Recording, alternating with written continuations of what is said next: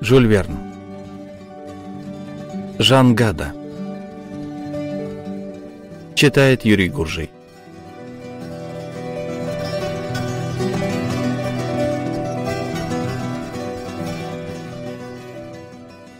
Часть первая. Глава первая. Лесной стражник.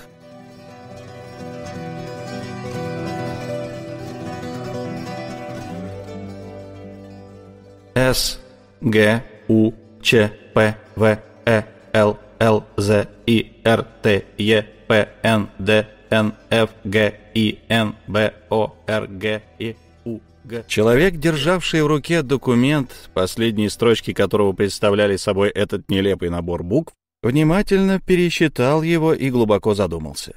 В документе было около сотни таких строк, даже не разделенных на слова. Как видно, он был написан много лет назад, ибо плотный лист бумаги, усеянный этими непонятными письменами, уже пожелтел от времени. Однако на основе какого принципа были расставлены буквы? Ответить на такой вопрос мог только этот человек. Мы знаем, что существуют тексты, зашифрованные так же, как замки на современных несгораемых шкафах. Они открываются одинаковым способом, но чтобы найти к ним ключ, пришлось бы проделать миллиарды комбинаций, на что не хватило бы целой жизни отгадчика. Надо знать слово, чтобы открыть замок с секретом, надо знать шифр, чтобы прочесть такого рода криптограмму. Вот почему, как мы увидим дальше, понять этот листок никому не удавалось, несмотря на самые хитроумные догадки и притом при таких обстоятельствах, когда прочесть его было особенно важно. Человек, перечитывавший документ, был простым лесным стражником. В Бразилии лесными стражниками называют агентов полиции, разыскивающих беглых негров. Такая должность была установлена с 1722 года. В ту пору мысль о недопустимости рабства приходила в голову только редким человеколюбцам. Лишь более столетия спустя цивилизованные народы усвоили ее и стали проводить в жизнь. И хотя право быть свободным, принадлежать только себе, казалось бы, первое естественное право человека, однако прошли тысячелетия, прежде чем некоторые народы решились провозгласить эту благородную идею. В 1852 году, когда происходило действие нашей повести, в Бразилии еще были рабы, а следовательно и лесные стражники, которые за ними охотились. Особые экономические условия на время задержали здесь полное освобождение рабов, но негры уже имели право выкупать себя у хозяина, а дети их рождались свободными. И так уж недалеко был день, когда в этой прекрасной стране величиной с три четверти Европы среди десяти миллионов жителей не останется ни одного раба. Несомненно, и должности лесного стражника суждено было скоро исчезнуть. Вот почему доходы, получаемые за поимку беглых негров, значительно уменьшились. И если в течение долгого времени, пока этот промысел был достаточно выгоден, в лесные стражники шли всевозможные авантюристы, главным образом из вольноотпущенников, отщепенцев, недостойных уважения, то понятно, что теперь тем более охотники на рабов принадлежали к последним отбросам общества. И, вероятно, человек, читавший документ, тоже не служил украшением малопочтенного отряда лесной полиции. Торос, так его звали, не был ни метисом, ни индейцем, ни негром, как большинство его сотоварищей, а белым, родившимся в Бразилии. Он получил кое-какое образование, чего, впрочем, не требовала его теперешняя профессия. Однако его нельзя было считать одним из тех людей, без роду, без племени, каких немало встречается в далеких уголках Нового Света. Если в те времена, когда бразильские законы еще запрещали занимать некоторые должности мулатам и вообще людям смешанной крови, на Торреса и мог распространиться этот запрет, но отнюдь не за происхождение, а лишь за его пороки. Впрочем, сейчас Торрес находился не в Бразилии. Совсем недавно он перешел ее границу и вот уже несколько дней бродил по лесам Перу, раскинувшимся в верховьях Амазонки. Торрес, человек лет 30, был крепко сложен, и три волнения довольно беспорядочной жизни не отразились на его внешности, ибо он обладал исключительной выносливостью и железным здоровьем. Он был среднего роста, широкоплеч, с твердой походкой, с резкими чертами лица, сильно загоревшего под жгучим тропическим солнцем и обрамленного густой черной бородой. Его глубоко сидящие глаза под сросшимися бровями бросали быстрые и холодные взгляды, выдававшие врожденную наглость. Даже в те времена, когда жаркий климат еще не покрыл его кожу медным загаром, вы не увидели бы краски стыда у него на лице, его лишь искажала злобная гримаса. Торос был одет весьма неприхотливо, как все лесные бродяги. Платье его истрепалось от долгой носки, на голове криво сидела широкополая кожаная шляпа. Грубые шерстяные штаны он заправлял высокие крепкие сапоги, самую прочную часть его туалета, а на плечах носил желтоватый, выленивший плащ, пуншо, который скрывал, во что превратилась его куртка и что стало жилетом. Но если прежде Торос и состоял лесным стражником, то теперь он, несомненно, оставил это занятие. Во всяком случае, не служил в настоящее время, на что указывало отсутствие у него средств защиты и нападения, необходимых для поимки негров. Никакого огнестрельного оружия, ни оружия, ни пистолета, только за поясом длинный нож, так называемая маншетта, больше похожая на саблю, чем на охотничий нож. Кроме того, у Тороса была еще эншада, нечто вроде мотыги, обычно употребляемой для ловли броненосцев и агути. В лесистых верховьях Амазонки их водится множество, но почти не встречается крупных хищников. Как бы то ни было, но в тот день, 4 мая 1852 года, наш искатель приключений был либо слишком поглощен чтением документа, который держал перед глазами, либо, привыкнув бродить по южноамериканским лесам, оставался совершенно равнодушен к их красотам. И верно, ничто не могло отвлечь Тороса от его занятий. Ни громкие вопли обезьян-ревунов, которые Сент-Иллер удачно сравнил с гулкими ударами топора дровосека по ветвям деревьев, ни сухое потрескивание колец гремучей змеи, правда, редко нападавшей на человека, но чрезвычайно ядовитой, ни пронзительный крик рогатой жабы, по своему уродству напоминавшей первое место в классе земноводных, ни даже громкое басовитое кваканье древесной лягушки, которая, правда, по величине не способна тягаться с валом, но зато может сравниться с ним силой голоса. Торос не слышал этого оглушительного гомона, как бы сливавшегося в единый голос лесов нового света. Он лежал у подножия великолепного железного дерева, но даже не любовался могучей кроной этого гиганта, покрытого темной корой и твердого, как металл, вместо которого он и служил индейцам при изготовлении оружия и орудий труда. Нет. Углубившись в свои мысли, лесной стражник рассматривал со всех сторон странный документ. С помощью известного ему тайного шифра он находил значение каждой буквы, он читал, проверяя скрытый смысл этих строк, понятных ему одному, и лицо его кривилось в злобной усмешке. Затем он не удержался и пробормотал в полголоса несколько слов, которые, впрочем, в этом диком уголке девственного леса никто не мог подслушать, да никто и не мог бы понять. «Да», — сказал он, — «вот сотня очень четко написанных строк, и я знаю человека, для которого они имеют огромное значение, а ведь этот человек богат, а для него это вопрос жизни или смерти, а за жизнь всегда дорого платят». Он смотрел на документ жадным взглядом. Если взять по конту рейс за каждое слово одной последней фразы, и тоже получится кругленькая сумма. Ох, и дорого же стоит эта фраза. Она подводит итог всему документу. Она называет настоящие имена настоящих участников. Но прежде чем пытаться ее понять, надо разбить ее на слова. А, впрочем, если бы это и удалось, все равно никому не докопаться до смысла. Торос замолчал и принялся считать в уме. «Здесь сорок четыре слова», — воскликнул он. «Это составило бы сорок четыре конта. С такими деньгами можно жить и в Бразилии, и в Америке. Да где угодно, жить припеваючи и ничего не делать. А что, если б я получил такую плату за каждое слово всего документа? Ведь тогда я считал бы конта сотнями. Тысяча чертей, у меня в руках целое состояние, и я буду последним дураком, если упущу его.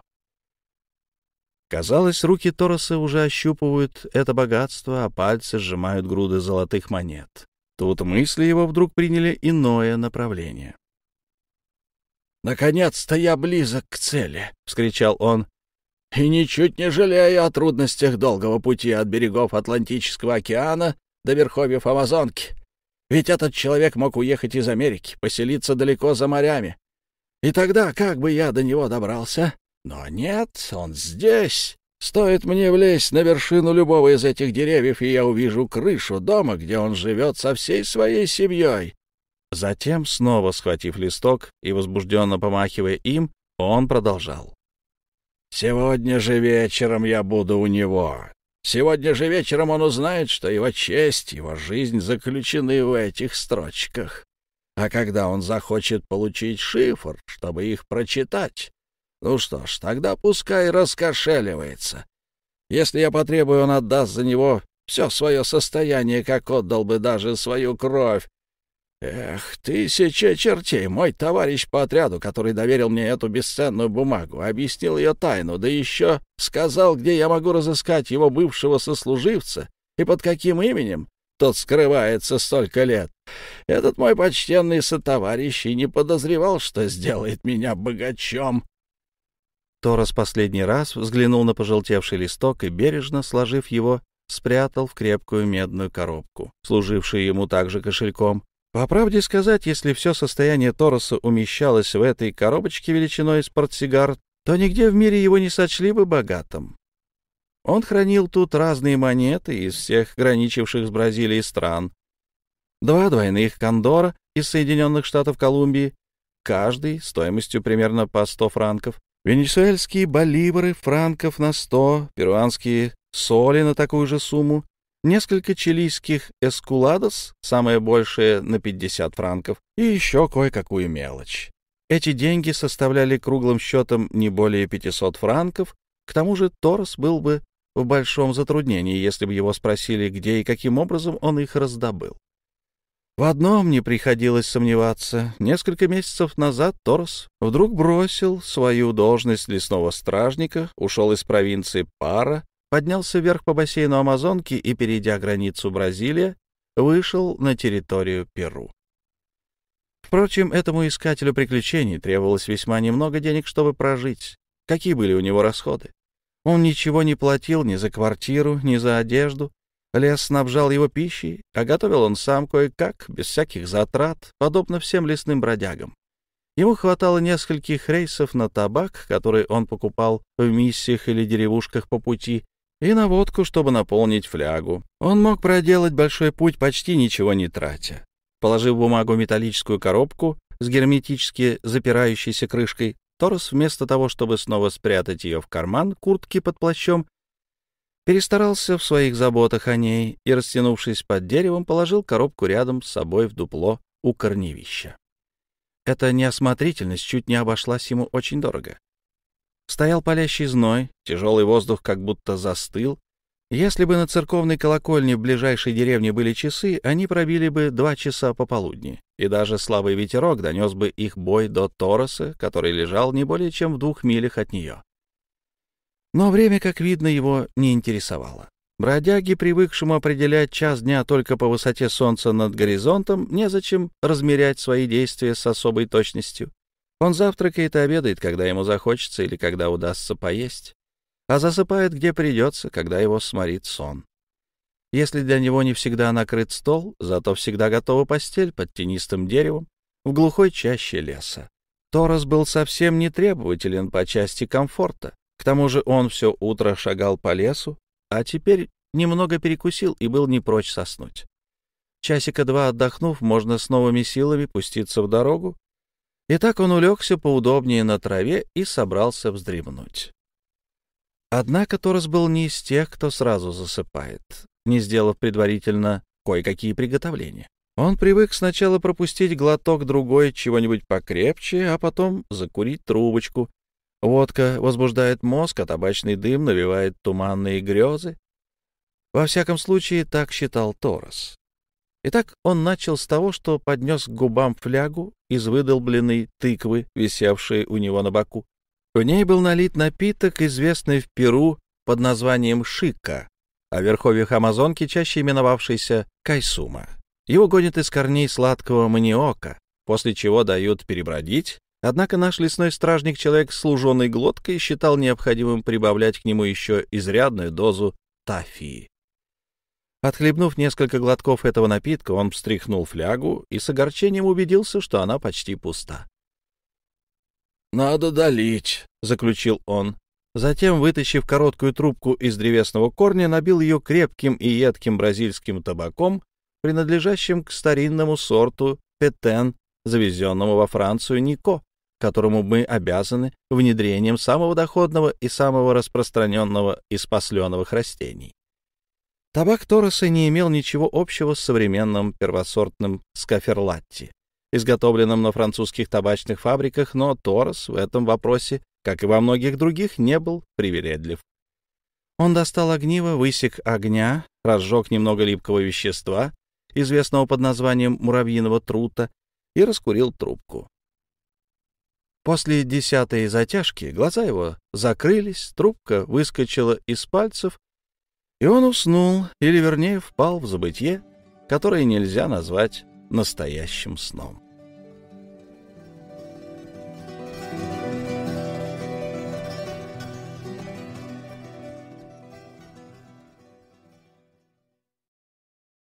Вор и обворованный.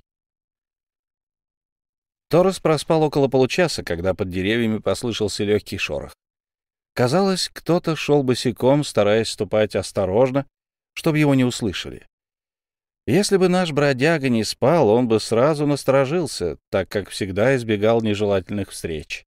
Но чуть слышные шаги не могли его разбудить, и тот, кто пробирался в чаще, подошел и остановился в десяти метрах от дерева, под которым лежал Торос, не потревожив его сон. То был не человек, а гуариба.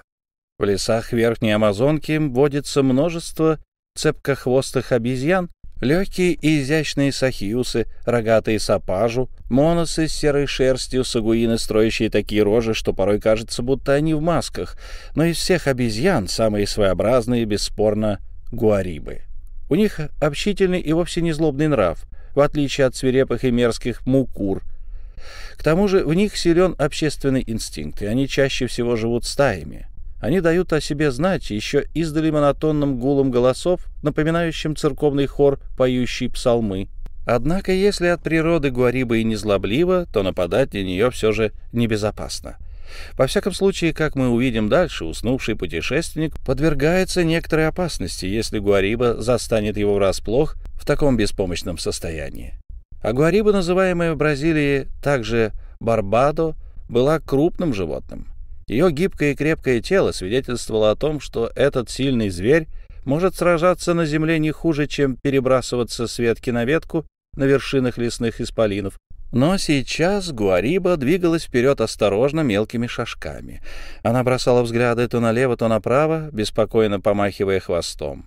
Этим представителям обезьяньего племени природа дала не только четыре руки, отчего их и называют четверорукими, но и проявила еще большую щедрость, добавив им сверх того и пятую, ибо кончик их хвоста обладает такой же способностью хватать, как и руки.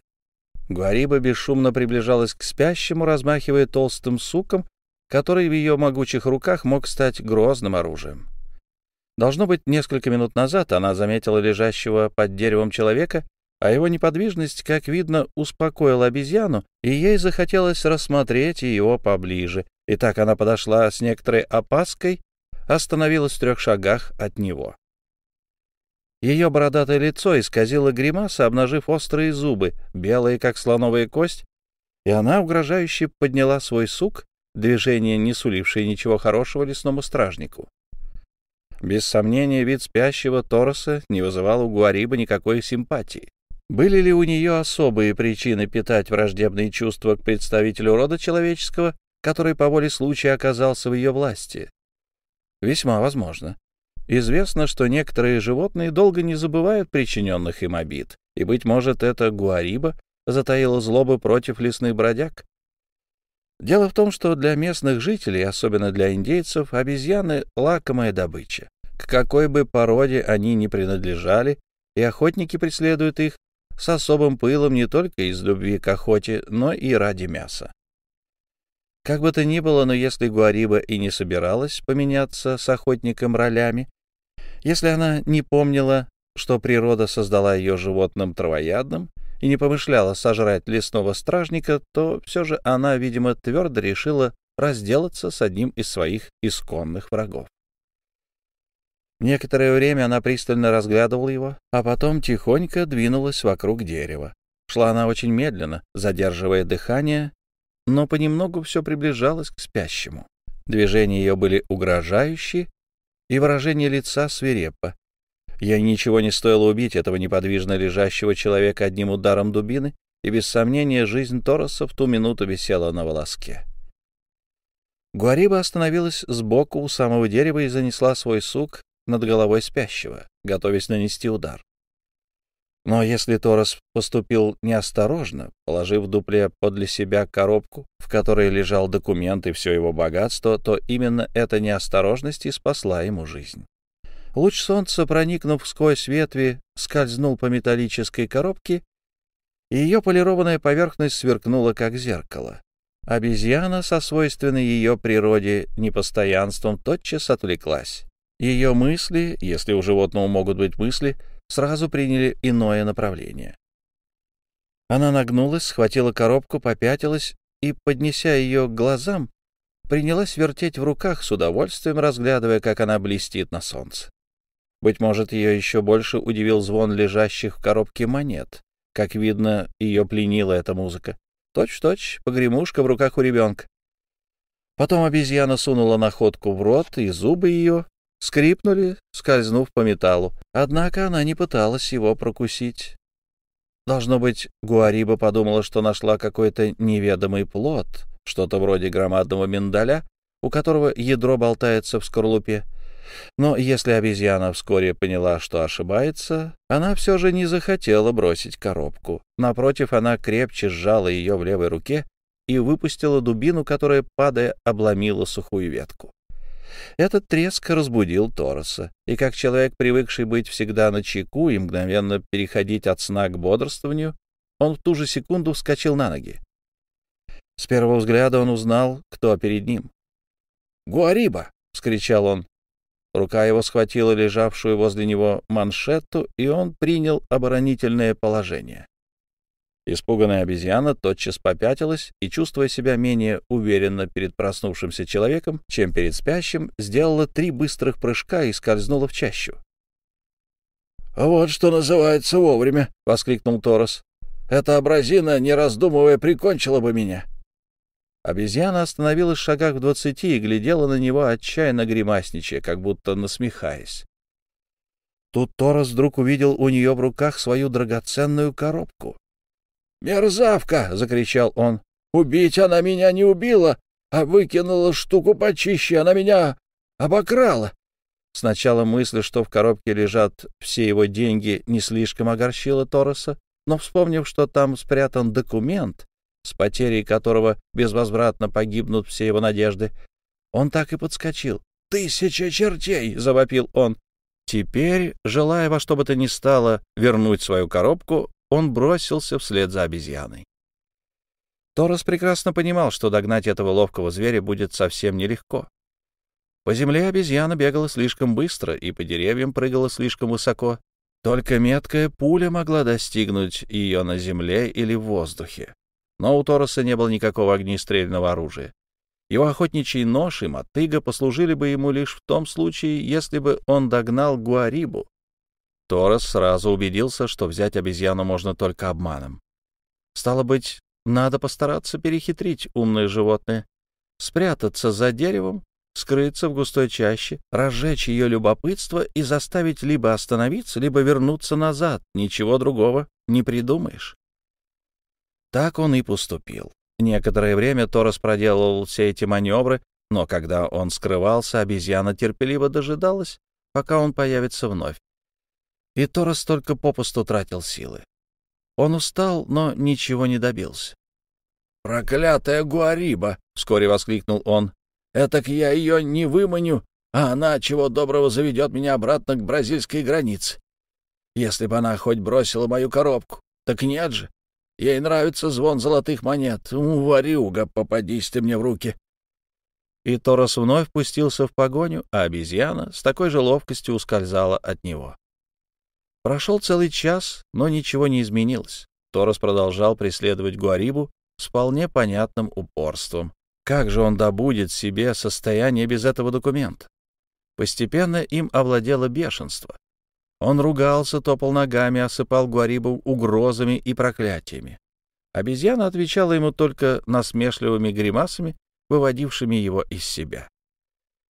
И Тора снова бросался к ней. Он бежал во всю прыть, задыхаясь, путаясь в высокой траве, продираясь сквозь густой кустарник, цепляясь за переплетающиеся лианы, сквозь которые Гуариба проскальзывала со скоростью призового скакуна. В траве кое-где прятались толстые корни, преграждавшие ему путь. Он спотыкался, падал и снова вскакивал, и вскоре, сам того не замечая, он принялся кричать «На помощь! Ко мне! Держи вора!» как будто кто-нибудь мог его услышать. В конце концов силы ему изменили, он совсем задохнулся и вынужден был остановиться. «Вот дьявол!» — выругался он. Когда я охотился в зарослях за беглыми неграми, и то было легче. А все-таки я поймаю эту проклятую обезьяну. Я не отстану от нее, пока меня носят ноги. Она еще увидит. Заметив, что лесной стражник прекратил погоню, Гуариба остановилась. Она тоже отдыхала, хотя не была так измучена, как Торос, который не мог пошевелиться от усталости. Она простояла на месте минут десять, жуя какие-то корешки, вырванные ею из земли, и порой помахивала над ухом коробкой, звеня монетами. Взбешенный Торос стал швырять в обезьяну камнями и даже не раз попадал в нее, но на таком расстоянии не мог причинить ей вреда. Однако пора было принимать какие-то меры. С одной стороны, продолжать гоняться за Гуарибой без надежды ее поймать было попросту бессмысленно. С другой, окончательно примириться с нелепой случайностью, погубившей все его хитроумные замыслы, признать себя не только побежденным, но обманутым и одураченным глупой обезьяной, было бы уж очень обидно. И все же Торос понимал, что когда стемнеет, воровка без труда скроется от него, а он, обворованный, пожалуй, не сможет даже выбраться на дорогу из этой чащи. Погоня завела его на несколько миль в сторону. От берега реки и теперь ему будет нелегко вернуться назад. Торос заколебался. Он постарался хладнокровно обдумать свое положение и, выкрикнув последнее проклятие, уже готов был отказаться от мысли вернуть себе свою коробку, как вдруг снова вспомнил о похищенном документе, о связанных с ним планах будущей жизни и решил, что должен сделать еще одну последнюю попытку. Он встал, Гуариба тоже встала.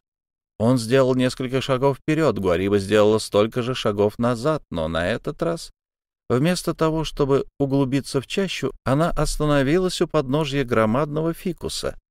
Разнообразные виды этого дерева широко распространены во всем бассейне Верхней Амазонки. Обхватить ствол четырьмя руками, вскарабкаться вверх с ловкостью акробата, или вернее обезьяны, обвиться цепким хвостом за горизонтальные ветви в сорока футах над землей и взметнуться на самую вершину дерева, все это было для ловкой гуарибы, сущей забавой, и заняло несколько секунд.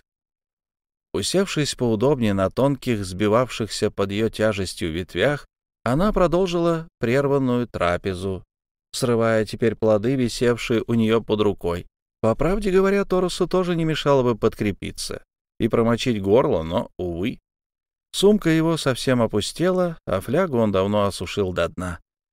Однако он не повернул назад, а направился к дереву, хотя сейчас обезьяна стала и вовсе недоступной для него.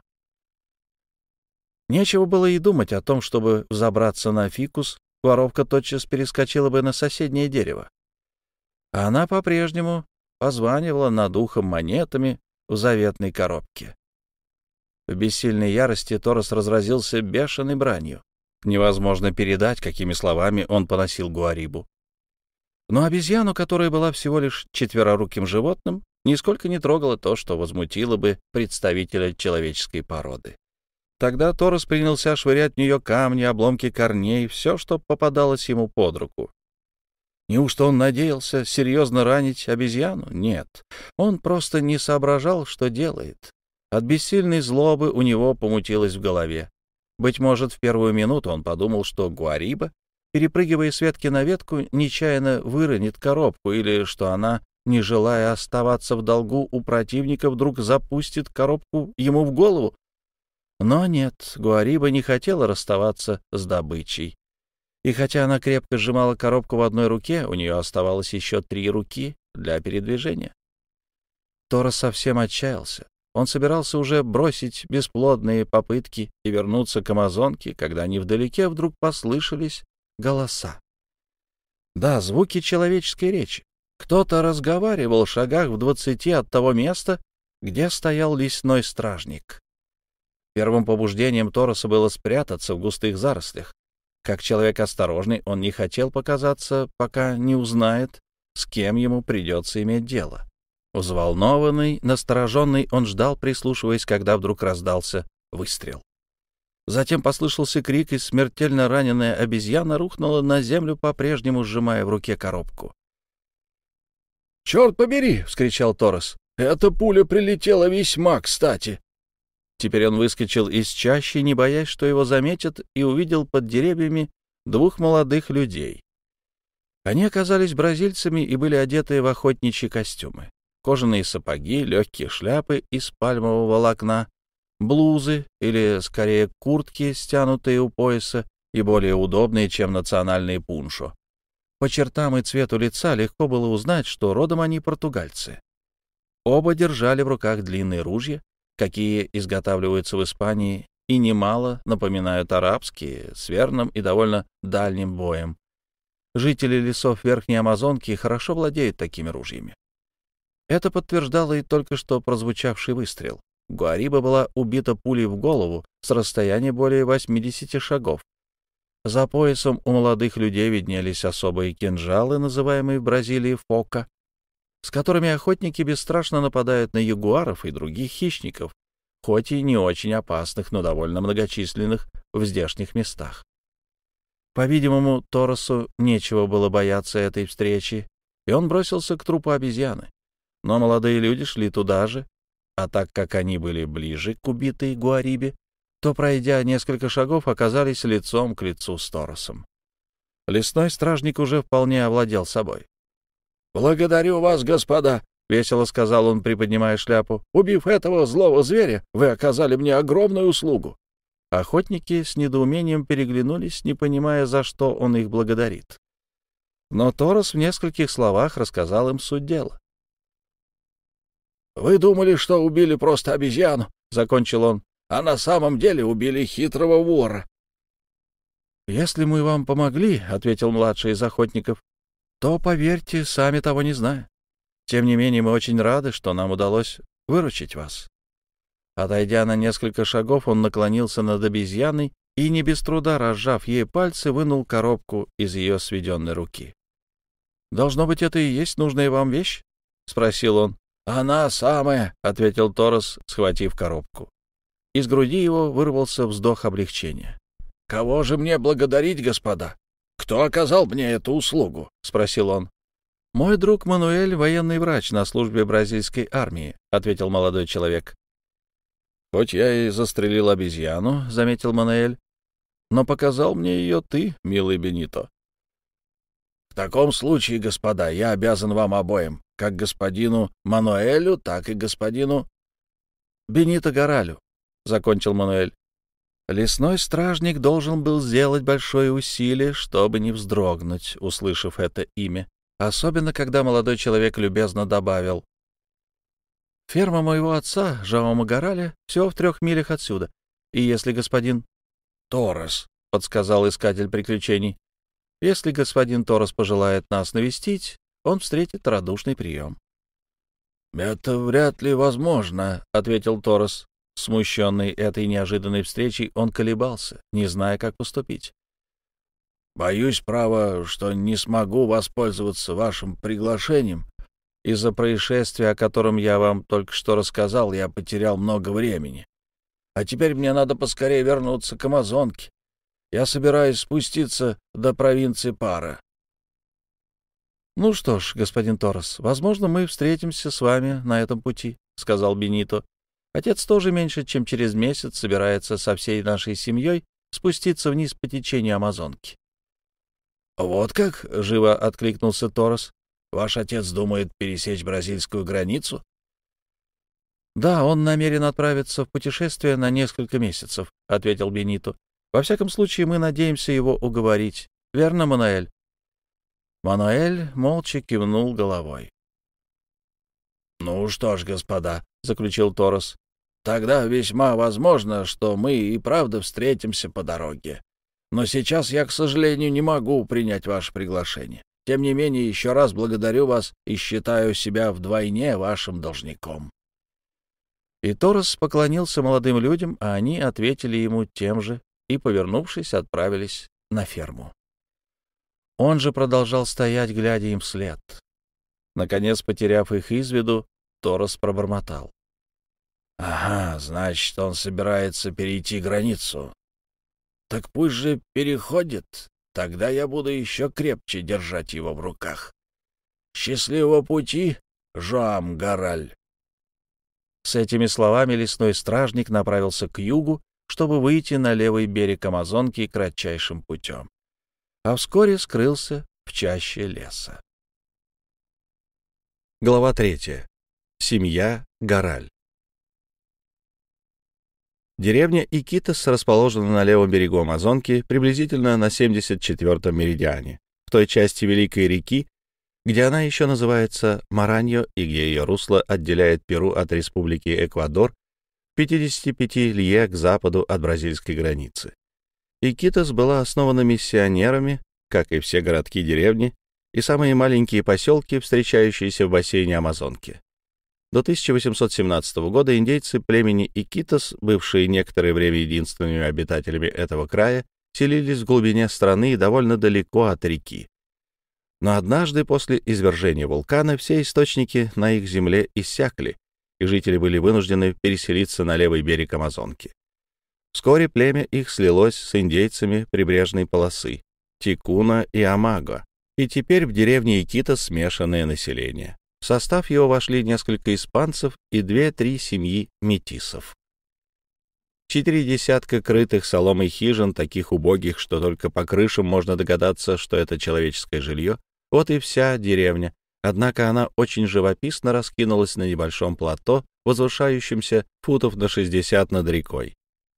К деревне ведет лестница из цельных бревен, укрепленных на склоне. Но пока путник не взберется по ее ступеням, он не может увидеть селение, так как снизу не хватает перспективы. Поднявшись, путник оказывается перед легко преодолимой живой изгородью из кустарников и древовидных растений, переплетенных длинными лианами, а над ними кое-где высятся банановые деревья и струйные пальмы. В ту пору индейцы племени Икита сходили почти ноги. Впрочем, надо полагать, мода не скоро изменит их первобытную одежду. Только испанцы и метисы, с пренебрежением относившиеся к своим темнокожим согражданам, носили простые рубашки, легкие хлопчатобумажные брюки и соломенные шляпы. Все они жили довольно бедно, к тому же мало общались между собой и собирались все вместе лишь тогда, когда колокол миссии взывал их в обетшалый домик, служивший им церковью.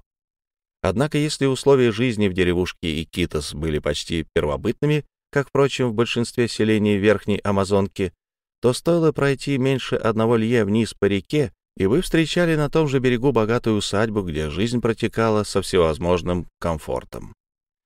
То была ферма Жоама Гораля, к которой направлялись двое молодых людей, недавно повстречавших лесного стражника.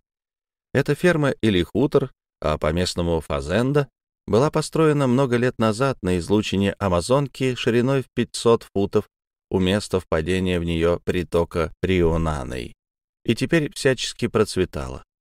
К северу земли ее тянулись на целую милю вдоль правого берега Риунаной, а к востоку на такое же расстояние вдоль левого берега Амазонки.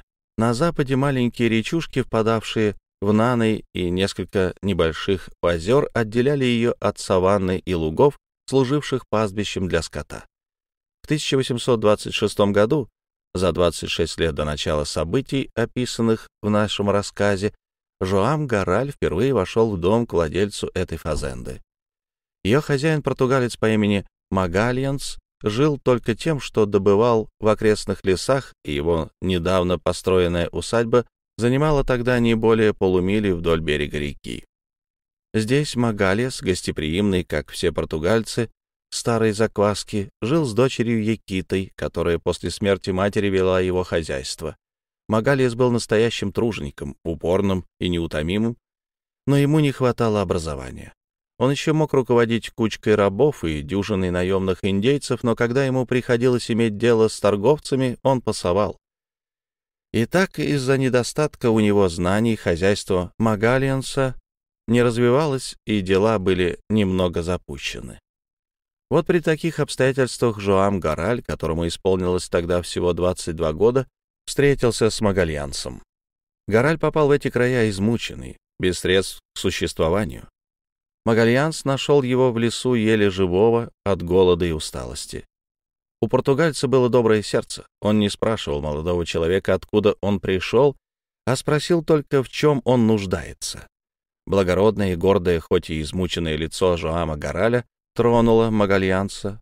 Он приютил юношу, поставил на ноги и предложил остаться у него на несколько дней. Тот согласился и остался на всю жизнь. Вот при таких обстоятельствах Жоам Гораль поселился на ферме в Икитосе. Бразилец родом, Жоам Гораль, не имел ни семьи, ни состояния. Несчастье, — говорил он, — заставили его покинуть родину без надежды вернуться обратно. Гораль попросил у хозяина разрешения не рассказывать о постигших его бедах, столь же тяжких, сколь и незаслуженных. Он жаждал начать новую жизнь, жизнь полную труда, он пришел сюда на удачу, думая устроиться на какой-нибудь фазенде в глубине страны. Он был умен и образован. Во всем его облике было что-то внушавшее доверие и говорившее, что он человек честный и прямой. Проникшись к нему симпатией, Магалес предложил ему остаться на ферме, где своими знаниями он мог восполнить то, чего не хватало ее достойному хозяину. Жам Гараль согласился, не раздумывая.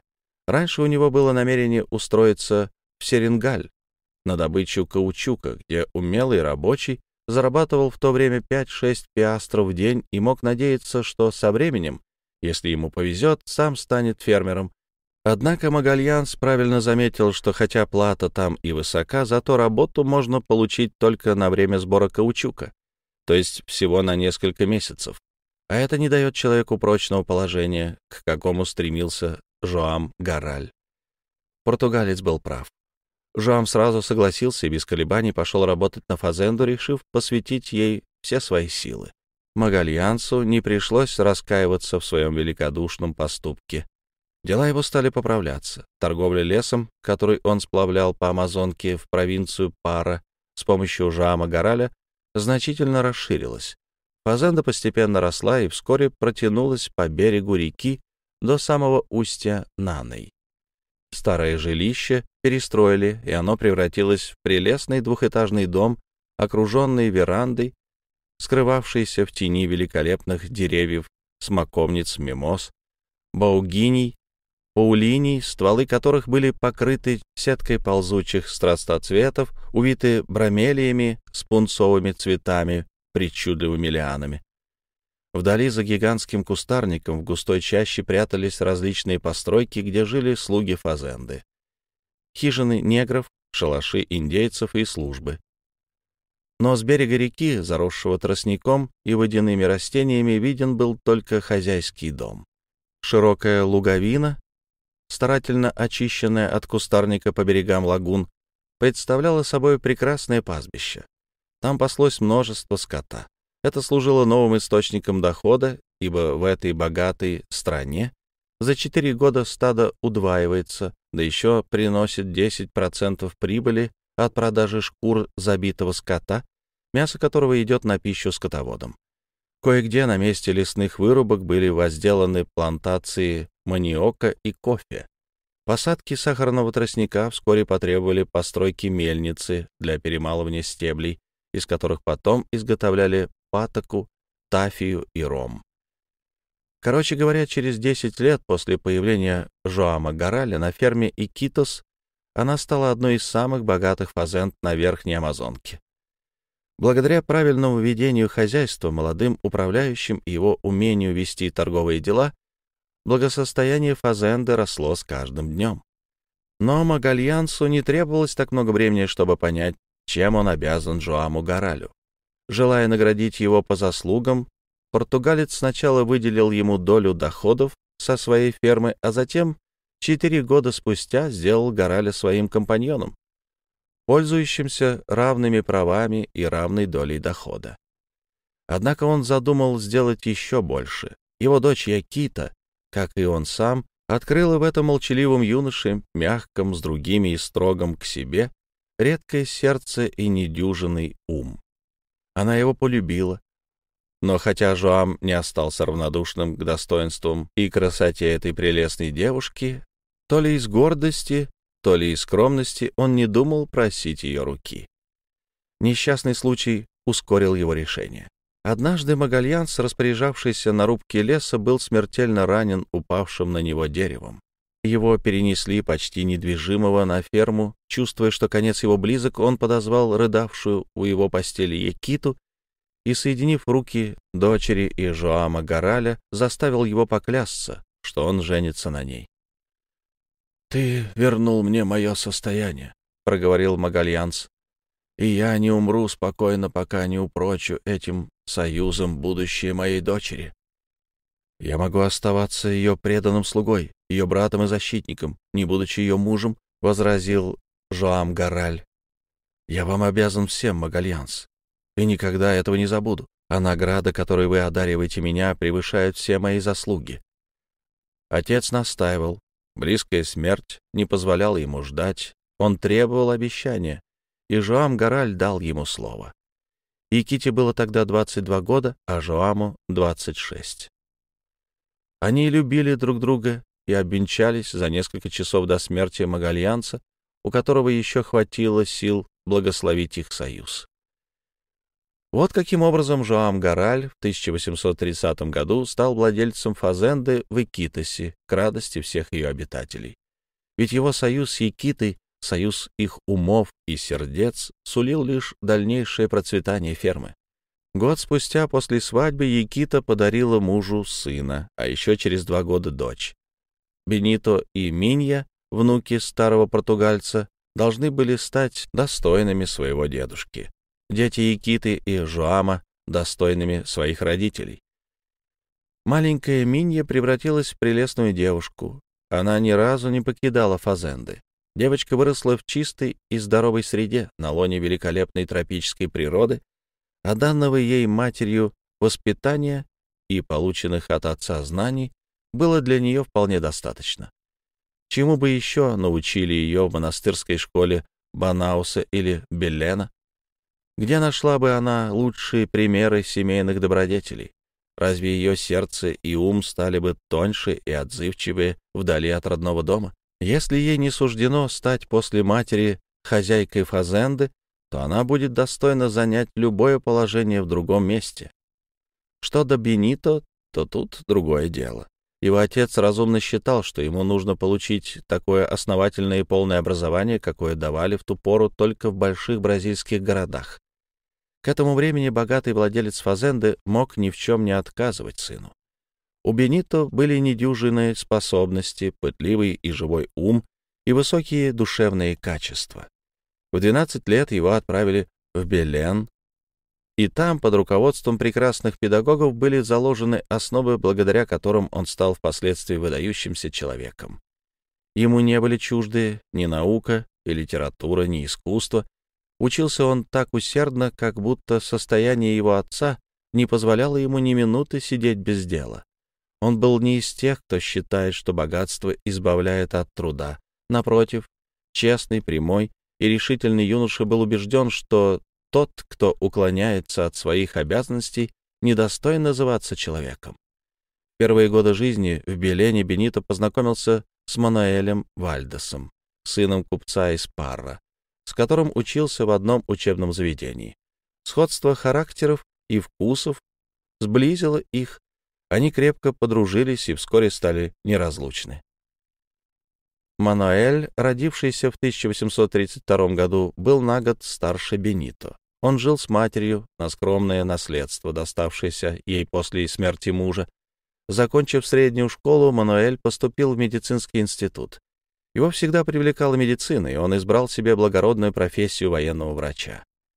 В то время, когда мы встретили двух друзей, Мануэль уже получил звание врача и приехал погостить несколько месяцев на Фазенде где обычно проводил каникулы. Этот молодой человек с приятными манерами, благородным лицом и врожденным чувством собственного достоинства сделался вторым сыном для Жоама и Якиты. Но если, став им сыном, он и считал себя братом Бенито, то по отношению к Минье звание брата казалось ему недостаточным, ибо вскоре он почувствовал к ней гораздо более нежную привязанность, чем братскую любовь. 1852 году, к началу нашей истории, прошло уже 4 месяца этого года. Жуаму Горалю исполнилось 48 лет. В изнурительном климате, который так быстро подтачивает здоровье, Гораль, благодаря своей воздержанности, умеренным вкусам и скромной трудовой жизни, сохранил силы, хотя многие люди здесь преждевременно старились. Коротко остриженные волосы и длинная борода его уже серебрились, придавая ему строгий вид пуританина. Неподкупная честность, которой славились бразильские купцы и землевладельцы, была словно написана на его лице, отличавшимся искренностью и прямотой. В этом внешне спокойном человеке угадывался внутренний огонь, сдерживаемый твердой волей, в ясном взгляде светилась живая сила и чувствовалось, что на него может положиться всякий, кто обратится к нему за помощью. А между тем в этом спокойном человеке с крепким здоровьем, который как будто всего добился в жизни, можно было заметить какую-то затаенную грусть, и победить ее не могла даже нежная привязанность Якиты. Почему этот справедливый, всеми уважаемый фермер, имеющий все основания быть счастливым, никогда не сияет от счастья? Почему кажется, что он может радоваться лишь чужому счастью, но не своему? Неужели его гложет какое-то тайное горе? Вот вопрос, который постоянно мучил его жену. Яките минуло 44 года. В этой тропической стране, где женщины часто становятся старухами уже в 30 лет, она тоже сумела устоять против разрушительного влияния климата.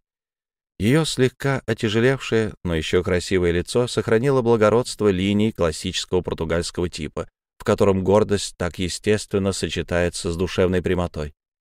Бенито и Минья на нежную любовь родителей отвечали такой же горячей привязанностью. Бенито веселый, смелый, и привлекательный юноша, ему шел тогда 22 год, с душой нараспашку отличался живостью характера от своего друга Мануэля, который был более сдержан, более серьезен.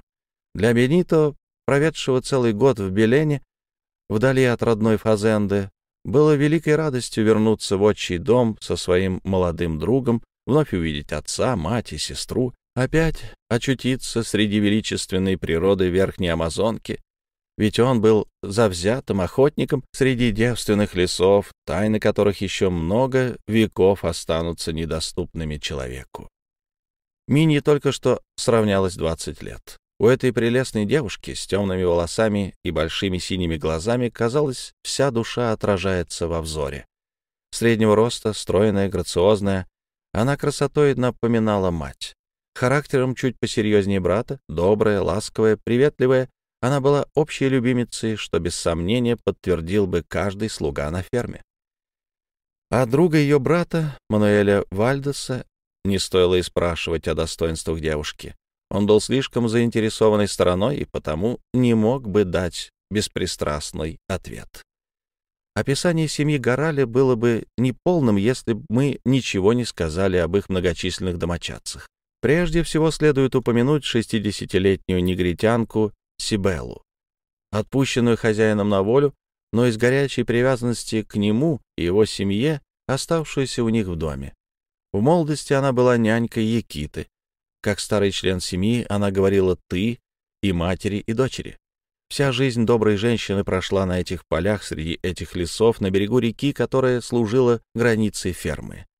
Она попала в Экита с ребенком в ту пору, когда еще существовала торговля неграми, и никогда не покидала этого селения. Здесь она вышла замуж, здесь овдовела и, потеряв единственного сына, осталась служить у Могильянца. Она знала только ту часть Амазонки, которая всегда была у нее перед глазами. Назовем также и хорошенькую, веселую мулатку, считавшуюся служанкой Миньи и ее ровесницу, горячо преданную своей юной хозяйке. Звали ее Лина. Этому милому, немного избалованному созданию прощали некоторую вольность обращения. Она же обожала свою госпожу. Живая, своевольная, ласковая и насмешливая, она делала, что хотела, ей все разрешалось в этом доме. Что касается работников Фазенды, то они делились на две части. Индейцы, около сотни человек, работали на ферме за плату, а негры, их было вдвое больше, оставались еще рабами, но дети их рождались уже свободными. Жуам Гараль в этом отношении опередил бразильское правительство.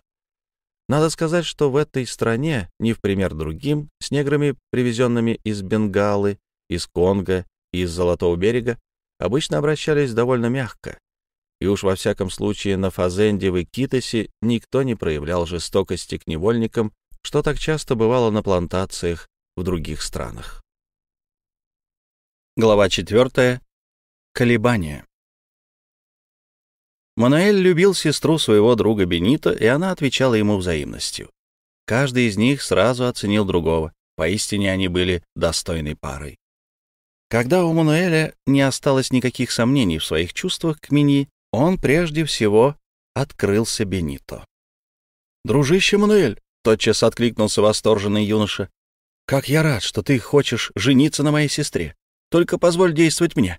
Прежде всего я поговорю с матушкой и думаю, что могу обещать тебе ее согласие». Не прошло и получаса, как все было улажено. Бенита не сообщил своей матери ничего нового. Добрая Якита давно догадалась о чувстве, зародившемся в сердцах молодых людей. Десять минут спустя Бенита уже был у сестры. Надо признаться, что и здесь ему не пришлось прибегать к красноречию. После первых его слов головка милой девушки склонилась на плечо брата, и Минья воскликнула от всего сердца. «Как я рада!» Признание едва не опередило вопроса. Все было ясно, Бенито только того и ждал. В согласии Жуама Гарраля тоже никто не сомневался.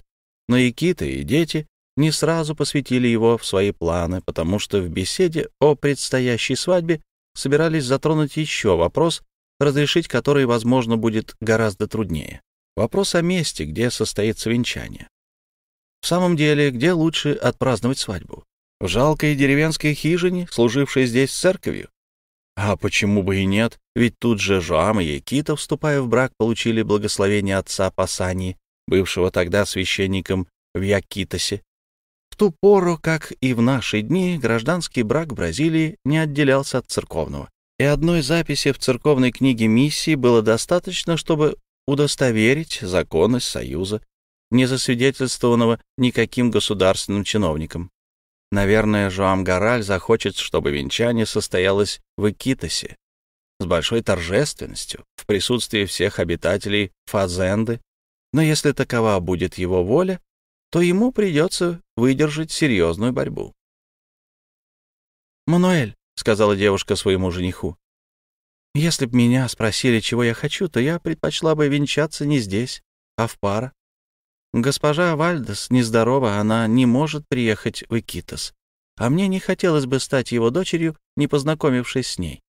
И мама одобряет меня, поэтому мы постараемся уговорить отца, чтобы он отвез нас в Белен, к той, чей дом скоро должен стать и моим домом. Вы согласны?» Вместо ответа Мануэль лишь нежно пожал руку Мини. Он тоже горячо желал, чтобы мать присутствовала на его венчании. Бенито полностью поддержал этот план. Оставалось только убедить Жуама Гораля. В этот день молодые люди отправились в лес на охоту, чтобы дать ей Кити поговорить наедине с мужем. Итак, после обеда супруги остались одни в просторной гостиной своего дома. Жуам Гораль только что вернулся с работы и прилег на диван из плетеного бамбука, когда немного взволнованная Якита подошла и села возле него. Решение сообщить мужу о чувствах Мануэля к их дочери нисколько не тяготило Якиту. предстоящая свадьба могла только упрочить счастье Мини, и Кита не сомневалась, что Жам Гораль с радостью раскроет объятия новому сыну, достоинство которого он давно узнал и оценил. Но Якита понимала, что убедить мужа покинуть Фазенду будет нелегко. И правда, с тех пор, как Жуам Гораль еще юношей пришел в эти края, он никогда ни на день не выезжал из Фазенды. Хотя Амазонка, медленно катившая свои воды на восток, манила его вдаль, хотя Жуам каждый год сплавлял множество плотов в Манаус и Белин и на побережье провинции Пара, хотя Бенито ежегодно уезжал из дому после каникул, чтобы вернуться к занятиям, казалось, Горалю никогда не приходило в голову поехать вместе с сыном. Все, что добывалось на ферме, в лесах и на лугах, владелец Фазенды продавал на месте. Можно было подумать, что он не хочет выходить ни мыслью, ни взглядом за пределы созданного им земного рая, где была сосредоточена вся его жизнь. Если в течение 25 лет Жуам Гараль ни разу не переходил бразильской границы, понятно, что его жена и дочь тоже никогда не ступали на бразильскую землю. А между тем они обе давно мечтали поглядеть на эту красивую страну, о которой им так много рассказывал Бенито. Раза два-три Якита заговаривала об этом с мужем, но она заметила, что при одной мысли покинуть Фазенду хотя бы на несколько недель, печальное лицо его еще больше мрачнело, глаза затуманивались, и он говорил с мягким упреком. «Зачем покидать наш дом? Разве мы здесь несчастливы?» И Кита не решалась настаивать. Заботливость и неизменная нежность этого человека делали ее такой счастливой. Однако на этот раз у нее был очень веский довод. Свадьба Минии была совершенно естественным поводом отвезти девушку в Белен, где ей предстояло жить с мужем. Там она должна узнать и полюбить мать Мануэля Вальдеса. Что может Жуам Гораль возразить против такого законного желания? И разве ему непонятно стремление Якиты познакомиться с той, кто станет второй матерью ее девочки? Разве он не разделяет ее стремлений? Якита взяла мужа за руку и сказала ласковым голосом, который был лучшей музыкой в жизни этого труженика. «Жоам, я хочу поговорить с тобой об одном плане. Мы давно мечтаем его осуществить. Я уверена, что он обрадует тебя не меньше, чем меня и детей. «Что же это за план, Якита?» — спросил Жам. «Мануэль и Минья любят друг друга, и в этом союзе они должны найти свое счастье». При первых же ее словах Жуам Гораль вскочил, не сумев сдержать это порывистое движение. Затем потупился, как будто хотел избежать взгляда жены.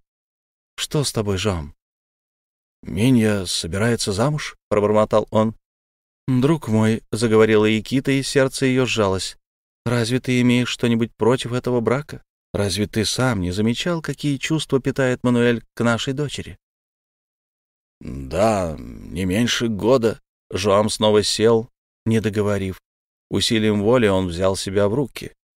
Непонятное волнение, вызванное словами его жены, прошло. Мало-помалу он успокоился, взглянув на Якиту и, задумавшись, долго глядел на нее. Якита снова взяла его за руку. «Милый Жоам», — молвила она, — «неужели я ошиблась? Разве ты сам не думал, что рано или поздно этот брак совершится и принесет счастье нашей девочке?» «Да», — проговорил Жоам, — «это так, несомненно. Однако, Якит, эта свадьба, эта свадьба, которую все мы предвидели, состоится когда? Скоро?» «Мы назначим ее, когда ты захочешь, Жоам». «И мы отпразднуем ее здесь, в Икитосе?» Этот вопрос дал Яките возможность высказать свое давнишнее горячее желание. Однако она сделала это не без некоторой вполне понятной робости. «Послушай, Жоам», — начала она, немного помолчав, — «по поводу этой свадьбы у меня есть план, который, я надеюсь, ты одобришь. За двадцать лет нашей жизни с тобой я не раз просила тебя свести нас с Миней в провинции Нижней Амазонки и в Пара, где мы никогда не бывали. Заботы о Фазенде и разные дела, требовавшие твоего постоянного присутствия, до сих пор не позволяли тебе исполнить нашу просьбу. Отлучка даже на несколько дней могла повредить твоим делам. Но теперь они идут так хорошо, как мы и мечтать не могли. И если для тебя еще не настало время полного отдыха, то ты можешь позволить себе передышку хотя бы на несколько недель. Жам Гораль ничего не ответил, но Икита почувствовала, что рука его дрогнула в ее руке, как от внезапной боли. Однако губы Жоама тронула легкая улыбка, словно он молча приглашал ее закончить свою мысль. «Жоам», — продолжала она, — «вот возможность, какой нам больше никогда не представится. Ведь Мини выйдет замуж, покинет нас и будет жить далеко. Это первое огорчение, которое нам доставит наша дочка. И у меня уже сжимается сердце, как только я подумаю о близкой разлуке. Так вот, мне хотелось бы проводить ее до Белина. Разве тебе самому не кажется, что нам следует познакомиться с матерью ее мужа, которая заменит ей меня, с той, кому мы доверим нашу дочь? Да и Мини не хотела бы огорчать госпожу Вальдес, отпраздновав свадьбу без нее. Если бы в ту пору, когда мы поженились с тобой, милый Жоам, твоя мать была бы жива, ты, наверное, тоже хотел бы, чтобы она присутствовала на нашей свадьбе. При этих словах Жоам Гараль снова сделал невольное движение. «Друг мой», — снова заговорила Якита, — «как бы мне хотелось вместе с Миней, нашими двумя сыновьями, и с тобой посмотреть родную Бразилию, спуститься по этой прекрасной реке до провинции на морском побережье. Мне кажется, что там разлука с дочерью будет мне не так горька. Вернувшись, я смогу мысленно увидеть ее в том доме, где она найдет вторую мать. Мне не придется представлять ее себе в неведомом краю, и я не буду чувствовать себя совсем чуждой ее жизни. На этот раз Жоам пристально глядел на жену. Он долго не спускал с нее глаз, но по-прежнему не произносил ни слова. Что происходило в его душе? Почему не решался он исполнить такую законную просьбу? Сказать «да» и доставить живую радость своим близким? Забота о деле не могла быть достаточно веской причиной. Несколько недель отлучки им бы не повредили. Управляющий мог на время заменить его без ущерба для Фазенды, и тем не менее он все еще колебался. Якита взяла руку мужа в свои и нежно сжала ее. «Милый Жоам», — сказала она, — «моя просьба не каприз, нет. Я долго ее обдумывала, если ты согласишься, то осуществишь мою заветную мечту. Дети знают о нашем разговоре и тоже присоединяются к моей просьбе. Минья, Бенито и Мануэль просят нас с тобой поехать с ними. Доставь же им эту радость. Я добавлю еще, что нам кажется лучше отпраздновать эту свадьбу в Белине, чем в Икитосе. Это будет на пользу нашей девочки, введет ее в общество, упрочит ее положение. Если она приедет с родителями, то не будет части ее жизни. Жуам Гораль облокотился на стол и закрыл лицо руками, словно хотел собраться с мыслями, прежде чем ответить. По-видимому, его мучили сомнения, и он старался их преодолеть. Жена ясно чувствовала его тревогу, но не понимала ее. На его лице отражалась тайная борьба. Взволнованная Якита почти раскаивалась, что затеяла этот разговор, что ж, она подчинится любому решению Жоама. Если эта поездка ему тяжела, она откажется от нее и никогда больше не предложит ему покинуть Фазенду, никогда не спросит о причине его непонятного отказа. Прошло несколько минут. Жуам Гораль встал и, не оборачиваясь, подошел к двери. Казалось, он бросает прощальный взгляд на прекрасную природу, на этот уединенный уголок, где целых двадцать лет оберегал счастье всей своей жизни. Потом он медленно вернулся к жене. Лицо его приняло совсем иное выражение. Так выглядит человек, когда после мучительных колебаний приходит к важному решению. «Ты права», — твердо сказал он Яките. «Эта поездка необходима. Когда ты хочешь ехать?» «Ах, Жам, милый Жам!» — воскликнула Якита, просияв от радости. «Как я тебе благодарна! И за себя, и за детей. И слезы умиления выступили у нее на глазах, когда муж прижал ее к сердцу. В эту минуту в саду у дверей дома послышались веселые голоса. Минуту спустя на пороге появились Бенито и Мануэль, а за ними и Минья, вышедшие из своей комнаты. «Дети, отец согласен!» — крикнул Икита. Мы все едем в Белен». Жам Гораль с сумрачным лицом, не произнося ни слова, принял пылкую благодарность сына и поцелуи дочери. «А когда вы думаете отпраздновать свадьбу, отец?» — спросил Бенито. «Когда? Там будет видно», — ответил Жам. «Это мы решим в Белене». «Как я рада! Как я рада!» — твердила Мини совсем как в тот день, когда узнала о предложении Манаэля. «Наконец мы увидим Амазонку во всем ее величии, проследим ее путь по бразильским провинциям. Ах, отец, большое спасибо!» И пылкая девушка, у которой уж разыгралось воображение, позвала брата Иммануэля. «Пойдем в библиотеку, возьмем все книги и карты, по которым можно рассмотреть бассейн Великой реки. Нельзя путешествовать вслепую. Я хочу не только все видеть, но и все знать об этой царственной реке, самой большой реке на Земле. Глава пятая. Амазонка. «Это величайшая река в мире», — говорил на другой день Бенито Мануэлю. Молодые люди сидели вдвоем на берегу Амазонки на южной границе Фазенды и смотрели, как мимо них медленно катятся воды, которые берут начало в высоких отрогах Ант и, пройдя 800 лье, теряются в просторах океана. «И к тому же она дает морю самое большое количество воды», — заметил Мануэль. «Такое большое», — добавил Бенито, — «что опресняет море на очень далеком расстоянии от своего устья и силой течения заставляет дрейфовать корабли, идущие в 80 лье от берега. Мощное русло этой реки тянется в длину более чем на 30 градусов широты, а бассейн ее с севера на юг занимает не менее 25 градусов. «Бассейн!» — вскричал Бенито. «Разве можно назвать бассейном широкую равнину, по которой течет Амазонка? Эту бескрайнюю саванну, без единого холма на ее просторах, без единой горы, ограничивающей ее горизонт.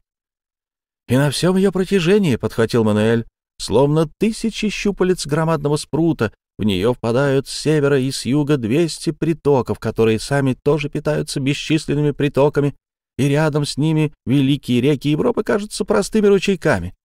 А на ее поверхности 560 островов, не считая мелких островков, неподвижных или плавучих, образуют настоящий архипелаг и вполне могли бы составить целое государство. А берега ее изрезали протоки, каналы, лагуны, заливы, озера, каких не встретишь в Швейцарии, Шотландии и Канаде, вместе взятых. Эта река с питающими ее тысячу протоками сбрасывает в Атлантический океан не меньше 250 миллионов кубометров воды в час.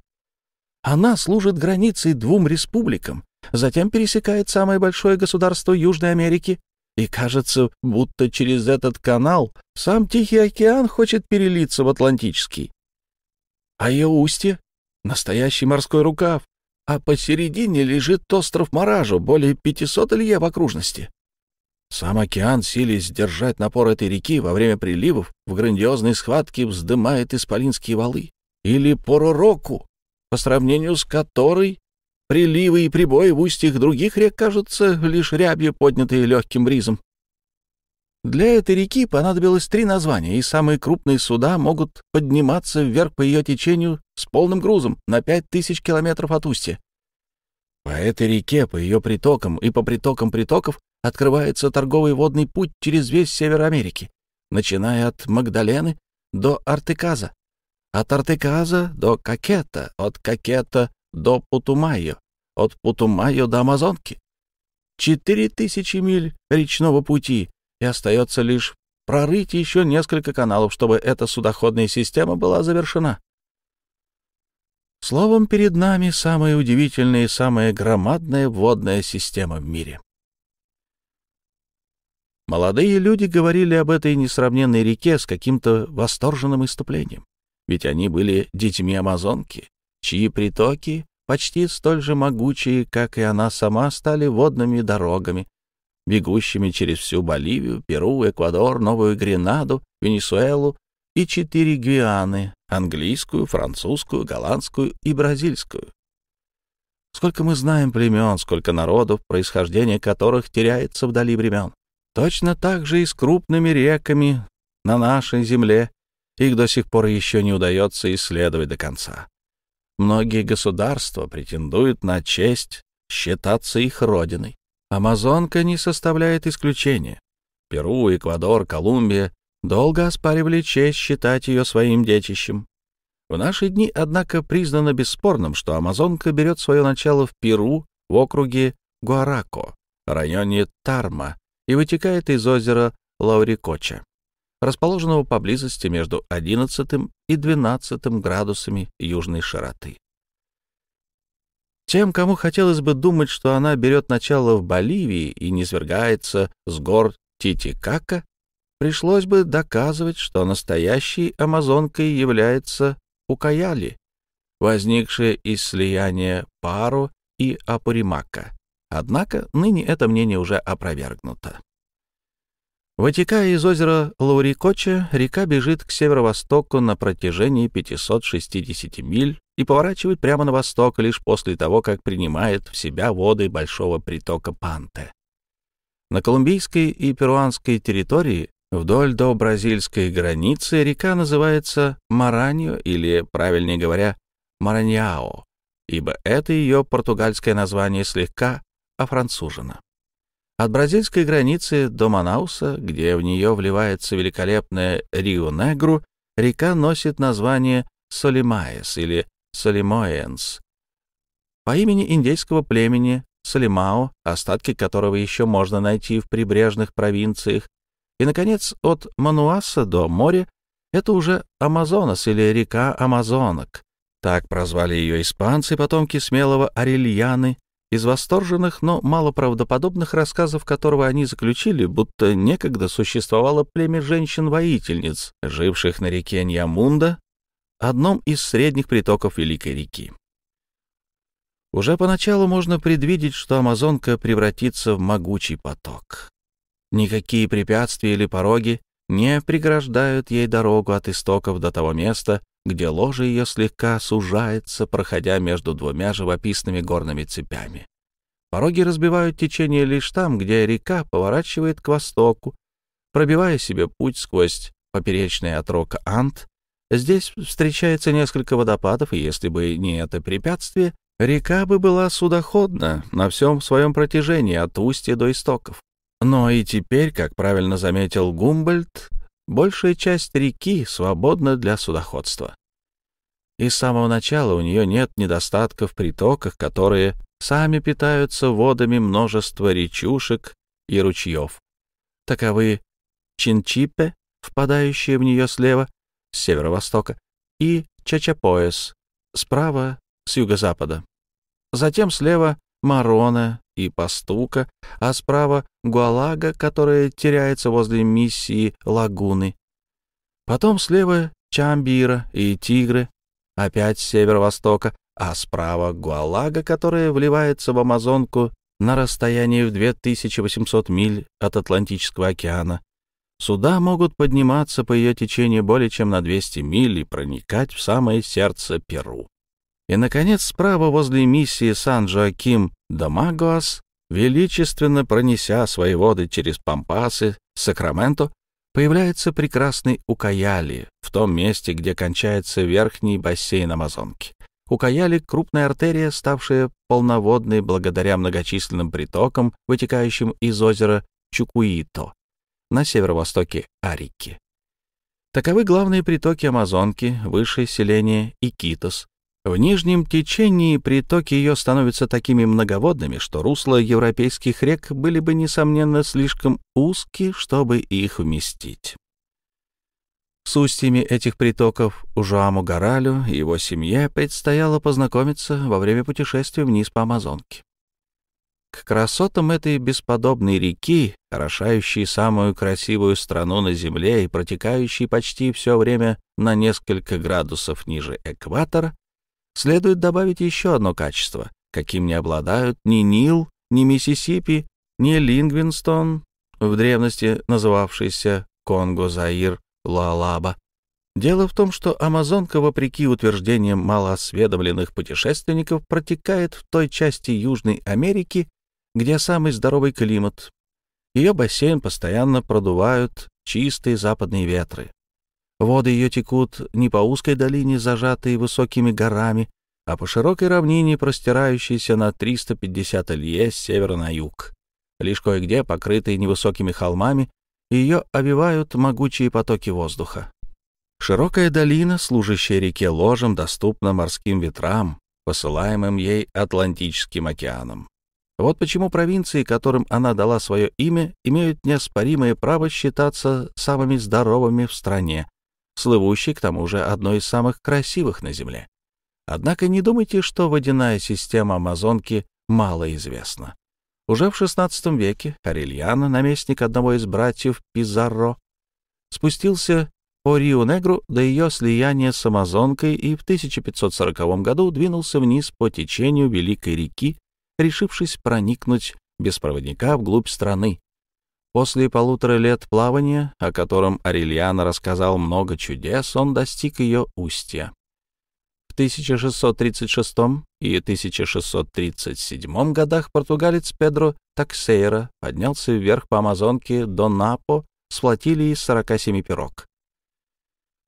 1743 году Лакандамин, измерив длину дуги меридиана под экватором, покинул своих спутников Бугера и Годена де Садоне, сел на судно, спустился по Чинчипе до ее впадения в Маранью и достиг устья на по 31 июля, как раз к моменту появления первого спутника Юпитера, что позволило Лакандамину, этому Гумбольту XVIII столетия, установить широту и долготу точки, в которой он находился.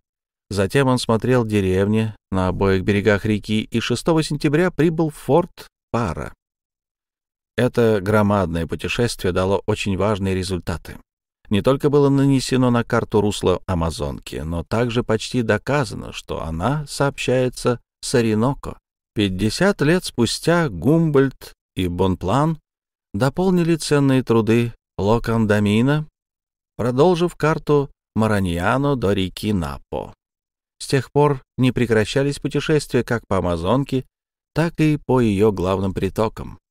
Но самый замечательный факт, делающий честь бразильскому правительству, следующий. 31 июля 1857 года, после многих споров между Францией и Бразилией о границах Гвианы, воды Амазонки были объявлены открытыми для судов, плавающих под любым флагом. А чтобы практика не расходилась с высокими принципами, Бразилия заключила договоры с соседними странами, дающими им право пользоваться всеми водными путями в бассейне Амазонки. В наши дни пароходные линии прямого сообщения с Ливерпулем, обставленные с комфортом, обслуживают реку от устья до Манауса. Другие пароходы поднимаются до самого Икитоса, и, наконец, множество судов, плавающих по рекам Тапажес, Мадейро, Риунеро, Пурус проникают в самое сердце Перу и Боливии. Легко себе представить, какой размах в скором времени получит торговля во всем этом громадном и богатом бассейне, равного которому нет в целом свете. Однако у этой заманчивой перспективы есть и своя оборотная сторона. За такой прогресс обычно расплачивается туземное население.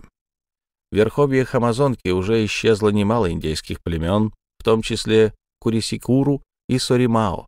Если на Потамайо еще встречаются порой представители племени Юри, то Ягуа совсем покинули эти места и перебрались на отдаленные притоки. А немногие оставшиеся Мауро бросили родные берега и бродят в лесах Жапуры. Да, берега реки Тунантон почти обезлюдили, а в устье Журуа кочует лишь несколько индейских семей. Тефе почти совсем опустела, и только у истоков Жапуры сохранились остатки великого племени Умайя. Куари совсем заброшена. На берегах Пуруса осталась лишь горсточка индейцев Мура. Из всего старинного племени Манаос уцелело лишь несколько семей кочевников. На берегу Рио-Негру живут одни метисы, потомки португальцев и индейцев, а ведь раньше здесь насчитывалось по 24 разных народностей. Таков закон прогресса. Индейцы в конце концов исчезнут. Под владычеством англосаксонцев вымерли австралийцы и жители Тасмании, Завоеватели Дальнего Запада уничтожили индейцев Северной Америки. Быть может, настанет время, когда арабы будут истреблены французскими колонизаторами. Однако пора нам вернуться к 1852 году. Многочисленные в наше время средства передвижения в ту пору еще не существовали, и путешествие Жуама Гораля требовало не менее четырех месяцев, принимая во внимание тогдашние условия. А вот почему, когда два друга смотрели на медленное течение реки, катившей свои воды у их ног, Бенито задумчиво проговорил. «Дружище Мануэль, ведь мы не расстанемся с тобой до самого Белена. Значит, поездка покажется тебе очень короткой». «Да, конечно», — ответил Мануэль, — «но и очень долгой, ведь Минья станет моей женой только в конце путешествия». Глава шестая. Целый лес повержен. Итак, семья Гораль была счастлива и довольна. Все с радостью готовились к чудесному путешествию по Амазонке. В эту поездку, рассчитанную на несколько месяцев, отправлялся не только владелец Фазенды со всей семьей, но и, как мы увидим дальше, их сопровождала и часть работников фермы. Видя вокруг столько счастливых лиц, Жуам Гораль Должно быть, забыл тревоги и заботы, которые раньше, казалось, отравляли ему жизнь. С того дня, как он принял твердое решение, он стал другим человеком, и когда начал собираться в дорогу, к нему вернулась прежняя энергия. Домашние с искренним удовольствием наблюдали его за работой. Подъем духа вызвал прилив физических сил. И Жан Гораль стал таким же бодрым и деятельным, как в былые дни. В нем снова проснулся человек, привыкший жить на свежем воздухе, в живительной атмосфере лесов и полей, у струящихся вод. К тому же за несколько недель, оставшихся до отъезда, ему предстояло закончить немало дел. Как говорилось выше, в те времена течение Амазонки еще не бороздили многочисленные пароходы, компании судовладельцев еще только собирались пустить их по реке и ее притокам, Речные суда держали пока частные владельцы и обслуживали главным образом прибрежные поселения. По реке ходили следующие суденышки. Особый вид пироги — уба, выдолбленная топором и выжженная из целого ствола, заостренным легким носом и более тяжелой полукруглой кормой, она вмещала от 1 до 12 грибцов и поднимала до 3 и даже 4 тонн груза. Затем эгоритея, Широкий, грубо сколоченный баркас, посредине которого был устроен навес из листьев со свободным проходом впереди и скамьей для грибцов. И, наконец, жангада, довольно неуклюжий плод, идущий под треугольным парусом с соломенной хижиной, служившей плавучим домом для индейца и его семьи. Эти три вида судов составляли мелкую флотилию Амазонки и могли перевозить очень ограниченное количество людей и товаров. Были тут суда и побольше, так называемые выжилинды, поднимающие от 8 до 10 тонн груза с тремя мачтами и красными парусами. В тихую погоду они идут на четырех тяжелых веслах, которыми очень трудно грести против течения. Были еще большие коберта, поднимающие до 12 тонн, похожие на китайские джонки, с рубкой на корме, небольшой каютой и двумя мачтами с квадратными парусами разной величины. При противном или очень слабом ветре индейцы пользовались на них еще десятью длинными веслами, которыми гребли, стоя на полубаке на носу судна. Но все эти водные средства передвижения не устраивали Жоама Гораля. Решив спуститься вниз по течению Амазонки, он сразу надумал воспользоваться этим путешествием для переброски большого количества товаров, ждавших отправки в провинцию Пара. Этот груз не требовал срочной доставки на место, и Гораль принял решение, которое должно было прийтись всем по душе, кроме разве Мануэля. Молодой человек, вероятно, предпочел бы отправиться на самом быстроходном судне, но у него была на то особая причина. Как ни примитивен, даже первобытен, был способ передвижения, избранный Жуамом Горалем, он позволял взять с собой множество людей и плыть по течению со всевозможными удобствами и в полной безопасности. По его плану часть фазенды словно отделиться от берега и поплывет по Амазонке со всеми своими обитателями, хозяином Фазенды, его семьей, слугами, работниками, вместе с их домами, хижинами, шалашами. В Икитосскую Фазенду входили великолепные леса, которые в центральной части Южной Америки, можно сказать, неистощимы. Жан Гораль прекрасно умел вести лесное хозяйство в этих краях, богатых чрезвычайно ценными и разнообразными древесными породами, которые шли на изготовление мачт и на всевозможные плотничные и столярные работы. Так что торговля лесом ежегодно приносила ему немалый доход. К тому же разве река не была у него под рукой, чтобы сплавлять дары амазонских лесов в большей сохранности и с меньшими затратами, чем по железной дороге? Итак, Жоам Гараль каждый год валил несколько сотен деревьев, связывал плоты из грубо обтесанных бревен, толстых досок и брусьев, составлял громадные плавучие караваны и сплавлял их вниз по течению под надзором опытных платагонов, хорошо знающих глубины, мели и быстрины реки. Теперь Жан Гараль собирался поступить, как и в предыдущие годы. Но на этот раз, сколотив плот, он решил всю коммерческую часть дела поручить Бенито, однако нельзя было терять даром и часа. Начало июня — самое благоприятное время для отплытия, ибо в эту пору река вздувается благодаря разлившимся в верховьях притокам, а затем понемногу убывает вплоть до октября.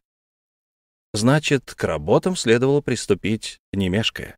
Тем более, что на этот раз предстояло сделать плод необычных размеров. Гораль решил вырубить половину квадратной мили леса, росшего у слияния на ней с Амазонкой, то есть целый угол прибрежного участка Фазенды, и соорудить исполинскую жангаду, или плод величиной с маленький островок. Вот на такую-то жангаду, более устойчивую, чем любое местное судно, и более вместительную, чем сто связанных вместе Эгориттой или Вижелинт, Жуам Гараль и решил погрузиться вместе с домочадцами и грузом. «Как хорошо он придумал!» — воскликнула Миня, узнав о плане отца, и захлопала в ладоши. «Да», — сказала Якита, — «в таких условиях мы доплывем до Белена в полной безопасности и совсем не утонем». «А во время остановок будем охотиться в прибрежных лесах», — добавил Бенито. «Пожалуй, плыть придется довольно долго», — заметил Манаэль. «Не лучше ли выбрать какой-нибудь более быстрый способ спуститься по Амазонке?» Конечно, путешествие предстояло довольно долгое, но никто не поддержал предложение слишком заинтересованного Мануэля. Жан Гораль вызвал к себе индейца, управляющего фазендой. «Через месяц», — сказал он ему, — «Жангада должна быть готова к отплытию». «Мы примемся за работу сегодня же, господин Гораль», — ответил управляющий. Работа предстояла немалая. Всю первую половину мая около сотни индейцев и негров трудились, не покладая рук, и сотворили просто чудеса. Быть может, некоторые добрые люди, непривычные к такому уничтожению лесов, горько сетовали бы, видя, как многовековые исполины падают один за другим под топором дровосеков. Но деревьев росло такое несметное множество, как на берегах реки, так и на островах вверх и вниз по течению, до самого горизонта, что вырубка участка в полквадратной мили не могла оставить в лесу заметные прогалины. Получив приказ от Джама Горали, управляющий со своими рабочими начал с того, что очистил почву от лиан, древовидных растений, трав и зарослей кустарника. Прежде чем браться за пилу и топор, рабочие вооружились резаками, орудием, необходимым для всякого, кто хочет проникнуть в амазонские леса. Это широкие, слегка изогнутые клинки длиной в 2-3 фута, крепко насаженные на рукоять, которыми местные жители владеют с исключительной ловкостью. С помощью таких резаков рабочие за несколько часов вырубили подлесок, расчистили землю и проложили широкие просеки в густой чаще. Так всегда начиналась работа. Лесорубы с фермы подготовляли себе почву, потом со старых деревьев, увитых лианами, заросших папоротником, кактусами, бромелиями и мхом, сорвали их покров и обнажили кору. Но вскоре и ее должны были ободрать со стволов, как кожу с живого тела. Затем весь отряд лесорубов, гоня пред собой бесчисленные стаи обезьян, которым рабочие почти не уступали в ловкости, вскарабкался на вершины деревьев и принялся отпиливать могучие ветки, пока не очистил стволы до самой верхушки.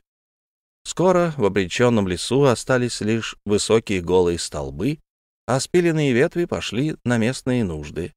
Вместе со свежим воздухом сюда ворвались потоки света, и солнце проникло до влажной земли, которую оно, быть может, еще никогда не ласкало. Каждое дерево в этом строевом лесу было пригодно для крупных плотничных или столярных работ. Словно колонны из слоновой кости с коричневыми обручами вздымались восковые пальмы высотой в 120 футов, а толщиной в 4 у основания, дающие прочное негниющее дерево. Рядом с ними деревья мары, дающие ценный строевой материал, баригуды, стволы которых начинают утолщаться в нескольких футах над землей и достигают 4 метров в обхвате. Они покрыты блестящей рыжеватой корой с серыми бугорками, а тонкие верхушки их переходят в широкий плоский зонтик. Высокие бамбаксы с гладкими, белыми, необычайно стройными стволами. Рядом с этими великолепными представителями амазонской флоры падали на землю куатибы, их розовые вершины возвышаются куполами над всеми соседними деревьями, а плоды напоминают маленькие вазочки, где плотными рядами уложены каштаны. Древесина у них светло-лилового цвета и требуется специально для постройки судов. Потом разные сорта железного дерева, особенно ибериротея с почти черной древесиной, такой прочной, что индейцы делают из нее свои боевые топорики. Жакаранда, еще более ценное, чем красное дерево. Цезальпина, которую можно найти только в глубине старых лесов, куда еще не проникла рука дровосека. Сапукая, высотой до 150 футов, которые служат подпорками собственные побеги вырастающие из ее корней в трех метрах от подножия. На высоте 30 футов они обвиваются вокруг ствола, образуя арки и превращая его в витую колонну с вершиной в виде ветвистого букета, расцвеченного растениями-паразитами в желтый, пурпурный и белоснежный цвета. Через три недели после начала работы на лесистом мысу между Амазонкой и ее притоком Нанной не осталось ни одного дерева. Все было вырублено начисто. Жам-Гораль не велел оставлять даже молодую поросль, которая через 20-30 лет могла снова стать таким же лесом.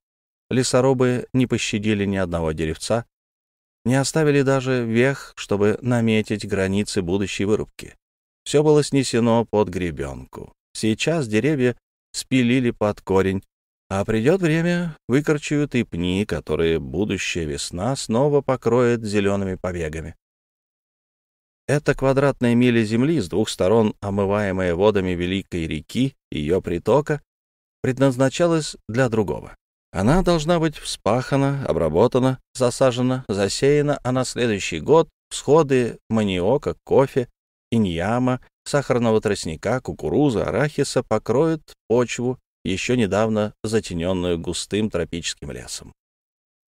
Не прошла и третья неделя мая, как все деревья были уже отобраны по сортам и по степени их плавучести и симметрично разложены на берегу Амазонки.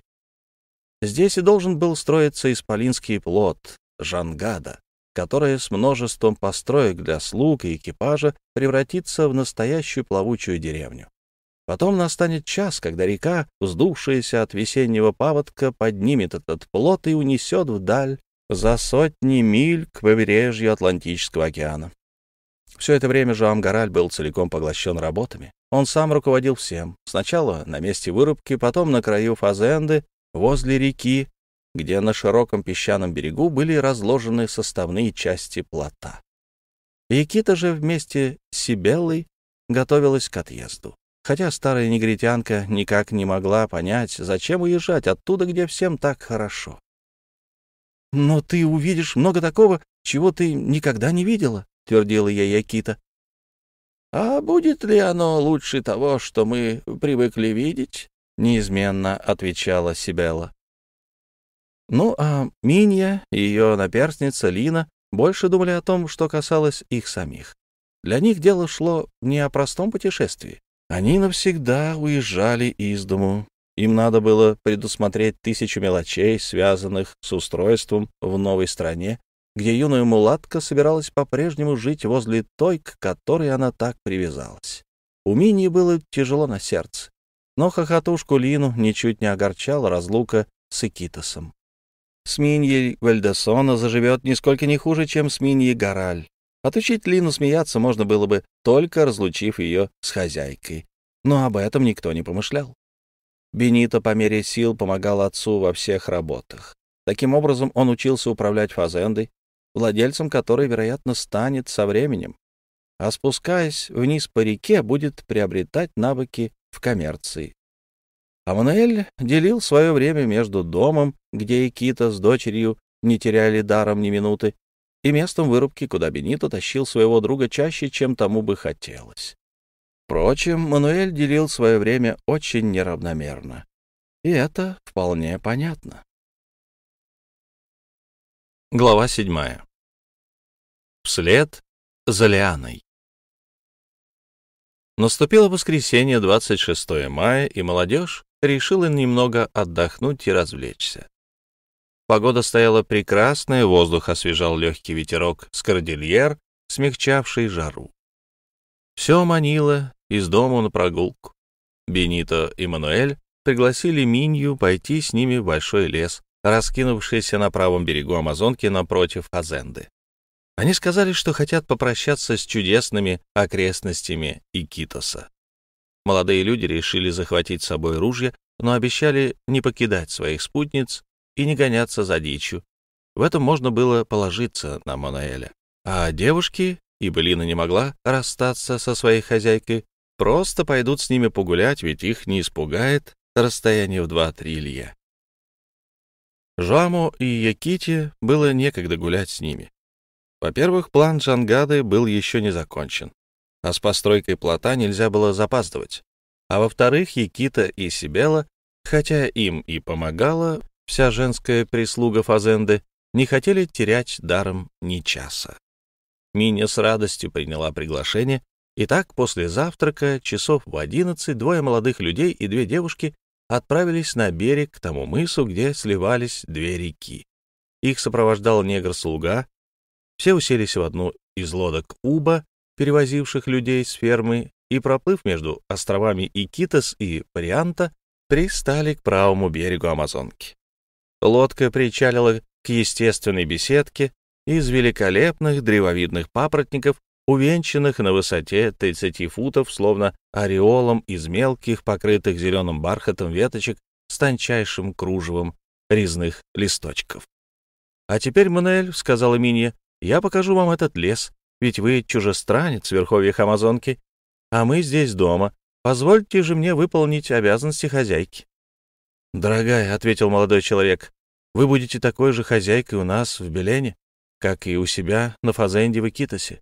Там, как и здесь». «Послушай-ка, Мануэль, и ты, сестрица», — воскликнул Бенито.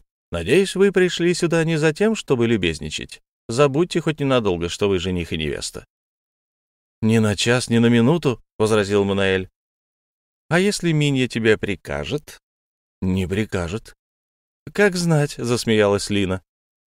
«Лина права», — сказала Минья, протягивая руку Мануэлю. «Постараемся забыть. Давайте забудем. Этого требует мой брат. Мы порываем все связи. На время этой прогулки мы больше не жених и невеста. Я не сестра Бенито, а вы не его друг». «Еще что!» — вскричал Бенито. «Браво, браво! Мы все незнакомы между собой», — подхватила Лина, хлопая в ладоши. «Мы все чужие и встречаемся в первый раз», — продолжала Минья. «Мы здороваемся, знакомимся». «Сударыня», — проговорил Манаэль, низко кланяясь девушке. «С кем я имею честь говорить, сударь?» — спросила Минья с полной серьезностью.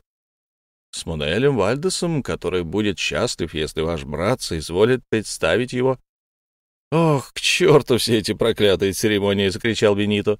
«Бросьте эту дурацкую затею. Будьте уж лучше помолвлены, друзья мои. Будьте помолвлены сколько угодно, хоть навсегда». «Да, навсегда», — отозвалась Минья. Ответ ее прозвучал так непосредственно, что Лина рассмеялась еще громче. Унуэль поблагодарил девушку нежным взглядом за это невольно вырвавшееся слово. «Если мы, наконец, пойдем, мы будем меньше болтать. Ну, путь!» — крикнул Бенито, чтобы выручить смущенную сестру. Но Минья не спешила. «Погоди, Бенито», — сказала она. «Ты видел, я готова была слушать тебя. Ты хотел заставить нас с Мануэлем забыть, кто мы, чтобы мы не портили тебе прогулку, а теперь ты тоже исполни мою просьбу, чтобы не портить прогулки и мне. Хочешь или не хочешь, но обещай мне забыть». «Забыть?» «Да, забыть, что ты охотник, дорогой мой братец». «Как ты мне запрещаешь?» «Я запрещаю тебе стрелять во всех этих прелестных птичек, попугаев, касиков, куруку, которые так весело порхают по лесу. Запрещаю убивать всякую мелкую дичь, которая нам сегодня совсем не нужна. Вот если какой-нибудь ягуар или другой хищник подойдет слишком близко, тогда стреляй. — Но, — начал Бенито, — а то я возьму под руку Мануэля, и мы убежим, заблудимся в лесу, и тебе придется нас разыскивать. — Ну, как тебе, очень хочется, чтобы я отказался? — спросил Бенито, взглянув на Мануэля. — Еще бы, — ответил тот. — Так нет же, я не откажусь. Я подчинюсь тебе на зло. Идем. И все четверо, а за ними и негр-слуга, вошли под своды высоких деревьев, густая листва которых не позволяла солнечным лучам проникнуть до земли. Нет места великолепнее, чем эта часть правого берега Амазонки. Здесь в живописном беспорядке растет столько разнообразных деревьев, что на пространстве в четверть квадратной мили можно насчитать до ста различных пород, и каждая из них — чудо растительного царства. К тому же всякий лесник сразу заметил бы, что здесь никогда не работал топор дровосека. Если даже пройдут века после вырубки, легко обнаружить нанесенные лесу раны. Будь заново выросшим деревьям хоть сто лет, лес все равно утратил бы свой первоначальный вид. Главным образом потому, что изменились бы породы лиан и других паразитических растений. Это своеобразный признак, и местный житель тут не ошибется. Веселая компания, болтая и смеясь, пробиралась в высокой траве сквозь кустарники под ветвями подлеска. Впереди шел негр, и когда заросли становились особенно густыми, расчищал путь своим резаком, разгоняя мириады пташек. Минья недаром выступила в защиту крылатого народца, порхающего среди листвы высоких деревьев. Тут встречались самые красивые представители тропического царства пернатых. Зеленые попугаи, крикливые ары казались плодами на ветвях лесных исполинов. Многочисленные виды калибри, синегорлые, топазовые, эльфы с длинными раздвоенными хвостами пестрели вокруг, словно цветы, и казалось, что ветер перебрасывает их с ветки на ветку. Крапивники с коричневой каемкой на оранжевых перьях, снежно-белые птицы-колокольчики, черные, как ворон, хохлатые касики свистели и щелкали, не умолкая, и голоса их сливались в оглушительный хор. Тукан длинным клювом долбил золотые грозди гуири, зеленый бразильский дятел кивал узкой головкой пурпурных крапинках. Все они пленяли глаз. Но это крикливое племя умолкало, замирало, как только над вершинами деревьев слышался скрипучий, словно ржавый флюгер, голос светло-рыжего коршуна, прозванного «кошачья душа». Он гордо парил, распустив длинные белые перья на хвосте, но тотчас трусливо прятался, едва в небе появлялась гарпия, большой орел с белоснежной головой, угола всего пернатого народца. Мини уговаривал Эммануэля любоваться чудесами природы, которых он не мог увидеть в их первозданной красоте у себя, в более цивилизованных восточных провинциях. Но Мануэль больше глядел на девушку, чем слушал ее. К тому же пение и крики тысяч птиц были порой так пронзительны, что заглушали ее голос, только звонкий, как колокольчик, смех Лины мог поспорить со всем этим пением, щебетом, свистом, воркованием, щелканьем, чириканьем, звучащим со всех сторон. За целый час молодежь прошла не больше мили. Отступая от берега, деревья меняли свой облик. Теперь жизнь животных приходилось наблюдать не на земле, а в 60 или 80 футах над землей, где стайки обезьян гонялись друг за другом между ветвями. То тут, то там солнечный луч, пробивший сквозь листву, освещал подлесок. Как видно, в этих тропических лесах солнечный свет не так уж необходим для роста растений. Как будто и для деревьев, и для кустарников достаточно одного воздуха, а все необходимое им тепло они получают не из окружающей их атмосферы, а черпают прямо из почвы, где оно накапливается, как в громадном калорифере. А внизу зарослях бромелей, серпантинов, орхидей, кактусов, образующих миниатюрный лес у подножия большого, сколько невиданных насекомых, которые хочется сорвать, так похожи они на живые цветы. Тут и несторы с синими крыльями из переливчатого муара, и бабочки лелюс с золотым отливом и зелеными полосками, и пяденицы длиной в 10 дюймов, у них как будто вместо крыльев листочки, и пчелы марибунда, точь-в-точь точь живые изумруды в золотой оправе, целые легионы жуков и светляков с бронзовым щитком и зелеными накрыльями. Глаза их светятся желтоватым светом, и с наступлением ночи они мерцают в лесу разноцветными огоньками. «Вот сколько у нас чудес!» — то и дело восклицала восторженная девушка. «Ты у себя дома, Миния, ведь ты сама это сказала», — заметил Бенито. «Зачем же ты хвалишься своими богатствами?» «Смейся, смейся», — возразила Минья. «Я вправе хвалить эти прекрасные творения, верно, Мануэль? Ведь они созданы рукой Божьей и принадлежат всем». «Пусть Бенито смеется», — сказал Мануэль. «Он не хочет признаться, что в душе он и сам поэт, и не меньше нас любуется их красотой. Но когда у него в руках ружье, прощай, поэзия. «Будь же сейчас поэтом, брат», — попросила девушка.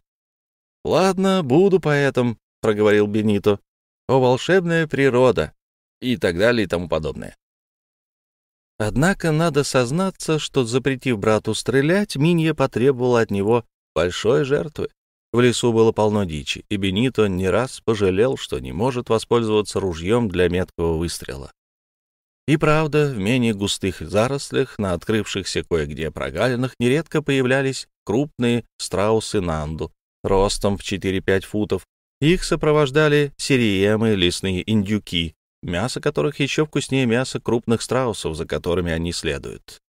«Вот чего я лишаюсь из-за моего злосчастного обещания!» — вскричал Бенито, который только-только приложился, чтобы выстрелить, но по знаку сестры опустил ружье. «Надо щадить Сирием», — заметил Мануэль. «Они неутомимые истребители змей». «Надо щадить и змей, потому что они пожирают вредных насекомых, и насекомых, потому что они уничтожают еще более вредных тлей. Если так, надо щадить всех и вся». Но вскоре молодой охотник подвергся еще более тяжкому испытанию. Теперь лес так и кишел дичью, то тут, то там появлялись небольшие краксы цвета кофе с молоком, пикари, местная порода кабанов, которых очень ценят любители дичины, агути, заменяющие в Южной Америке зайцев и кроликов, броненосцы с чешуйчатым, словно мозаичным щитом, принадлежащие к отряду неполнозубых. И право же Бенито проявил не только стойкость, но и героическую выдержку, когда перед ним промелькнул тапир из породы, называемый в Бразилии антос.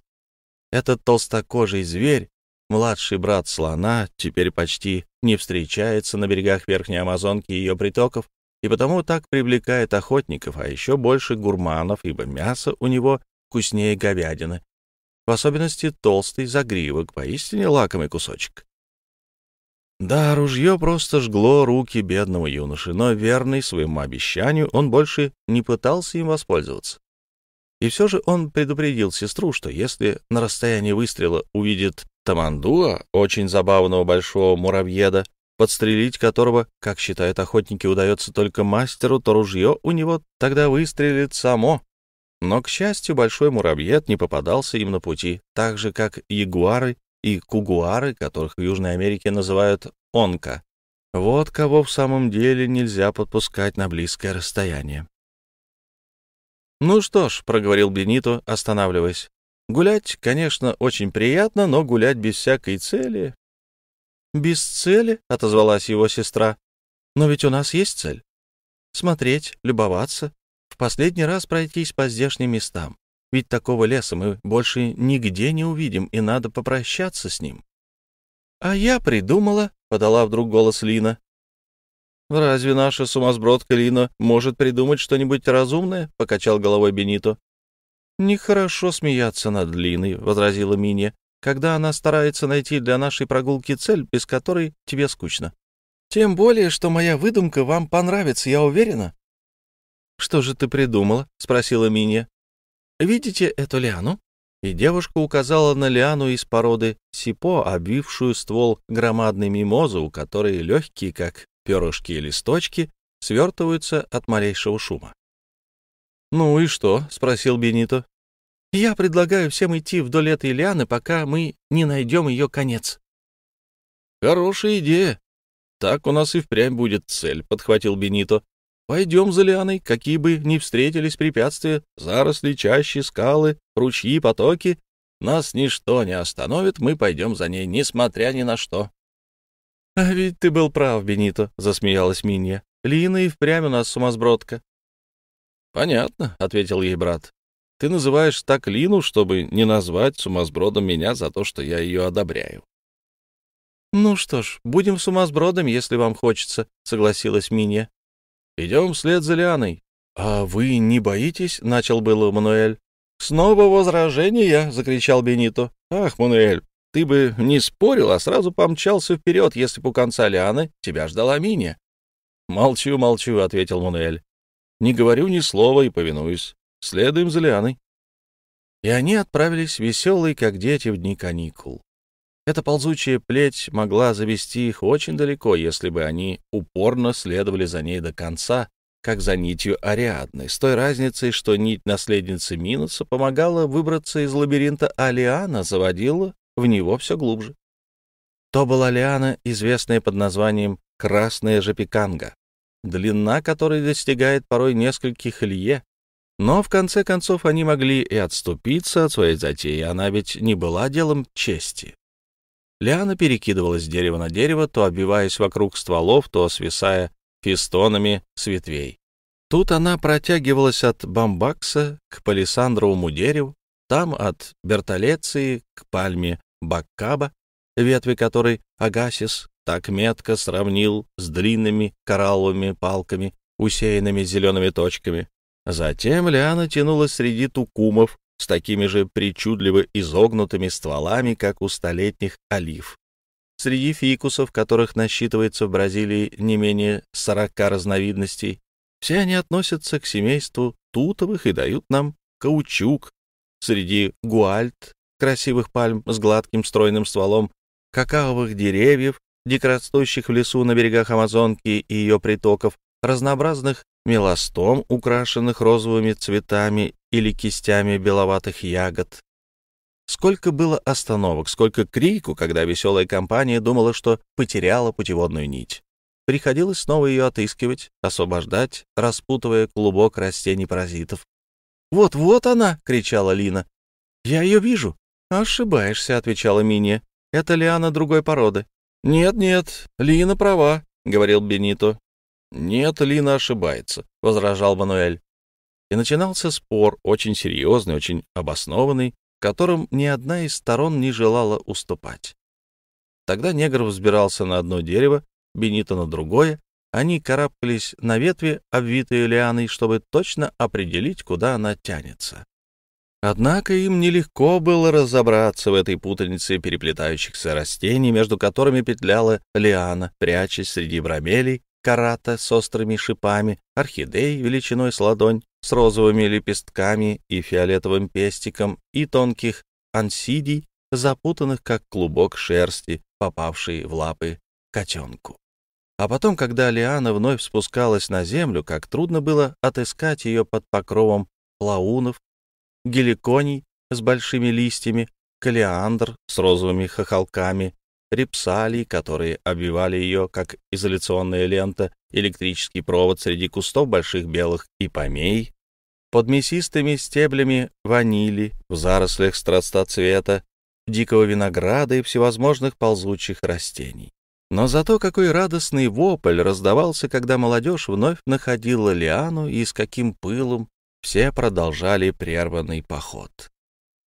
Так пробирались они не меньше часа, но пока ничто не предвещало близость желанной цели. Порой они сильно встряхивали лиану, но она не поддавалась, и только сотни птиц разлетались в разные стороны, а обезьяны прыгали с дерева на дерево, словно указывая им путь. Если дорогу им преграждала густая чаща, тогда резак прорубал узкий проход, и все устремлялись туда. Если же перед ними вставала высокая, заросшая зеленью скала, по которой Лиана извивалась, как змея, они карабкались вверх и преодолевали это препятствие. Наконец, перед ними открылась широкая прогалина. На ней одиноко стояло большое банановое дерево, овиваемое свежим воздухом, который ему так же необходим, как и солнечный свет. Этот тропический великан, по словам Гумбольта, служил человеку еще на заре культуры и был главным кормильцем жителей жарких стран. Длинная плеть лианы свисала фестонами с высоких ветвей и, пересекая прогалину, снова скрывалась в чаще. «Может, мы, наконец, остановимся?» — спросил Мануэль. «Нет, ни за что!» — закричал Бенито.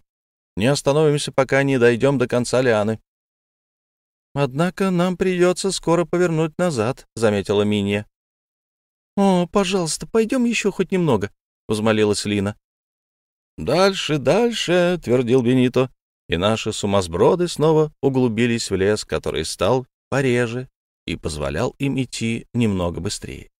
К тому же Лиана повернула на север, как будто хотела вернуться к реке, что было бы им на руку. Значит, можно следовать за ней и, выйдя на правый берег, подняться к переправе. Через четверть часа все спустились во враг и остановились перед небольшим притоком Амазонки. Но через этот ручей был перекинут мостик из лиан и сплетенных ветвей, а лиана, раздвоившись, образовала над ним как бы перила, тянущиеся на другой берег. Бенито, шедший все время впереди, уже ступил на этот зыбкий живой мосток. Монель попытался удержать Минью. «Остановитесь, не ходите, Минья», — сказал он. «Пусть Бенито идет дальше, если ему хочется, а мы подождем его здесь». «Нет, идемте, идемте вперед, прошу вас, идемте», — закричала Лина.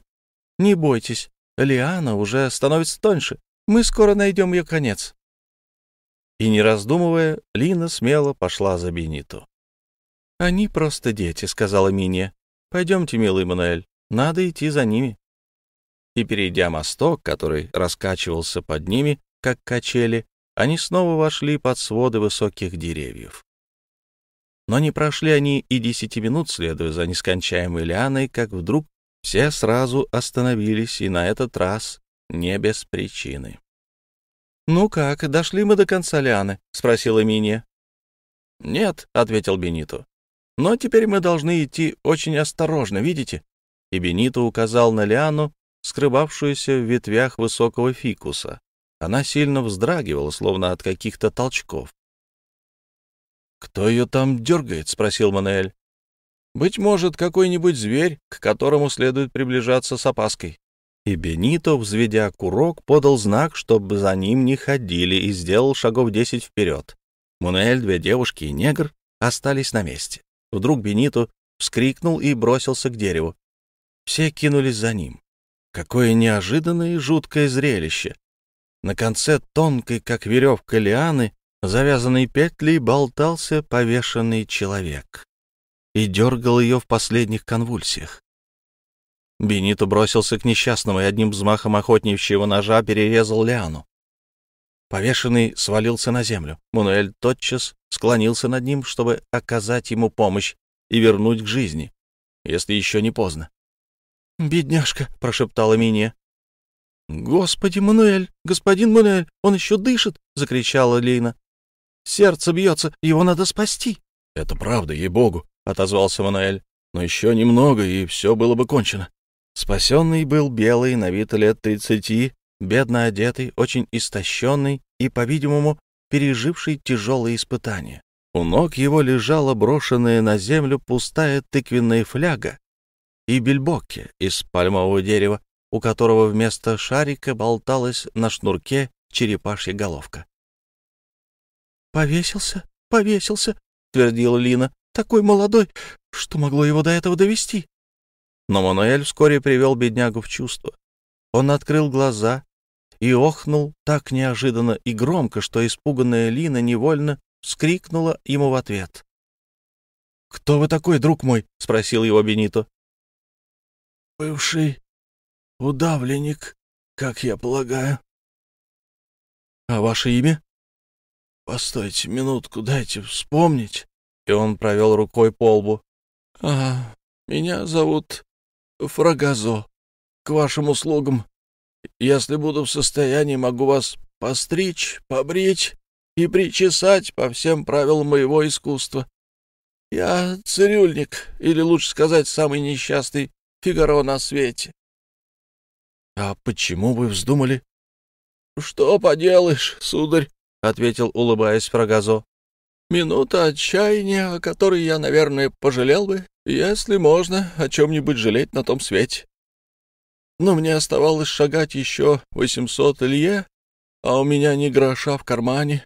Есть от чего приуныть. Я совсем раскис. Вот в чем дело. У этого фрагазо было добродушное и приятное лицо. Он понемногу приходил в себя, и становилось ясно, что от природы у него веселый нрав, он был бродячим цирюльником из тех, что ходят по берегам Верхней Амазонки из деревни в деревню и занимаются своим ремеслом, обслуживая негров и негритянок, индейцев и индианок, которые очень ценят их услуги. Но бедный Фигаро, одинокий, несчастный, не евший двое суток, заблудился в лесу и в минуту отчаяния потерял голову. Остальное мы уже знаем. — А сейчас, друг мой, — сказал Бениту, — пойдемте с нами на Фазенду в Икитос. — С превеликой радостью, — ответил Фрегазо. — Вы вынули меня из петли. Теперь я ваш. Пожалуй, для вас было бы лучше меня не трогать. — Видите, как хорошо, что мы продолжили прогулку, — сказала Лина, обращаясь к Мине. — Еще бы, — откликнулась Мине. — Что не говорите, — заметил Бенито. А я никогда бы не подумал, что на конце нашей лианы мы найдем человека. — Тем более беднягу-цирюльника, который вздумал повеситься, — подхватил Фрагазо. Он уже совсем пришел в себя, и молодые люди рассказали ему, как они его нашли. Он горячо поблагодарил Лину за ее удачную выдумку следовать за Лианой, и все отправились домой на Фазенту, где Фрагазо встретил такой радушный прием, что у него не было уже ни нужды ни желание повторять свой печальный опыт. Глава восьмая. Жангада. Пол квадратной мили леса было вырублено. Теперь взялись за дело плотники, чтобы сколотить из лежащих на берегу многовековых деревьев громадный плод. Легкая работа, ничего не сказать. Под надзором Жуама Гораля индейцы, работники Фазенды, должны были показать свое удивительное искусство. За что бы они ни брались, за постройку дома или судна, индейцы были непревзойденными мастерами. Орудуя только топором да пилой, они обрабатывали такое твердое дерево, что инструменты и те зазубривались, ведь плотникам приходилось обтесывать бревна, превращать громадные стволы в брусья и балки, распиливать их на доски, и все это без механической пилы, лишь собственными умелыми и терпеливыми руками, обладавшими врожденной ловкостью. Стволы поваленных деревьев не сразу сбрасывались в реку. Жам-Гораль действовал иным способом. Всю эту груду стволов симметрично раскладывали на широком плоском берегу, на котором был сделан пологий спуск к мысу, где сливаются Наной с Амазонкой. Здесь и должна была строиться Жангада. Здесь амазонка в нужную минуту сама подхватит ее, спустит на воду и понесет к месту назначения. Теперь скажем несколько слов о географическом положении этого единственного в своем роде громадного потока и о странном явлении, очевидцами которого были прибрежные жители. Две великие реки, которые по длине могут поспорить с бразильской водной артерией, Нил и Миссури, Миссисипи текут первая с юга на север через африканский континент, а вторая с севера на юг через Северную Америку. Таким образом, они пересекают территории, лежащие на разных широтах и, следовательно, в различных климатических поясах. Амазонка же, напротив, начиная с того места на границе Эквадора и Перу, где она решительно поворачивает к востоку, вся целиком протекает между четвертой и второй южными параллелями. Поэтому ее громадный бассейн на всем протяжении находится в одинаковых климатических условиях. В результате здесь как будто всего два времени года, ибо периоды дождей следуют с перерывом в 6 месяцев. На севере Бразилии период дождей начинается с сентября, а на юге — с марта. Поэтому правые и левые притоки Амазонки вздуваются в разное время с промежутком в полгода. Вот почему половодье в Амазонке достигает своего высшего уровня в июне и постепенно спадает до октября. Все это Жан Гараль знал по опыту и решил воспользоваться паводком, чтобы спустить Жангаду на воду, когда без помех построит ее на берегу реки. Уровень воды в Амазонке колеблется и может подниматься выше среднего на 40 футов и опускаться ниже на 30 футов. Такой размах давал Горалю полную возможность действовать. Постройку начали немедленно. На берегу бревна были разложены по величине, причем принимали во внимание и их плавучесть. В самом деле, среди стволов с крепкой и тяжелой древесиной находились и такие, удельный вес которых был почти равен удельному весу воды. Первый ряд бревен нельзя было класть слишком плотно, между ними оставляли небольшие зазоры, а затем их скрепляли поперечными брусьями, которые обеспечивали прочность всего сооружения. Брусья связывали канатом из пиасавы, таким же крепким, как и пеньковый. Этот канат делается из волокон особого вида пальмы, очень распространенный на берегах реки и широко применяется во всей стране. Пиасава не тонет, не впитывает воду, а изготовление ее очень дешево. Вот почему она считается ценным материалом и уже стала предметом торговли со Старым Светом. На двойной ряд бревен и балок настелили толстые доски, которые должны были служить полом жангады и поднимались на 30 дюймов над водой. Леса тут пошло на весьма значительную сумму, и это не мудрено, если учесть, что плод имел тысячу футов в длину и 60 в ширину, то есть составлял площадь 60 тысяч квадратных футов. И правда, можно было сказать, что по Амазонке поплывет целый лес. Все строительные работы велись под бдительным надзором Жоама Гораля. Но когда они были закончены, следовало решить, как разместиться на плоту, и к обсуждению этого вопроса были привлечены все, даже наш друг Фрагазо. Но сначала скажем несколько слов о том, какое положение он занял на Фазенде. С того дня, когда цирюльника приютила гостеприимная семья фермера, он был счастлив как никогда. Жам Гораль предложил Фрагазо отвезти его в провинцию Пара, куда тот направлялся. Когда Лиана схватила его за глотку и пригвоздила на месте, по выражению Фрагазо. Он с благодарностью принял предложение Гораля и с тех пор изо всех сил старался быть полезен всюду, где только мог. К тому же он оказался очень сообразительным и, как говорится, мастером на все руки. Брался за любое дело, и все у него спорилось. Жизнерадостный, как и Лина, он вечно пел, балагурил. За словом в карман не лез, и скоро его все полюбили. Но он считал себя более всего обязанным юной мулатке. «Как вы здорово придумали играть в Лиану-выручалку», — постоянно твердил он. «Прямо скажу, замечательная игра. Хотя, конечно, не каждый раз находишь на конце лианы висящего беднягу-цирюльника. «Это случайность, господин Фрагазо», — смеялась Лина. «Право же, вы мне ничем не обязаны». «Как ничем? Я вам обязан жизнью и хотел бы продлить ее еще на сто лет, чтобы моя благодарность длилась подольше. Понимаете, вешаться совсем не в моем характере. Если я и попытался, то только по необходимости.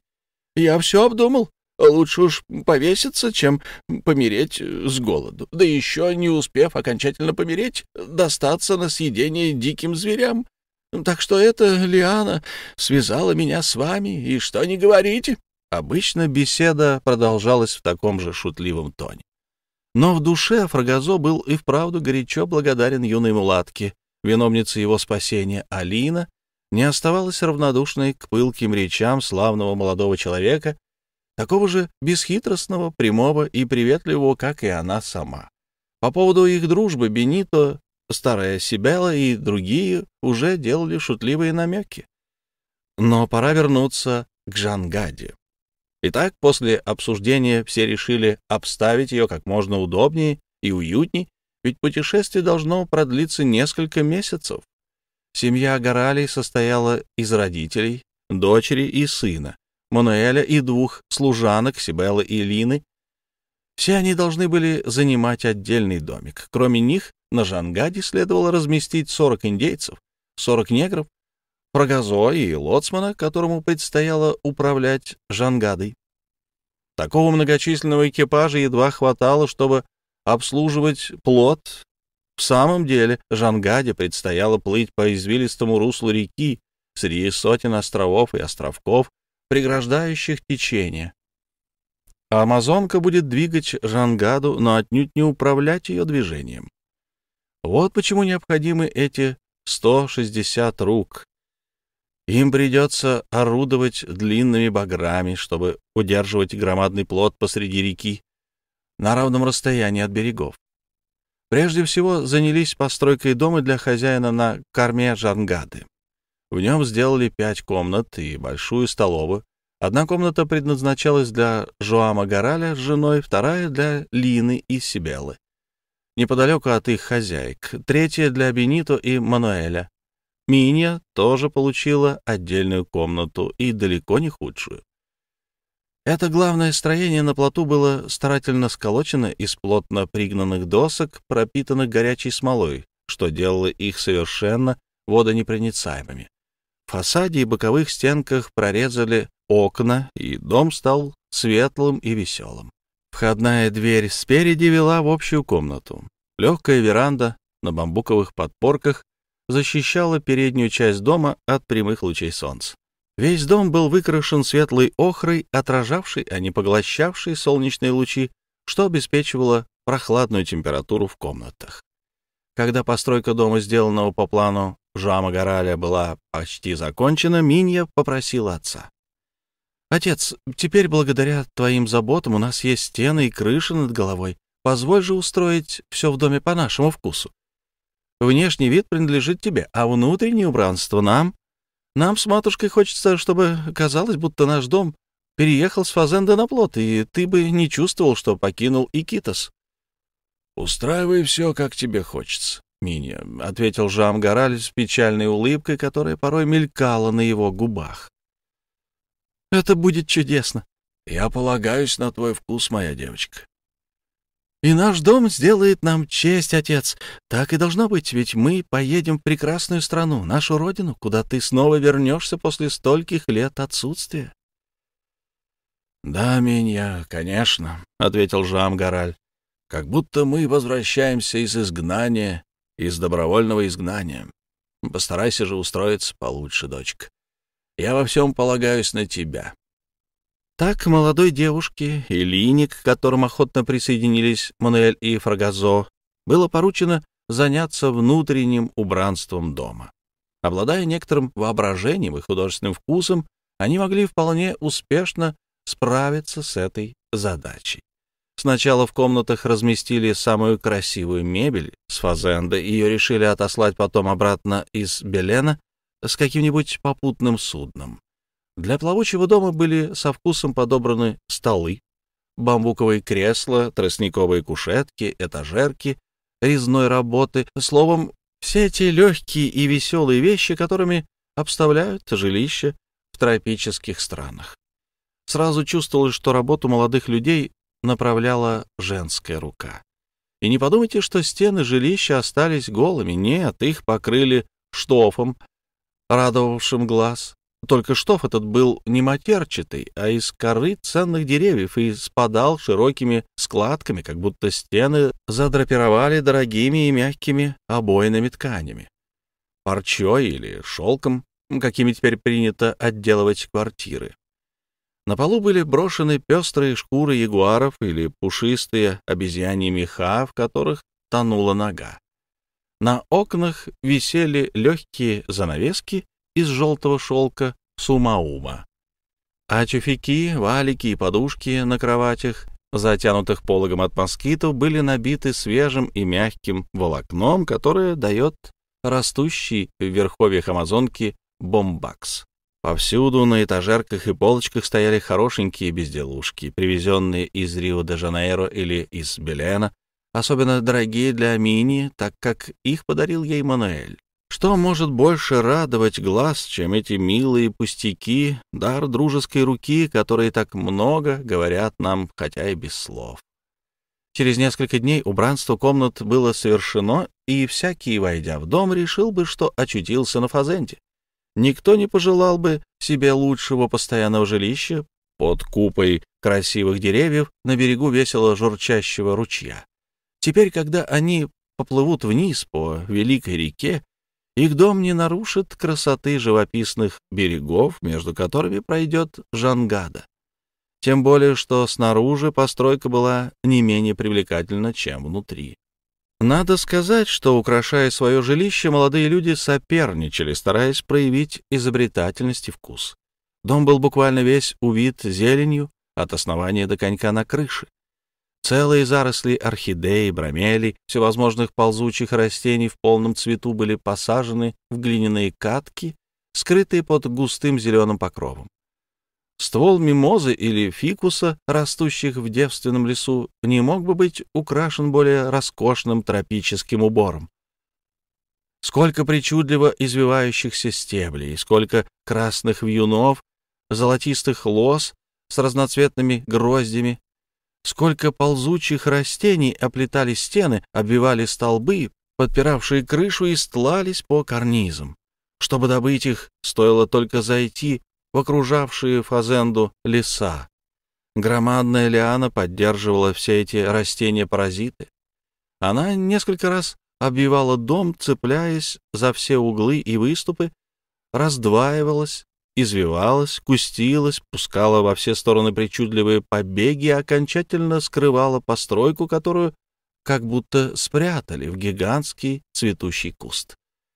Конец лианы заглядывал в окно юной мулатки, и мы без труда угадываем, от кого исходил этот трогательный знак внимания. Казалось, чья-то длинная рука сквозь щель в ставне подает ей букет всегда свежих цветов. Словом, все выглядело прелестно.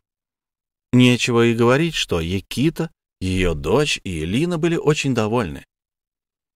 «Если вам захочется, мы можем посадить на Жангаде и деревья», — сказал Бенито. «Как деревья?» — удивилась Минья. «А почему бы и нет?» — заметил Мануэль. «Если перенести их на этот прочный настил вместе с землей, я уверен, они хорошо приживутся, тем более, что им нечего бояться перемены климата. Ведь Амазонка все время течет по одной параллели. — К тому же, — продолжал Бенито, — разве река не уносит каждый день зеленые островки, оторванные течением от островов и берегов? Они плывут со своими деревьями, рощицами, кустами, камнями, лужайками вниз по реке и, пройдя 800 лье, теряются в Атлантическом океане. Почему бы нам не превратить нашу Жангаду в такой плавучий сад? «Вам хочется иметь целый лес, мадемуазель Лина?» — спросил Фрагазо, который считал, что нет ничего невозможного. «Да, целый лес!» — воскликнула Лина. «Лес с птицами, обезьянами». «Змеями, ягуарами», — подхватил Бенито. «Индейцами, кочевниками», — добавил Манаэль. «И даже людоедами». «Куда же вы, Фрагазо?» — окликнула его Минья, видя, что прыткий цирюльник собирается выскочить на берег. «За лесом», — ответил Фрагазо. «Не надо, друг мой», — улыбнулась Минья. «Мунель подарил мне букет, и с меня довольна. Правда, — добавила она, показывая на дом, утопающий в цветах, — он спрятал наше жилище в свадебном букете». Глава 9. Вечер 5 июня. Пока строился хозяйский дом, Жуам Гараль занимался также устройством служб, кухни и кладовых, где должны были храниться всевозможные запасы провизии. Главное место занимал большой запас корней деревца вышиной от 5 до 6 футов, которое дает маниок, основной продукт питания жителей тропической полосы. Корни его, напоминающие длинный черный редис, растут клубнями, как картофель. Они содержат в себе очень вредный сок, который следует выжимать под прессом. Только после этого корни сушатся и размалываются либо в муку, употребляемую для разных блюд, либо в крупу тапиоку, в зависимости от вкуса местных жителей. Поэтому на Жангаде был целый склад этого полезного продукта, который служил для всеобщего питания. Что касается запасов мяса, то помимо стада баранов, помещенных в специальном хлеву на носу Жангады, было еще взято большое количество окороков местного изготовления, так называемых пресунто, прекрасного качества, однако все рассчитывали также и на ружья молодых людей и индейцев, хороших охотников, которым на островах и в прибрежных лесах Амазонки попадается немало дичи, а уж они-то не промахнутся. К тому же и сама река должна была обильно снабжать путешественников пищей. Креветки, такие крупные, что их можно назвать раками. Рыба тамбагу, лучшая во всем бассейне Амазонки. Вкус у нее еще тоньше, чем у лососины, с которой ее нередко сравнивают. Красноперая пирорука величиной со сетра. В соленом виде ее продают по всей Бразилии.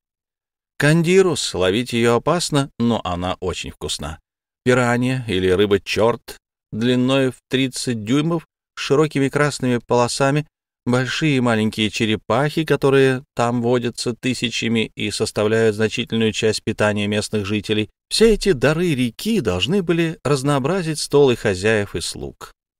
Итак, каждый день при первой возможности путешественники будут заниматься охотой и рыбной ловлей. Что касается питья, то был сделан добрый запас из всех лучших напитков, производимых в стране. На плоту имелся особый погреб, он делал честь Бенито, который был главным распорядителем по этой части. Там стояло несколько сот бутылок Хереса, Сетюбаля и Портвейна, и сверх того молодой виночерпий припас несколько громадных оплетенных бутылей, полных превосходной тафии или сахарной водки. Табак тоже не был забыт но не грубые сорта, которыми довольствуются жители бассейна Амазонки. Он был получен прямо из вилла Белла да Императрис, стало быть, из той области, где собирают самый ценный табак во всей Центральной Америке. Итак, на корме Жангады установили громадный дом со всеми службами, кухней, кладовыми, погребами. Все это должно было служить членам семьи Горали и их слугам центральной части плота построили жилище для индейцев и негров. Они могли жить там в таких же условиях, как и на Фазенде в Икитос, и работать под постоянным надзором лоцмана. Но чтобы разместить весь этот народ, пришлось поставить немало жилищ, что придавало Жангаде Пит плавучие деревни. И в самом деле плот был застроен и заселен гуще, чем многие поселки Верхней Амазонки. Для индейцев Жам Гораль соорудил шалаши, или вернее навесы, у которых легкие подпорки поддерживали крыши из листьев. Воздух свободно гулял между этими подпорками и раскачивал висевшие под навесами гамаки. Здесь индейцы, среди которых имелось 3-4 семьи, и с женами и детьми должны были жить не хуже, чем на суше. Негры также получили на Жангаде привычные для них ажупы, которые отличались от индейских шалашей тем, что были плотно закрыты со всех сторон, и только в одной стене оставалось отверстие для входа. Индейцам, привыкшим жить на вольном воздухе и пользоваться полной свободой, жизнь в четырех стенах показалась бы заточением, а негры предпочитали свои хижины. Наконец, на носу находились настоящие склады для товаров, которые Жуам Гараль вез в Белен наряду с лесом, там под надзором Бенита ценный груз был размещен в обширных кладовых так же тщательно, как в трюме корабля. Самую важную часть этого груза составляли 7 тысяч аробов каучука, ибо фунт каучука стоил в ту пору 3-4 франка. На Жангаду погрузили также 50 центнеров сальса-пареля, растение, которое представляет важную отрасль экспортной торговли во всем бассейне Амазонки и все реже встречается на берегах реки, так как местные жители во время сбора не заботятся о сохранении молодых побегов. Затем бобы, известные в Бразилии под названием кумару, из которых жмут несколько сортов масла, сасафрас, из которого делают целебный бальзам для лечения ран, тюки красящих растений, ящики с разными смолами. И, наконец, изрядное количество ценного дерева дополняло этот груз, продать который в провинции Пара можно было быстро и выгодно. Быть может, читатель удивится, что число негров и индейцев ограничивалось лишь теми, кто был нужен для управления Жангадой. Не лучше ли было бы взять с собой побольше людей на случай возможного нападения враждебных племен с берегов Амазонки? Но это было излишне. Туземцев Центральной Америке опасаться нечего. Давно прошло время, когда приходилось принимать серьезные меры предосторожности против таких нападений.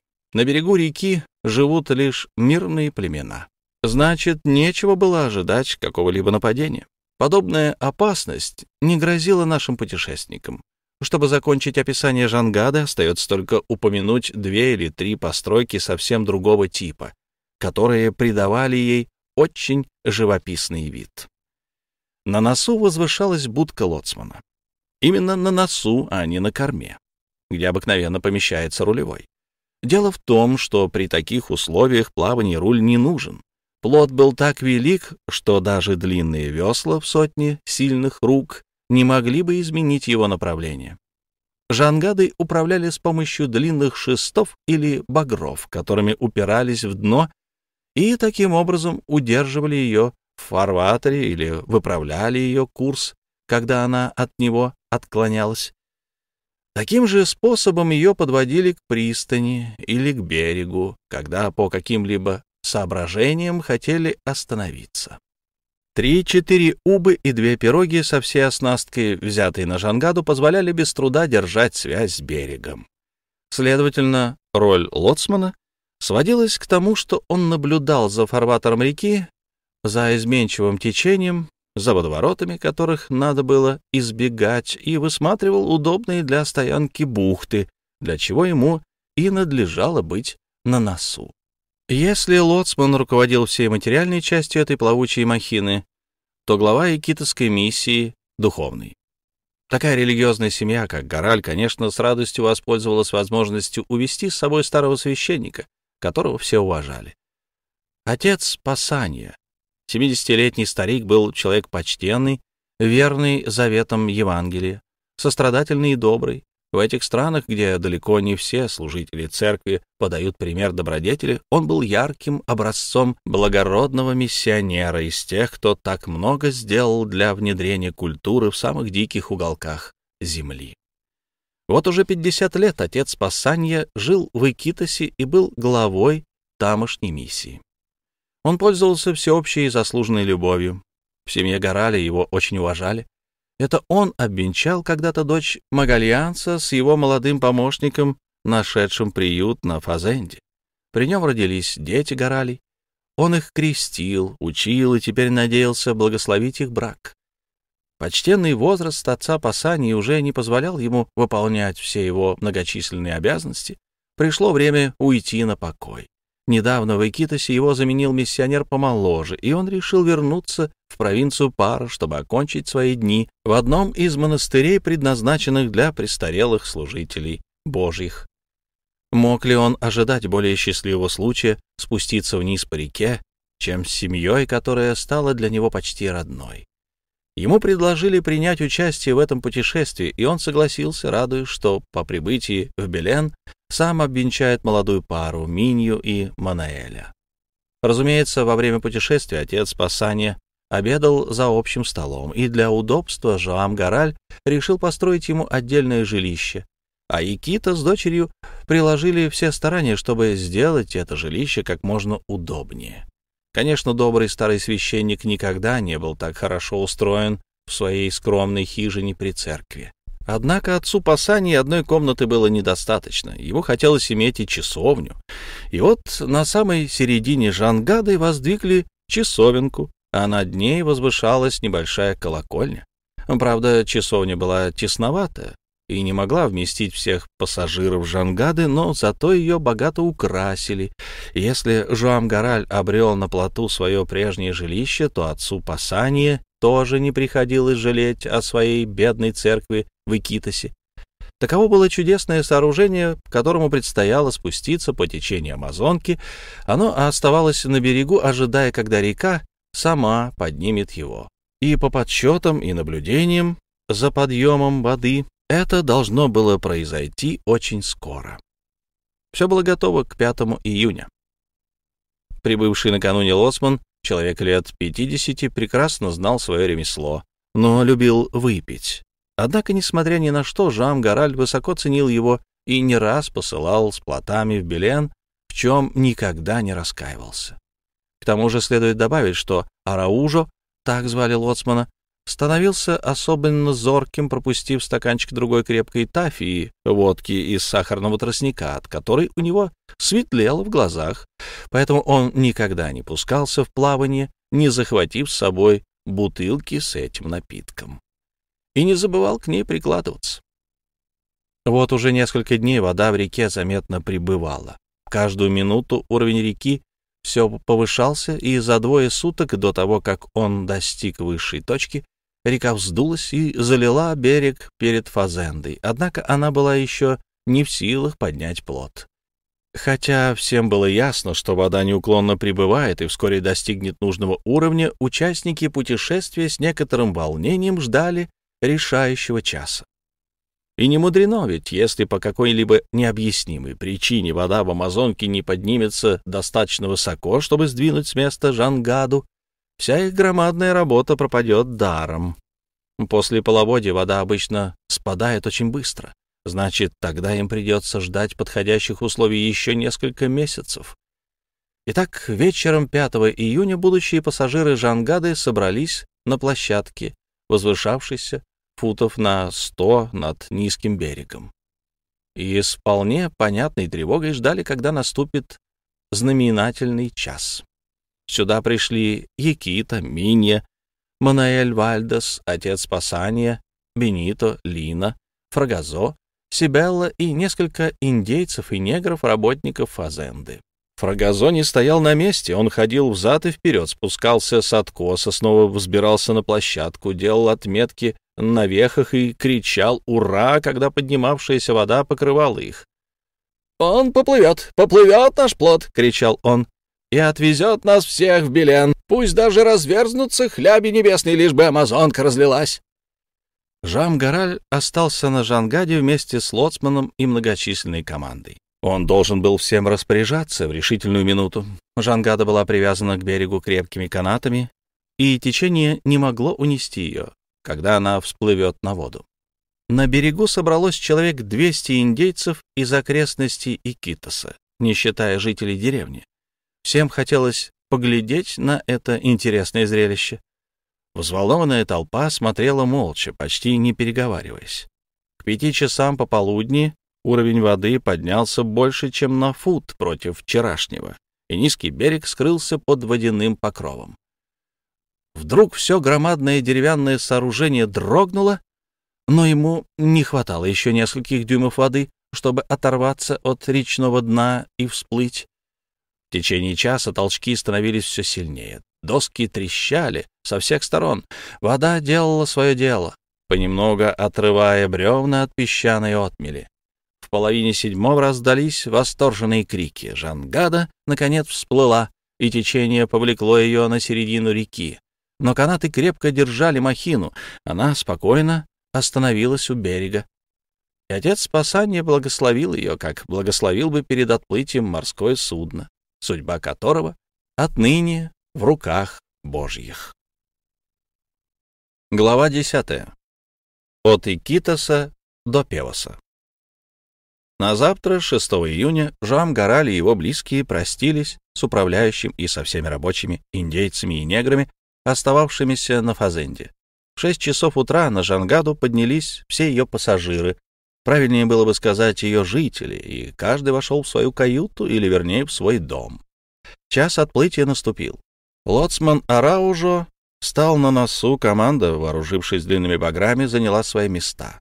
Жуам Гораль вместе с Бенито и Манаэлем следили за всеми маневрами, пока плот не отчалил. По команде лоцмана канаты обрубили, багры уперлись в берег, отталкивая Жангаду, и течение тотчас подхватило ее. Она поплыла вдоль левого берега, оставив справа острова Икитос и Парианту. Итак, путешествие началось. Где-то оно кончится. В провинции Пара, в Белене, за 800 лье от этой перуанской деревеньки, если ничто не изменит намеченного маршрута. И чем оно кончится, пока это оставалось тайной. Погода стояла чудесная. Легкий памперо смягчал солнечный жар. Памперо — летний ветер, дующий в июне и июле с кордильер. Он возникает за несколько сот лье и проносится над всей необъятной равниной Сакраменто. Если бы на Жангаде подняли паруса, она сразу почувствовала бы его силу, и движение ее заметно ускорилось бы. Но, принимая во внимание извилистое русло реки и крутые повороты, опасные при большом разгоне, пришлось отказаться от этого двигателя. Таком плоском бассейне, как бассейн Амазонки, который можно по праву назвать бескрайней равниной, русло реки имеет лишь едва заметный уклон. Расчеты показали, что от истока Великой реки до Табатинги у бразильской границы уровень воды на каждое лье понижается лишь на один дециметр. Ни одна река в мире не имеет такого незначительного уклона. Из этого следует, что скорость течения Амазонки при среднем уровне воды достигает не более двух лье в сутки, а порой в периоды засухи и того меньше. Однако в половодье скорость течения увеличивается до 30 и даже до 40 километров. К счастью, Жангаде предстояло плыть именно в таких условиях, но она была слишком тяжела, чтобы двигаться с той же скоростью, что и течение, и отставала от него. Если учесть задержки из-за крутых поворотов реки, из-за необходимости огибать многочисленные острова, из-за мелей, которые следовало обходить, и добавить еще остановки в темные ночи, когда плыть небезопасно, то ничего было и надеяться делать больше 25 километров в сутки. К тому же поверхность реки в эту пору отнюдь нельзя назвать гладкой. Большие еще зеленые деревья, обломки ветвей, глыбы земли, поросшие травой, постоянно отрывающиеся от берегов, образуют целую флотилию, которая несется по течению и затрудняет быстрое движение по реке. Вскоре Жангада миновала устье Наной, и оно скрылось за уступом левого берега, покрытого ковром и запаленных солнцем порыжевших злаков, которые как бы образовали теплый передний план картине с уходящими за горизонт зелеными лесами. Жангада скоро вышла на быстрину и понеслась по течению между живописными островами, которых от Икитоса до Пукальпы насчитывается не меньше дюжины. Арауджа, не забывавший просветлять себе зрение и память, прикладываясь к упомянутой бутылке, очень ловко маневрировал среди этого архипелага. По его команде с каждой стороны плота одновременно поднимались 15 багров и размеренным движением спускались в воду. За ними было интересно наблюдать. Тем временем Якита с помощью Лины и Сибелы наводила в доме порядок, а кухарка-индианка готовила завтрак. Минья и оба юноши прогуливались по плоту с отцом Пасанией, и девушка порой останавливалась, чтобы полить из лейки цветы, посаженные перед домом. — Скажите, отец Пасанию, — спросил Бенито, — знаете ли вы более приятный способ путешествия? — Нет, милый сын мой, право можно сказать, что мы путешествуем, не выходя из дома. «И ничуть не устаем», — добавил Мануэль. «Так можно проехать и сотни миль». «Надеюсь, вы не пожалеете, что отправились в путешествие с нами», — сказала Минья. «Вам не кажется, что мы забрались на остров, а он оторвался от дна и со своими лужайками, деревьями спокойно поплыл по течению? Но только...» «Только?» — спросил отец спасания. «Остров этот мы сделали сами, своими руками. Он принадлежит нам и нравится мне больше всех островов на Амазонке и я имею право им гордиться. — Да, дочь моя, — ответил отец Пасанья. Я прощаю тебе твою гордость. К тому же я не позволил бы себе бронить тебя при Мануэле. «Что вы, пожалуйста», — весело отозвалась девушка. «Надо научить Мануэля бронить меня, когда я того заслуживаю. Он слишком снисходителен к моей скромной особе, а у меня немало недостатков». «Тогда, милая Миния, я воспользуюсь вашим позволением», — проговорил Мануэль. «И напомню вам, о чем же?» что вы очень усердно занимались в библиотеке Фазенды и обещали просветить меня и рассказать все, что знаете о Верхней Амазонке. Мы в пара очень мало знаем о ваших краях. А теперь Жанга доминовала уже несколько островов, а вы и не подумали сказать мне, как они называются. «А кто же их знает?» — воскликнула Минья. «Да, кто их знает?» — повторил Бенито. «Кто может запомнить сотни названий, данных им на наречии Тупи? В них слишком трудно разобраться, а вот американцы более практичны. Острова на Миссисипи они просто перенумеровали». «Как они нумеруют улицы в своих городах», — заметил Мануэль. «Откровенно говоря, мне не очень нравится эта цифровая система. Остров 64 или остров 65 ничего не говорит нашему воображению, как и шестая улица, угол третьей авеню. Вы согласны со мной, Мине?» «Да, Мануэль, наперекор моему братцу», — ответила девушка. «Но хоть мы и не знаем, как называются острова на нашей великой реке, они все же очень красивы. Посмотрите, как они хороши под тенью громадных пальм с низко склонившейся листвой. Их окружает кольцом густой тростник, сквозь который едва проскользнет даже узкая пирога, а толстые корни высоких манглей, причудливо изгибаясь, выступают над берегом, словно лапы чудовищных крабов. Да, эти острова прекрасны, слов нет, но они неподвижны. Не то что наш. «Наша Минья сегодня в восторженном настроении», — заметил отец спасания. «Ах, отец, я так счастлива, когда вижу, что все счастливы вокруг». Тут послышался голос Якиты, звавший Минью в дом, и девушка убежала, улыбаясь. «У вас будет прелестная подруга, Манаэль», — сказал отец спасания. «С вами улетит самая большая радость этой семьи, друг мой». «Милая моя сестренка!» — воскликнул Бенито. «Отец спасания прав. Нам будет очень недоставать ее. А может быть, ты раздумаешь жениться, Мануэль? Еще не поздно. И она останется с нами». «Она и так останется с вами, Бенито», — ответил Мануэль. «Поверь мне, я предчувствую, что будущее нас всех соединит». Первый день прошел отлично. Завтрак, обед, отдых, прогулки. Все шло так, будто Жам-Гораль с семьей по-прежнему жили в уютной икитовской фазенде. За первые сутки Жангада благополучно прошла мимо устья рек Бакали, Чачио, Пукальпа на левом берегу Амазонки, Итиникари, Манити, Мойок и Туюка на правом, а также мимо одноименных островов. Ночью ярко сияла луна, что позволило не делать остановки, и длинный плот спокойно скользил по глади Великой реки. На завтра, 7 июня, Жангада проплыла мимо деревни Пукальпа, которую называют также Новым Ораном. Старый Оран, расположенный на 15 километров ниже по течению, на том же берегу, теперь заброшенный, его жители-индейцы племени Майоруна и Орихона переселились в Новый Оран. Трудно найти более живописный уголок, чем это селение на высоком, словно разрисованном красным карандашом берегу, с недостроенной церковкой, скрытыми соломой хижинами под тенью высоких пальм и несколькими убами, наполовину вытащенными из воды. Весь день 7 июня Жангада шла вдоль левого берега реки и проплыла мимо нескольких небольших и неизвестных притоков.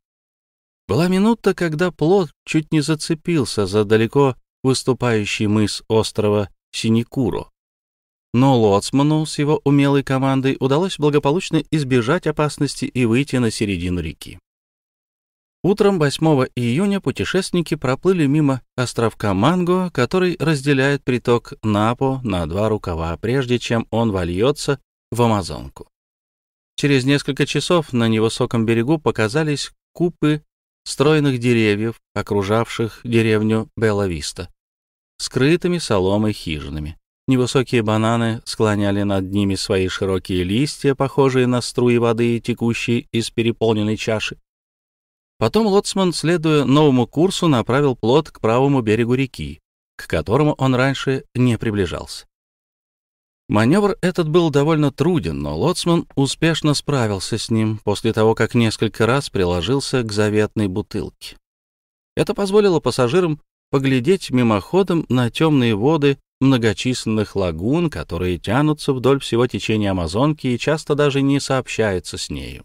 В небольшую лагуну Оран, однако, вода вливалась через широкий пролив. Посреди ее водной глади виднелась живописная группа островов побольше и два-три совсем маленьких островка, а на дальнем берегу Бенито указал место, где прежде находился старый Оран, от которого остались лишь едва заметные следы. Следующие два дня, в зависимости от причуд течения, Жангада плыла то вдоль правого, то вдоль левого берега, ни разу ни за что не зацепившись своим деревянным каркасом. Пассажиры ее уже вполне освоились с новой жизнью. Жан Гараль предоставил сыну вести все коммерческие дела, связанные с этим путешествием, а сам чаще всего проводил время в своей комнате, где размышлял и писал. Он никому не говорил, что он пишет, даже Яките, между тем труд его все разрастался, превращался в целое исследование. Бенито зорко следил за всем, толковал с лоцманом и проверял правильность взятого курса. Якита с дочерью и Мануэлем почти всегда держались вместе и либо обсуждали планы на будущее, либо прогуливались, как было в парке Фазенды. Право, жизнь у них нисколько не изменилась. И даже Бенито не упускал случая поохотиться, если порой ему не хватало лесов и китоса с их хищниками, агути, пекари, зато у берегов целыми стаями летали птицы и, случалось даже, садились прямо на жангаду. Когда они годились в пищу, Бенито стрелял. И тут уж Минья не возражала, ибо эту дичь подавали к столу пассажирам. Но когда появлялись серые и желтые цапли или розовые и белые ибисы, которых так много водится на берегах реки, он щадил их ради сестры. Только одной птице из породы поганок, хотя она и несъедобна, молодой человек не давал пощады. Птице Кайарара которая одинаково ловко плавает, ныряет и летает. Голос у нее пренеприятный, но зато она имеет очень ценный пух, которым торгуют на всех рынках в бассейне Амазонки. Наконец, миновав деревню Амагуа и устье Амбиаку, Жангада к вечеру 11 июня пришла в Певас и причалила к берегу. До наступления темноты оставалось еще несколько часов, и Бенито, взяв с собой расторопного Фрагозо, вышел на берег и отправился поохотиться в чаще неподалеку от селения. Один Агути и один Кабия, не считая дюжины куропаток, пополнили запасы путешественников после этой удачной вылазки. С восходом солнца Жангада снова двинулась в путь и вошла в небольшой архипелаг, образуемый между островами Ятио и Кошикинус, оставив справа деревеньку того же названия. Проплывая между островами, путешественники разглядели на правом берегу несколько безымянных притоков. Один раз там ненадолго показалась кучка туземцев с бритыми головами, татуировкой на щеках и на лбу, с круглыми металлическими пластинками в ноздрях и в нижней губе. Они были вооружены стрелами и сарбаканами, но не пустили их в ход и даже не пытались войти в сношение с Жангадой. Глава 11. От Певаса до границы. Прошло несколько дней, плавание продолжалось без всяких происшествий. Ночи стояли такие ясные, что длинный плот скользил по течению, нигде не причаливая. Казалось, живописные речные берега по обе стороны сами двигаются назад, как уходящие за кулисы театральные декорации. Глаз не мог противиться этому обману зрения, и всем чудилось, будто Жангада стоит неподвижно между двумя уплывающими берегами. Пока плот шел без остановок, Бенито, конечно, не мог охотиться на берегу, но тогда охоту вполне успешно заменяла рыбная ловля. В реке водилось множество превосходной рыбы — пако, суруби, гаметана, очень нежные на вкус, большие скаты, дуридари, с розовым брюхом и черной спиной, покрытой ядовитыми шипами. Ловили тут и уйму мелких кандиру из породы сомовых. Они бывают микроскопически малы и густо облепляют ноги неосторожного купальщика, заплывшего в их стаю. Воды Амазонки богаты и многими водяными животными, которые порой часами следовали за плотом. Среди них встречались гигантские пироруки длиной в 10-12 футов, покрытые панцирем из широких чешуек с алой каймой, мясо которых ценят только туземцы. Поэтому путешественники их не ловили, так же, как и грациозных речных дельфинов, сотни которых резвились вокруг жангады и порой даже били хвостом по бревнам. Выскакивая то спереди, то позади нее, взметая фонтаны волн, они оживляли водную гладь, переливаясь на солнце, а солнечные лучи, преломляясь в брызгах, сверкали всеми цветами радуги.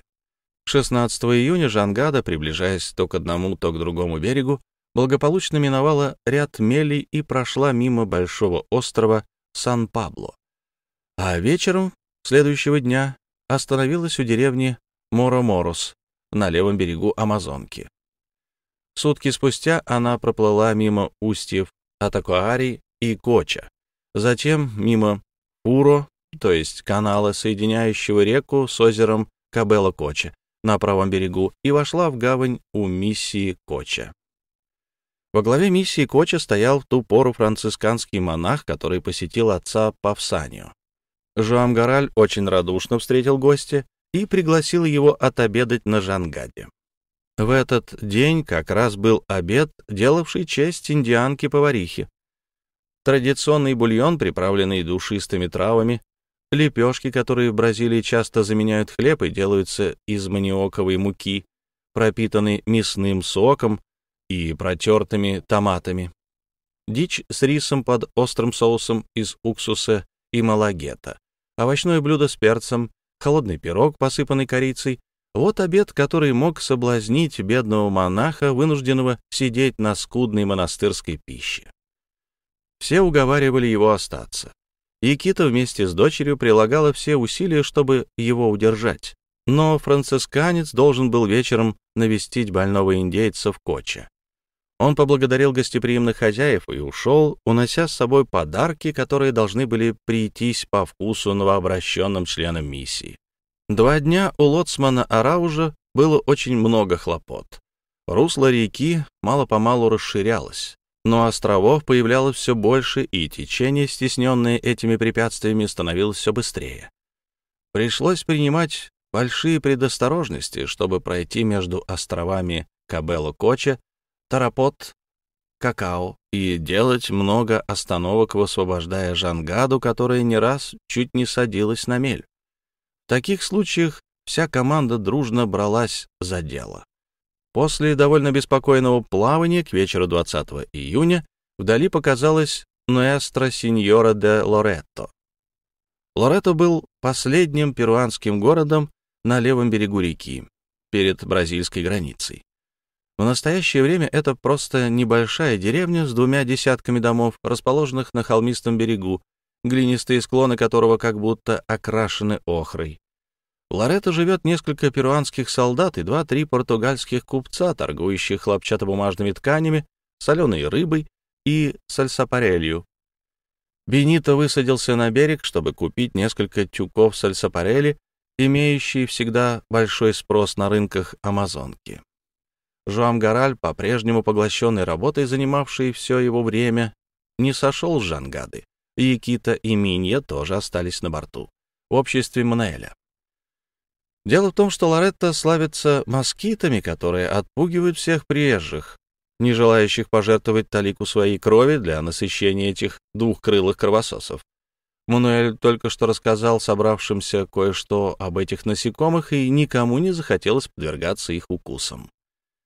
«Говорят», — добавил Мануэль, — «все десять пород москитов, которые отравляют берега Амазонки, устраивают слеты в Лоретто. И я готов этому поверить, не проверяя на своей шкуре. Здесь, милая Минья, у вас будет богатейший выбор.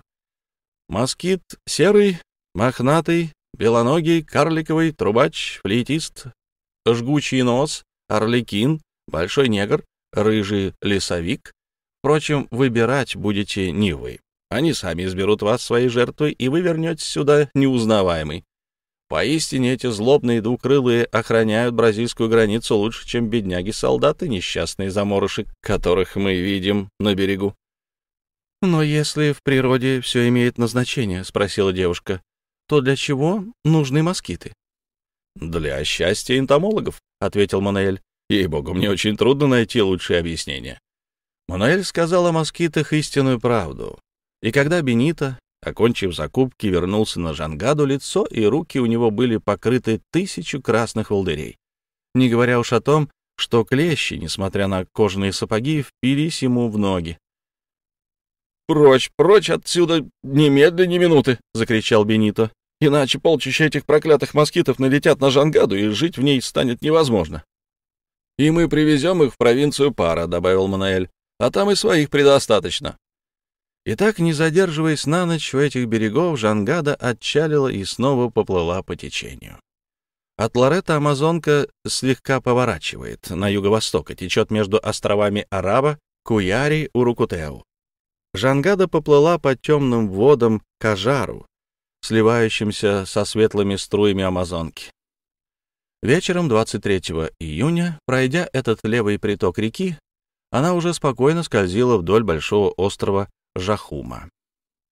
Ясный закат на безоблачном небосводе предвещал дивную тропическую ночь, каких не знают в умеренном климате. Легкий ветерок освежал воздух, на небо скоро должна была взойти луна и заменить своим светом сумерки. Их не бывает на этих широтах, а пока в темноте звезды сияли необычайно ярко. Огромная равнина бассейна реки, казалось, уходит в безбрежную даль словно море, и над ней на высоте 200 тысяч миллиардов лие сверкал на севере единственный алмаз полярной звезды, а на юге четыре бриллианта Южного Креста. На левом берегу острова Жахума выступали черные силуэты полуосвещенных деревьев. Их можно было узнать лишь по общим очертаниям. Вот стройные, как колонны, стволы капаюсов, с раскинувшимися, словно зонтики, вершинами. Вот купы сандисов, из которых добывают густой и сладкий молочный сок, пьянящий, как вино. Вот несколько винных деревьев высотой 18 футов, стрепещущий от малейшего ветерка листвой. Воистину можно сказать, какая прекрасная поэма эти амазонские леса, и добавить, какой величественный гимн эти тропические ночи слышались последние вечерние песни лесных птиц, бентивисов, которые подвешивают свои гнезда на прибрежном камыше, местных куропаток Ниамбу, песенку которых, состоящую из четырех нот, повторяют многие пернатые подражатели. Жалобный напев Камичи, крик Зимородка, словно по сигналу, отвечающего на последние выкрики собратьев, звонкий, как труба, голоса Канинде, и красных попугаев ара, прикорнувших в ветвях жакетибы, сложив крылья, яркие краски которых погасила спустившаяся ночь. Команда Жангады оставалась на своих местах, но отдыхала. Только лоцман стоял на носу, его высокая фигура едва выделялась в сгустившейся темноте. Вахтенные, застывшие на борту с длинными баграми на плече, напоминали стан татарских всадников, Бразильский флаг на носу Жангады неподвижно повис на древке, и у ветра не хватало силы его развернуть. В восемь часов с колокольни маленькой часовни раздались первые три удара колокола, возвещавшие начало вечерней молитвы. Затем прозвучало еще два раза по три удара. И вскоре вечерняя закончилась частым перезвоном. Между тем семья Гарраля вышла на веранду подышать свежим воздухом после жаркого июльского дня. Так бывало всякий вечер. Жуам Гораль обычно молчал, прислушиваясь к разговорам, а молодежь весело болтала, пока не наступало время ложиться спать. «Ах, как хороша наша река, наша величавая Амазонка!» — воскликнула Минья, которая не уставала восхищаться могучим водным потоком. «И правда, несравненная река», — отозвался Мануэль, я тоже оценил ее гордую красоту. Сейчас мы плывем по ней, как в прошлом веке, Арельяна и Лакандамин. И я не удивляюсь, что они оставили нам такие восторженные описания. «И притом не очень правдоподобные», — заметил Бенито. «Брат», — строго остановила его Минья, — «не говори дурно о нашей амазонке». «А я и не говорю, сестренка, я хочу только напомнить, что о ней сложили немало легенд». «Да, много, и среди них есть чудесные». «Какие легенды?» — спросил Мануэль. «Должен признаться, они не дошли до пара. Во всяком случае, я их не слышал». «Чему же тогда вас учат в белянских школах?» — засмеялась Минья. «Теперь я понимаю, что ничему», — ответил Монуэль. «Как, сударь?» — спросила Минья с шутливой строгостью. «Вы не знаете старых преданий? Например, о том, что на Амазонке время от времени появляется громадный змей Миньокао, и что вода в реке поднимается или убывает, смотря по тому, ныряет ли этот змей или выходит из воды, до того он велик. — А вы сами видели когда-нибудь этого диковинного Миньокао? — спросил Мануэль. — Увы, нет, — вздохнула Лина. — Какая досада, — сказал Фаргазо. — Есть у нас еще Майя д Агуа, — продолжала Минья. — Прекрасная, но страшная женщина. Она завораживает взглядом и увлекает в реку неосторожных путников, вздумавших поглядеть на нее. — О, Майя де Агуа в самом деле существует! — воскликнула простодушная Лина. — Говорят, она бродит по берегам реки, но стоит только к ней подойти, тотчас исчезает, как и русалки. — Ну и что ж, Лина, если ты ее увидишь, тотчас позови меня, — пошутил Бенито. — Чтобы она вас схватила и утащила на дно? Ни за что. — Да ведь она этому верит, — вскричала Минья. — Что ж, многие верят и в ствол Манао, — заметил Фрагазо, всегда готовый вступиться за Лину. — Ствол Манао? — спросил Манаэль. — А это что еще за штука?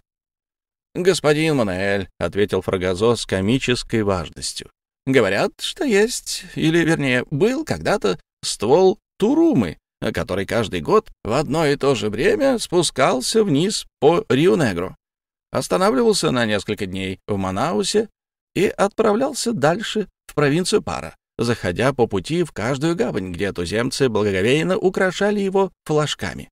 Доплыв до Белена, он останавливался, поворачивал назад, поднимался вверх по Амазонке, затем по Рио-Негро и возвращался в лес, откуда так таинственно приходил. Как-то раз его хотели вытащить на берег, но река забурлила, разлилась, и взять его не удалось. В другой раз капитан какого-то судна зацепил его багром и попытался тащить за собой на буксире.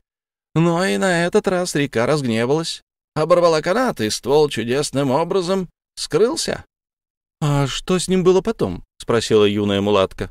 — Говорят, последний раз он сбился с пути, — ответил Фрагазо, — и вместо того, чтобы подняться по Рио-Негро, поплыл дальше по Амазонке. С тех пор его больше не видели. — Ах, как хотелось бы его встретить! — воскликнула Лина. — Если мы его встретим, — сказал Бенито, — мы тебя, Лина, посадим на него, он увезет тебя в свой таинственный лес, и ты тоже сделаешься сказочной наядой. — А почему бы и нет? — задорно ответила девушка. — Вот сколько у вас легенд, — проговорил Мануэль. — И должен сказать, ваша река их вполне достойна. Но с ней связаны и правдивые истории, стоящие этих легенд. Я знаю одну такую быль, и если бы не боялся вас опечалить, ибо она в самом деле печальна, я бы ее вам рассказал. — Ох, расскажите, господин Мануэль! — вскричала Лина. — Я так люблю истории, от которых хочется плакать. — А разве ты умеешь плакать, Лина? — спросил Бенито. — Умею, но со смехом пополам. — Ну, тогда рассказывай, Мануэль.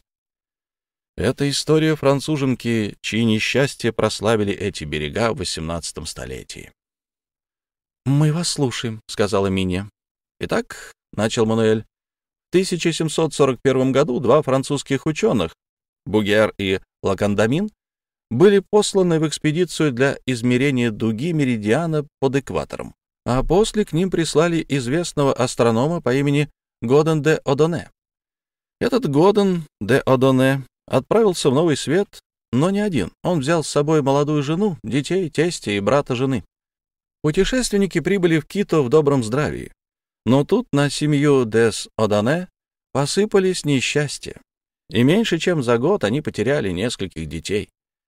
В конце 1759 года Годен дес Одоне окончил работу, и ему пришлось переехать в Кито, в Кайену. Прибыв в этот город, он хотел вызвать к себе и свою семью, но тут началась война, и ему пришлось добиваться у португальского правительства пропуска на госпожу Дес Одане со всеми домочадцами. Трудно поверить, но проходили годы, а он все не мог добиться нужного разрешения. В 1765 году Гаден де Содане в отчаянии от этой задержки решил подняться по Амазонке и взять семью из Кито. Но перед самым отъездом он внезапно заболел и не мог выполнить своего плана. Однако в конце концов хлопоты его увенчались успехом, и португальский король дал госпоже Дес Одоне разрешение снарядить судно, чтобы спуститься по реке и соединиться с мужем. В то же время был отдан приказ, чтобы в миссиях Верхней Амазонки ее ждал конвой. Госпожа де Садане, как вы увидите дальше, была женщина необыкновенно отважная. Она, не колеблясь, отправилась в путь через весь континент, несмотря на опасности этого путешествия. «Таков долг верной жены, Мануэль», — сказала Якита, — «и я поступила бы так же на ее месте». «Госпожа де Садане», — продолжал Мануэль, — отправилась в Риобамбо к югу от Кито, взяв с собой детей, брата и француза-врача. Им надо было добраться до миссии на бразильской границе, где их ожидало судно и конвой. Сначала путешествие шло благополучно, они спускались в лодки по притокам Амазонки, но с каждым днем затруднений и опасностей становилось все больше. К тому же в этой местности свирепствовала оспа. Разные проводники, предлагавшие им свои услуги, через несколько дней сбегали, а последний, не покинувший их, погиб в реке, бросившись спасать тонущего французского врача.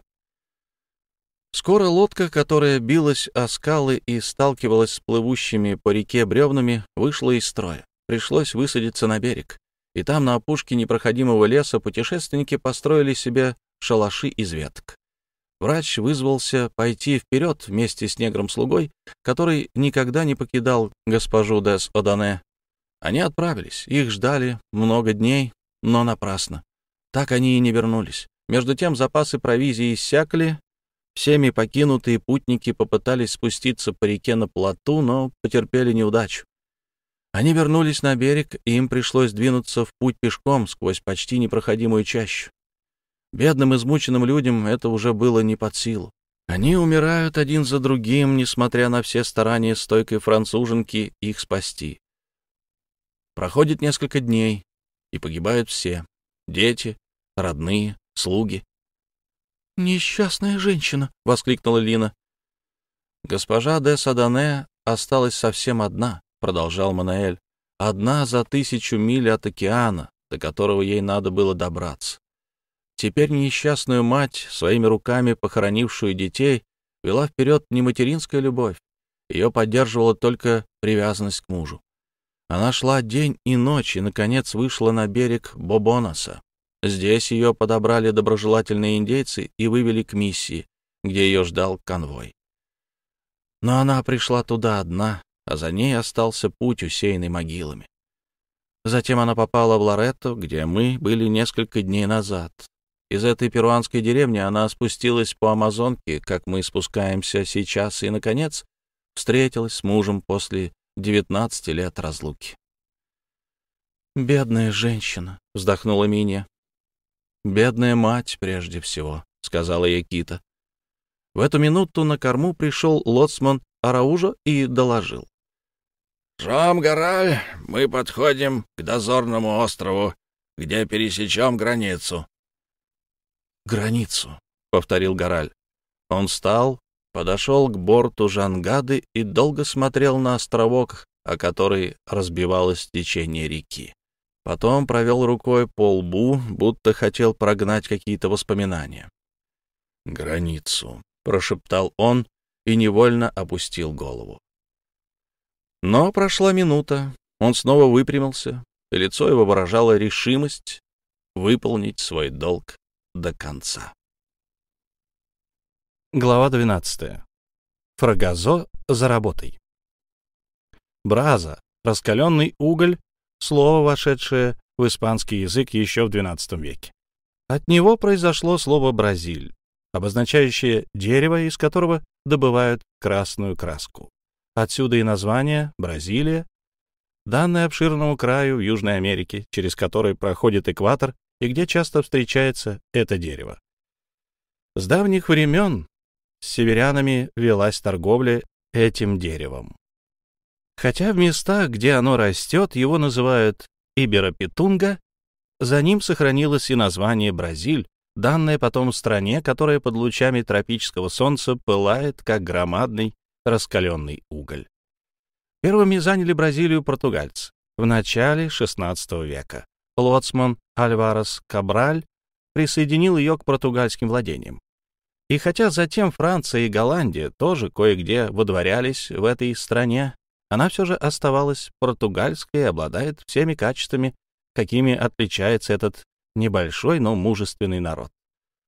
Теперь она стала одним из самых крупных государств Южной Америки. И во главе ее стоит умный и талантливый король Дон Педро.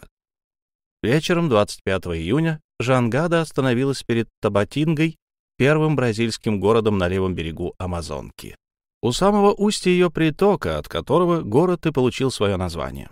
Жан Гараль решил провести здесь больше суток, чтобы дать отдохнуть всему экипажу. Итак, отъезд назначили на утро 27-го.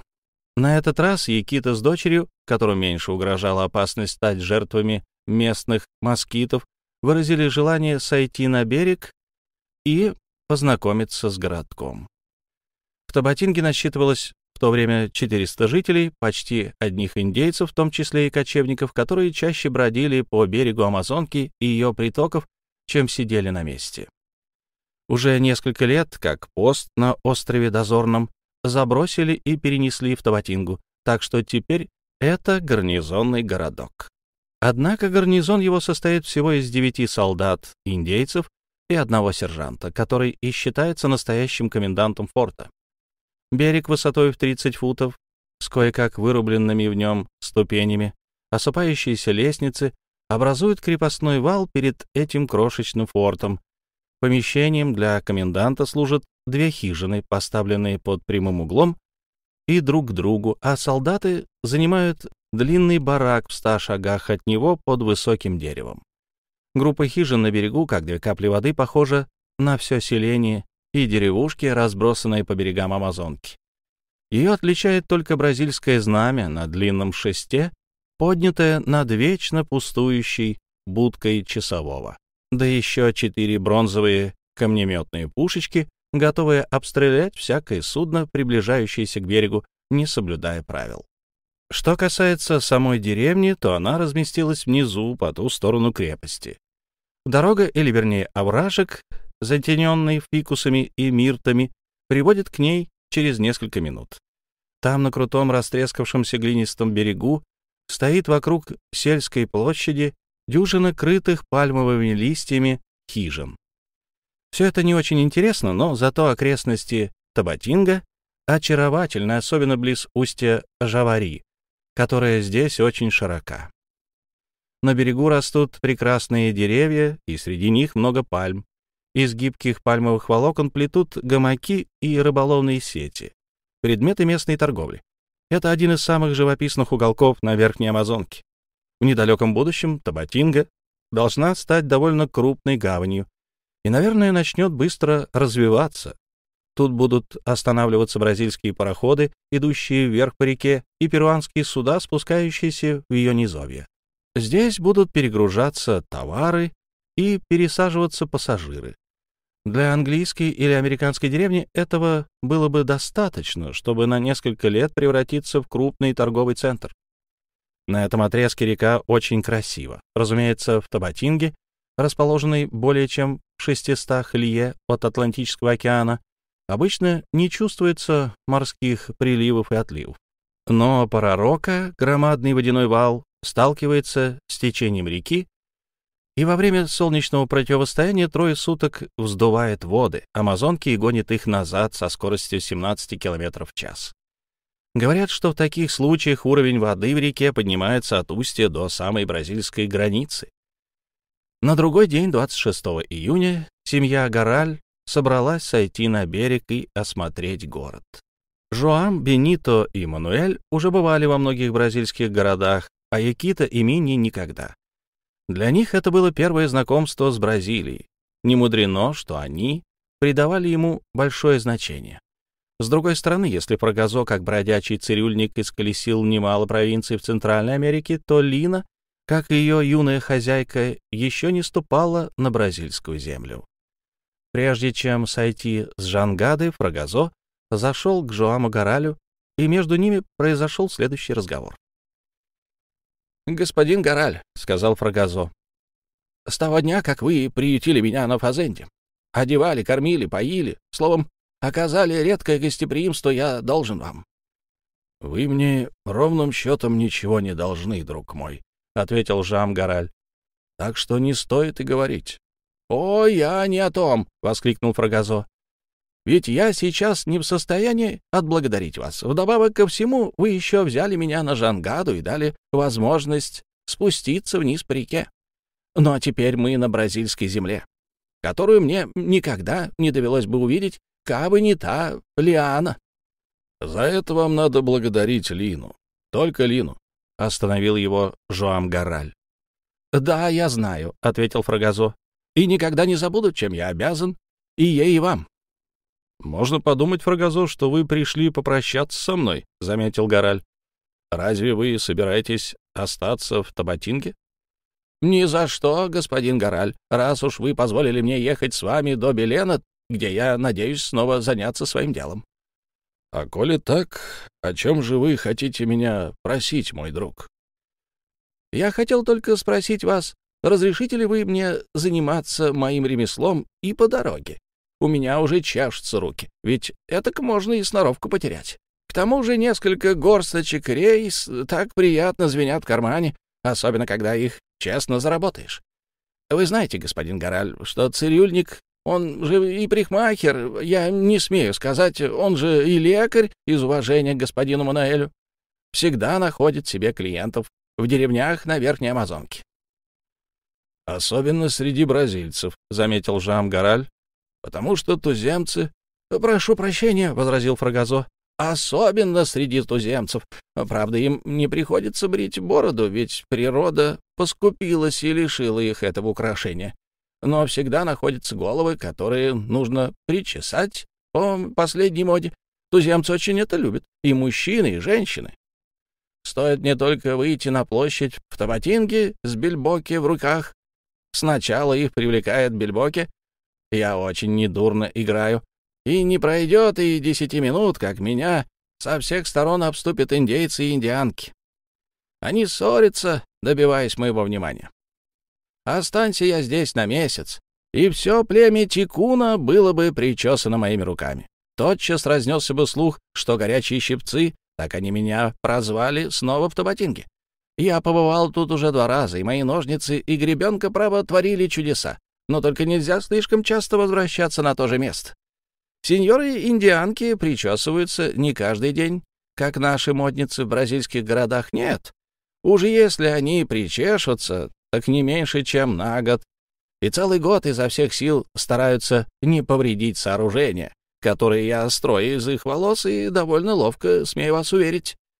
Вот уже скоро год, как я не был в Табатинге. Наверное, я найду все свои постройки в развалинах, и если вы ничего не имеете против, господин Гораль, мне хотелось бы еще раз доказать, что я достоин репутации, которую заслужил в этих краях. Но для меня это прежде всего вопрос денег, а не самолюбия, уверяю вас. — Действуйте, мой друг, — сказал, улыбаясь Жамгараль. — Но действуйте быстро. Мы пробудем в Табаринге только один день, а завтра на рассвете отправимся дальше. «Я не упущу ни минуты», — ответил Фрагазо. «Только захвачу свой инструмент и бегу». «Ступайте, и пусть деньги сыплются на вас дождем». «Да, это благодатный дождь, но он никогда не баловал вашего преданного слугу». С этими словами Фрагазо убежал. Минуту спустя вся семья, кроме Жоама Гораля, сошла на берег. Жангада смогла пристать к нему вплотную, так что это не представляло труда. Путешественники поднялись на площадку, по ступеням изрядно разрушенной лестницы, вырубленной в высоком берегу. Якиту и ее спутников встретил комендант форта, который хоть и был весьма небогат, однако знал законы гостеприимства и пригласил их позавтракать у него в доме. По площади ходили взад-вперед солдаты гарнизона, а из дверей казармы выглядывали их жены из племени Тикуна с довольно невзрачными ребятишками. Поблагодарив за приглашение, Якита сама пригласила коменданта с женой позавтракать на Жангаде. Он не заставил себя долго просить, и встреча была назначена на 11 часов. А пока Якита с дочерью, служанкой и, конечно, в сопровождении Монаэля отправилась погулять в окрестностях форта, оставив Бенито улаживать с комендантом дела по оплате стоянки в порту и таможенных сборов, так как сержант был одновременно и военачальником, и начальником таможни.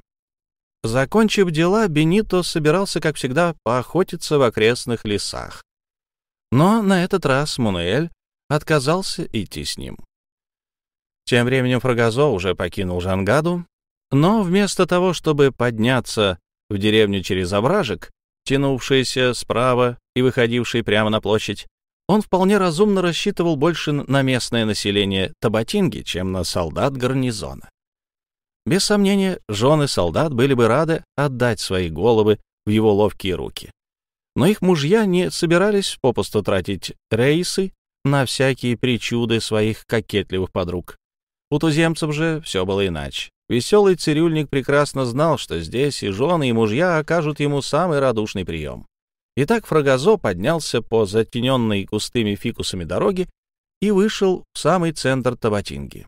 Едва знаменитый парикмахер появился на площади, как его тотчас заметили, узнали, окружили. У Фрагазо не было ни барабана, ни бубна, ни трубы, чтобы сзывать клиентов.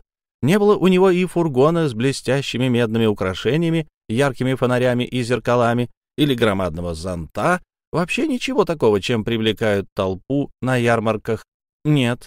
У Фрагазо был только бельбоки, но зато как ловко плясала в его руке эта игрушка. С каким искусством он насаживал головку черепахи, привязанную на шнурке вместо шарика, на шпинек, торчащий из ручки. С каким изяществом он заставлял этот шарик лететь по точно рассчитанной кривой, которую, пожалуй, не могли бы вычислить даже математики, рассчитавшие знаменитую кривую, по которой собака бежит за хозяином.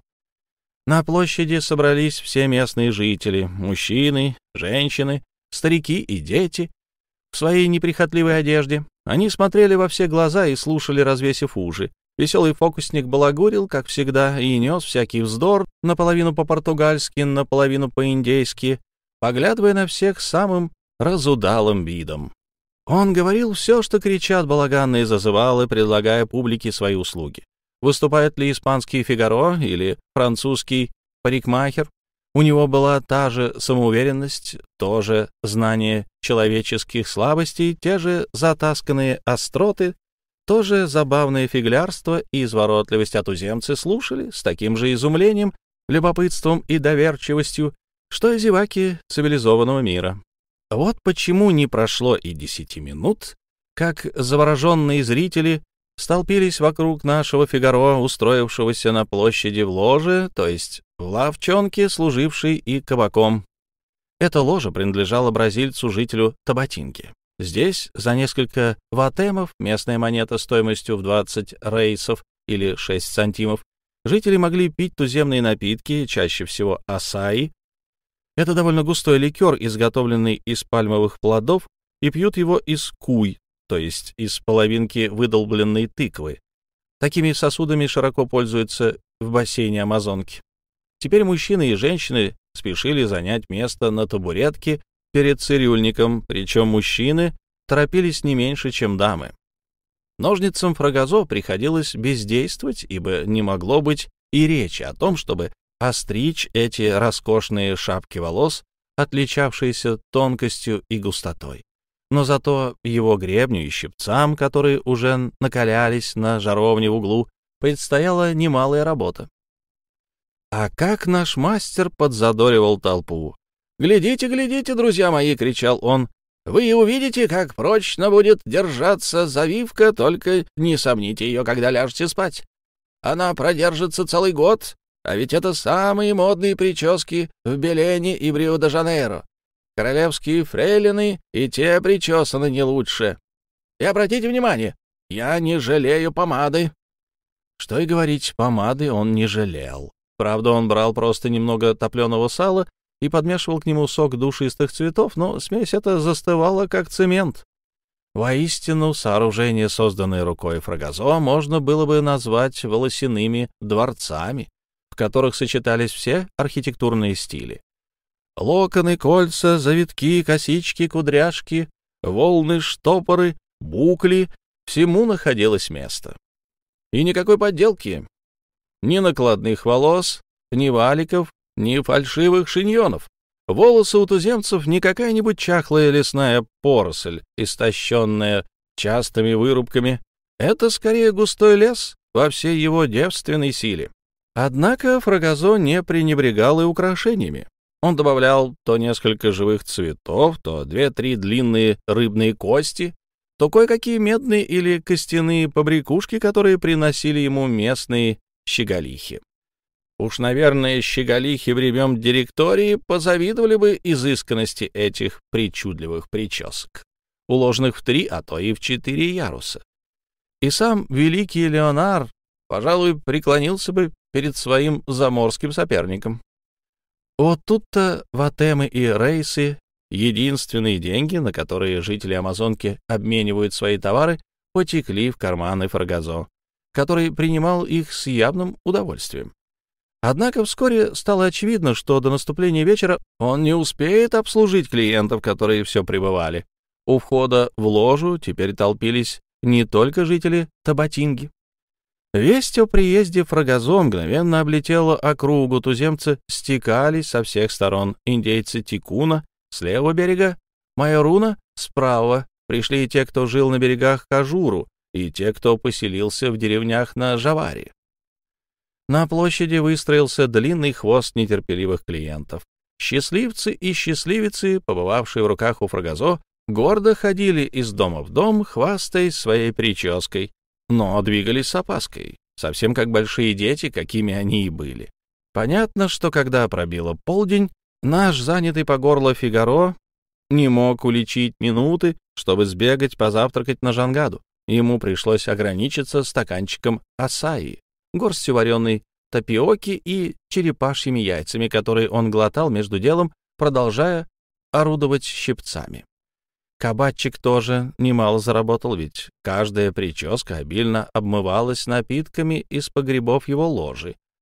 Воистину, приезд знаменитого Фрагазо, штатного и сверхштатного парикмахера племен Верхней Амазонки, был для Табатинги крупным событием. Глава 13. Торос. Пять часов вечера Фрагазо трудился по-прежнему. Он вывелся из сил и боялся, как бы ему не пришлось провести здесь всю ночь, чтобы обслужить ожидающих клиентов.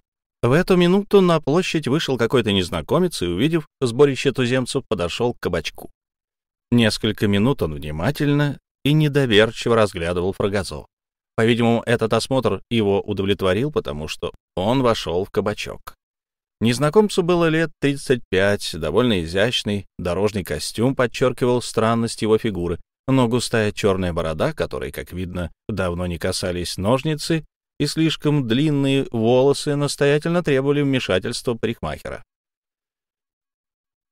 «Здорово, приятель!» — сказал он, слегка хлопнув Рогазо по плечу. Прогазо обернулся, услышав эти слова, произнесенные на чистом бразильском языке, а не на смешанном местном наречии. «Соотечественник?» — спросил он, продолжая трудиться над непокорным завитком на голове индианки. «Да», — ответил незнакомец, — «соотечественник, который нуждается в ваших услугах». «С моим удовольствием, минутку, сказал Фрагазо, — «как только я обслужу эту даму» и он закончил прическу двумя взмахами щипцов.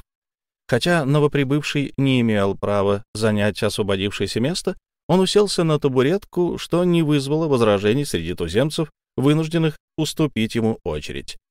Проказо отложил щипцы и взялся за ножницы, спросив по обычаю своих собратьев. — Что прикажете? — Подстричь бороду и волосы, — ответил незнакомец. Слушаясь, и Фрагазо запустил гребень в густые волосы своего клиента. Ножницы тотчас принялись за дело. «Вы прибыли издалека?» — заговорил Фрагазо, который не мог работать и не болтать. «Из окрестностей Икитоса». «Скажите, и я тоже!» — воскликнул Фрагазо. «Я спустился по Амазонке от Икитоса до Табатинга. Разрешите узнать ваше имя?» «Пожалуйста», — ответил незнакомец. «Меня зовут Торрес». Когда волосы клиента были обстрижены по последней моде, Фрагазо перешел к его бороде но, взглянув ему прямо в лицо, невольно остановился. Однако он тут же снова заработал ножницами и, наконец, спросил. «Послушайте, господин Торос, ваше лицо мне знакомо. Не встречались ли мы где-нибудь с вами?» «Не думаю», — поспешно ответил Торос. «Стало быть, я ошибаюсь». И Фрагазо снова углубился в работу. Минуту спустя Торос вернулся к разговору, прерванному вопросом Фрагазо. — На чем вы ехали из Икитоса? — От Икитоса до Табатинки? — Да. — На громадном деревянном плоту, по приглашению достойного хозяина Фазенда, который плывет по Амазонке со всей своей семьей. — Ах, вот как! — откликнулся Торос. — Вам повезло, приятель. Кабы ваш хозяин согласился взять и меня... — А разве вы тоже собираетесь спуститься вниз по реке? — Вот именно. До пара? Нет, только до Манауса. Там у меня дела. Ну что ж, мой хозяин человек любезный. Я думаю, он охотно окажет вам эту услугу. Вы думаете? Могу сказать, я в этом уверен. А как зовут этого владельца фазенды? Небрежно спросил Торос.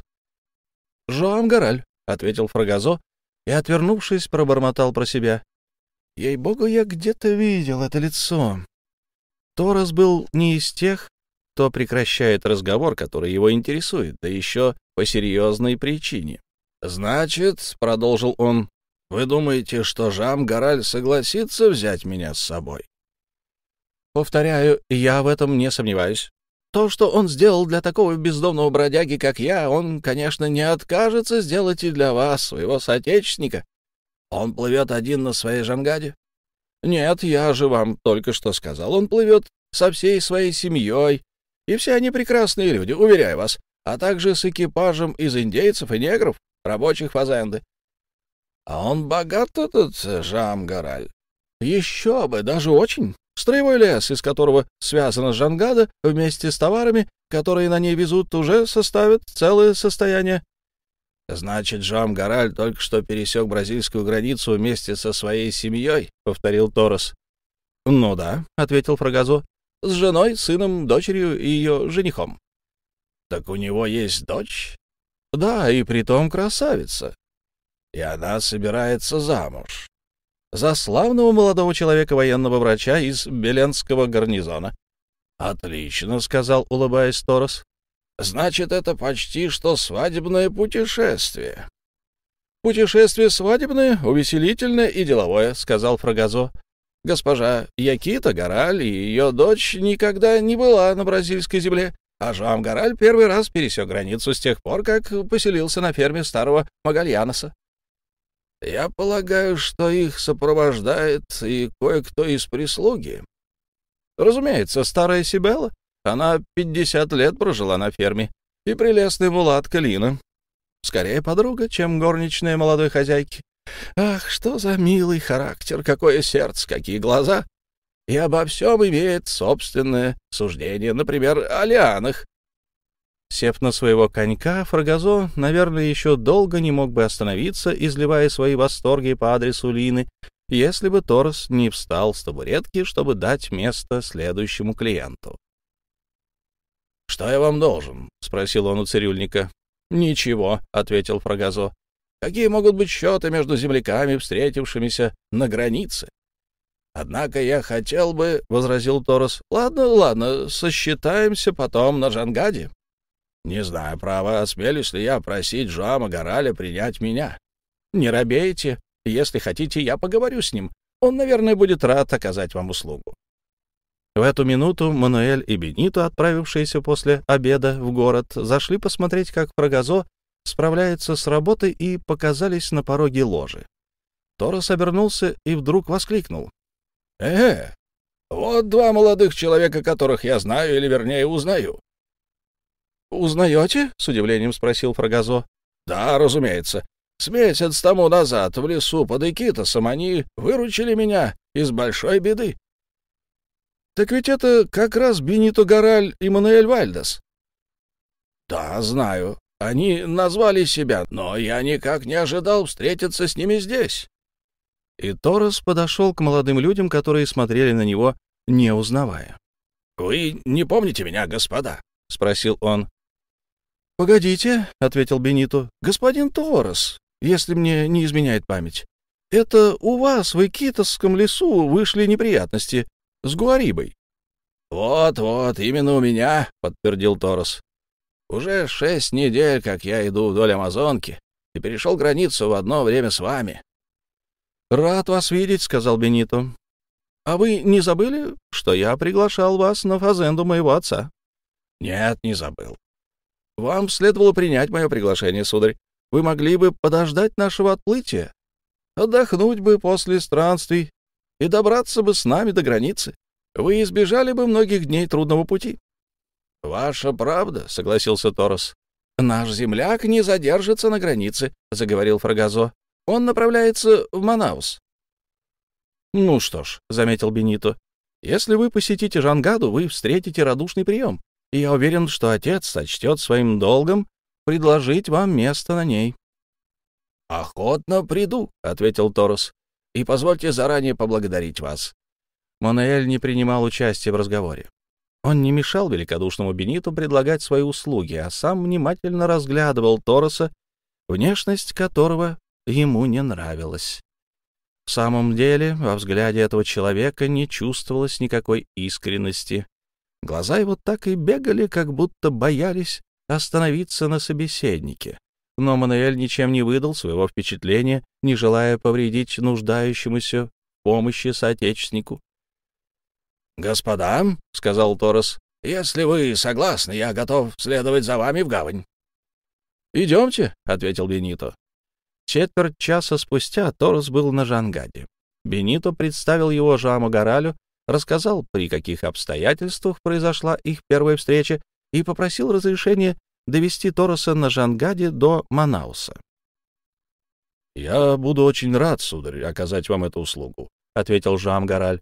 «Благодарю вас», — проговорил Торос и хотел было протянуть ему руку, но удержался как бы помимо своей воли. «Мы отплываем завтра на рассвете», — добавил Жам Гараль, «и вы можете сейчас же устроиться на борту». «О, устроиться мне недолго», — ответил Торос. Я налегке, у меня с собой ничего нет. — Ну что ж, будьте как дома, — сказал Жам Гараль. тот же вечер Торос занял комнату неподалеку от цирюльника. А Фрагазо, только восемь часов вернувшись на Жангаду, подробно рассказал юной мулатке о своих подвигах и не без гордости повторял, что его слава знаменитого цирюльника еще возросла в бассейне Верхней Амазонки. Глава 14 вниз по реке. На рассвете 27 июня концы были отданы, и Жангада вновь заскользила вниз по реке. Теперь на борту стал одним пассажиром больше. Но откуда взялся этот человек, никто не знал. Куда он направлялся? По его словам, в Манаус. Однако Торос тщательно скрывал все, что относилось к его прежней жизни. Помалкивал о своей профессии, которую бросил всего два месяца назад, и никто не подозревал, что на Жангаде нашел себе приют бывший лесной стражник. А Жан-Гораль не хотел отравлять назойливыми расспросами услугу, оказанную им Торосу. Приняв путника на борту, Жан-Гораль действовал из гуманных побуждений. На безлюдных просторах Амазонки, особенно в ту пору, когда большие пароходы еще не браздили ее воды, было очень трудно найти быстрый и надежный способ передвижения. Сюда ходили нерегулярно, и путешественникам чаще всего приходилось пробираться пешком сквозь леса. Так странствовал и продолжал бы странствовать и Торос, если бы счастливый случай не привел его на Жангаду. Теперь, когда Бенито представил Тороса отцу и рассказал, при каких обстоятельствах повстречался с ним, Торос мог считать себя полноправным пассажиром и вести себя, как на большом пароходе, участвовать в общей жизни, если ему захочется, или держаться особняком, коли у него необщительный нрав. Торос ни с кем не пытался сближаться, особенно в первые дни. Он вел себя очень сдержанно, отвечал, когда к нему обращались, но сам ни о чем не спрашивал. Если он и бывал разговорчив, то лишь с Фрагазо. Быть может, потому что тот подал ему счастливую мысль пуститься в путь на Жангаде.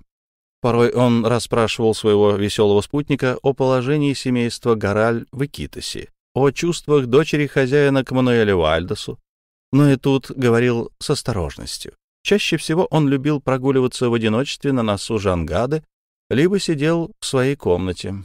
Завтракал и обедал он вместе с Жамом Горалем и его семьей. Но почти не принимал участия в общей беседе по окончании трапезы тотчас удалялся. Все утро Жангада плыла среди живописной группы островов, расположенных в широком лимане Жаварии. Этот крупный приток Амазонки течет к юго-западу а на всем его пути от истока до устья не встречается ни острова, ни порога.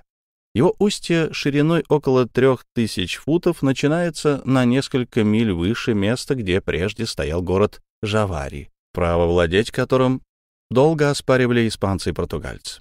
До утра 30 июня путешествие продолжалось без всяких происшествий. Порой навстречу Жангаде попадалась вереница скользящих вдоль берега лодок, связанных с цепочкой, так что один туземец мог управлять всеми сразу. Вскоре позади остались острова Арария, архипелаг Кальдерон, остров Капиату и многие другие, еще неизвестные географам. 30 июня Лоцман указал на правом берегу реки деревушку Журупари-Таперо, где решено было сделать остановку на 2-3 часа. Мануэль и Бенито отправились поохотиться в окрестностях и принесли кое-какую пернатую дичь, которой оказали радушный прием на кухне. Молодым людям удалось также убить и зверя, но он представлял больший интерес для естествоиспытателя, чем для кухарки на Жангаде. Это было четвероногое с темной шерстью, чем-то напоминавшее большого Ньюфаундленда. «Вот муравьед редкой породы», — провозгласил Бенито, бросая его на палубу Жангады и прекрасный экземпляр, который послужил бы украшением коллекции в музее», — добавил Мануэль. «Наверное, нелегко словить этого диковинного зверя?» — спросила Минья. «Еще бы, сестренка», — ответил Бенито. «К счастью, тебя с нами не было, чтобы вымолить ему пощаду. Ох и живучи же эти твари. Я истратил не меньше трех пуль, пока не уложил его».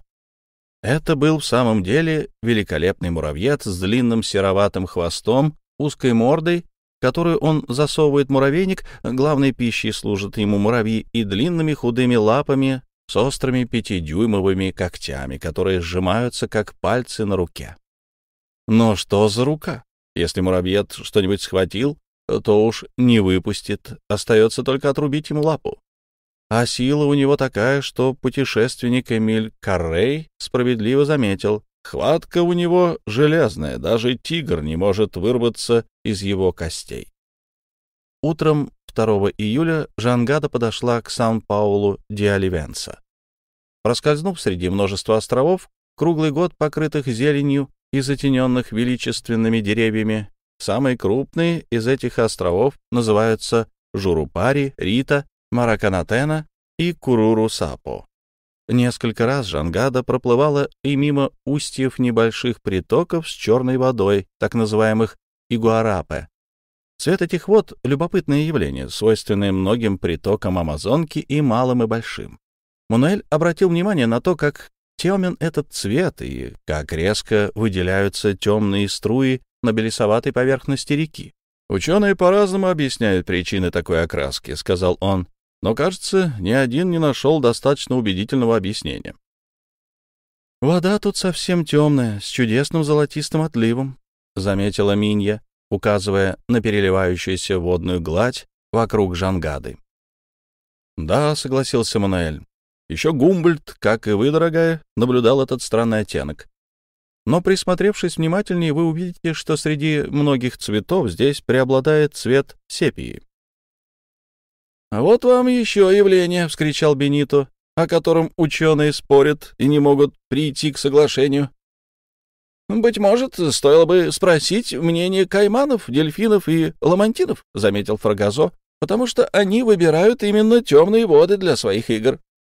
«Несомненно, темная вода особенно привлекает этих животных», — подтвердил Манаэль.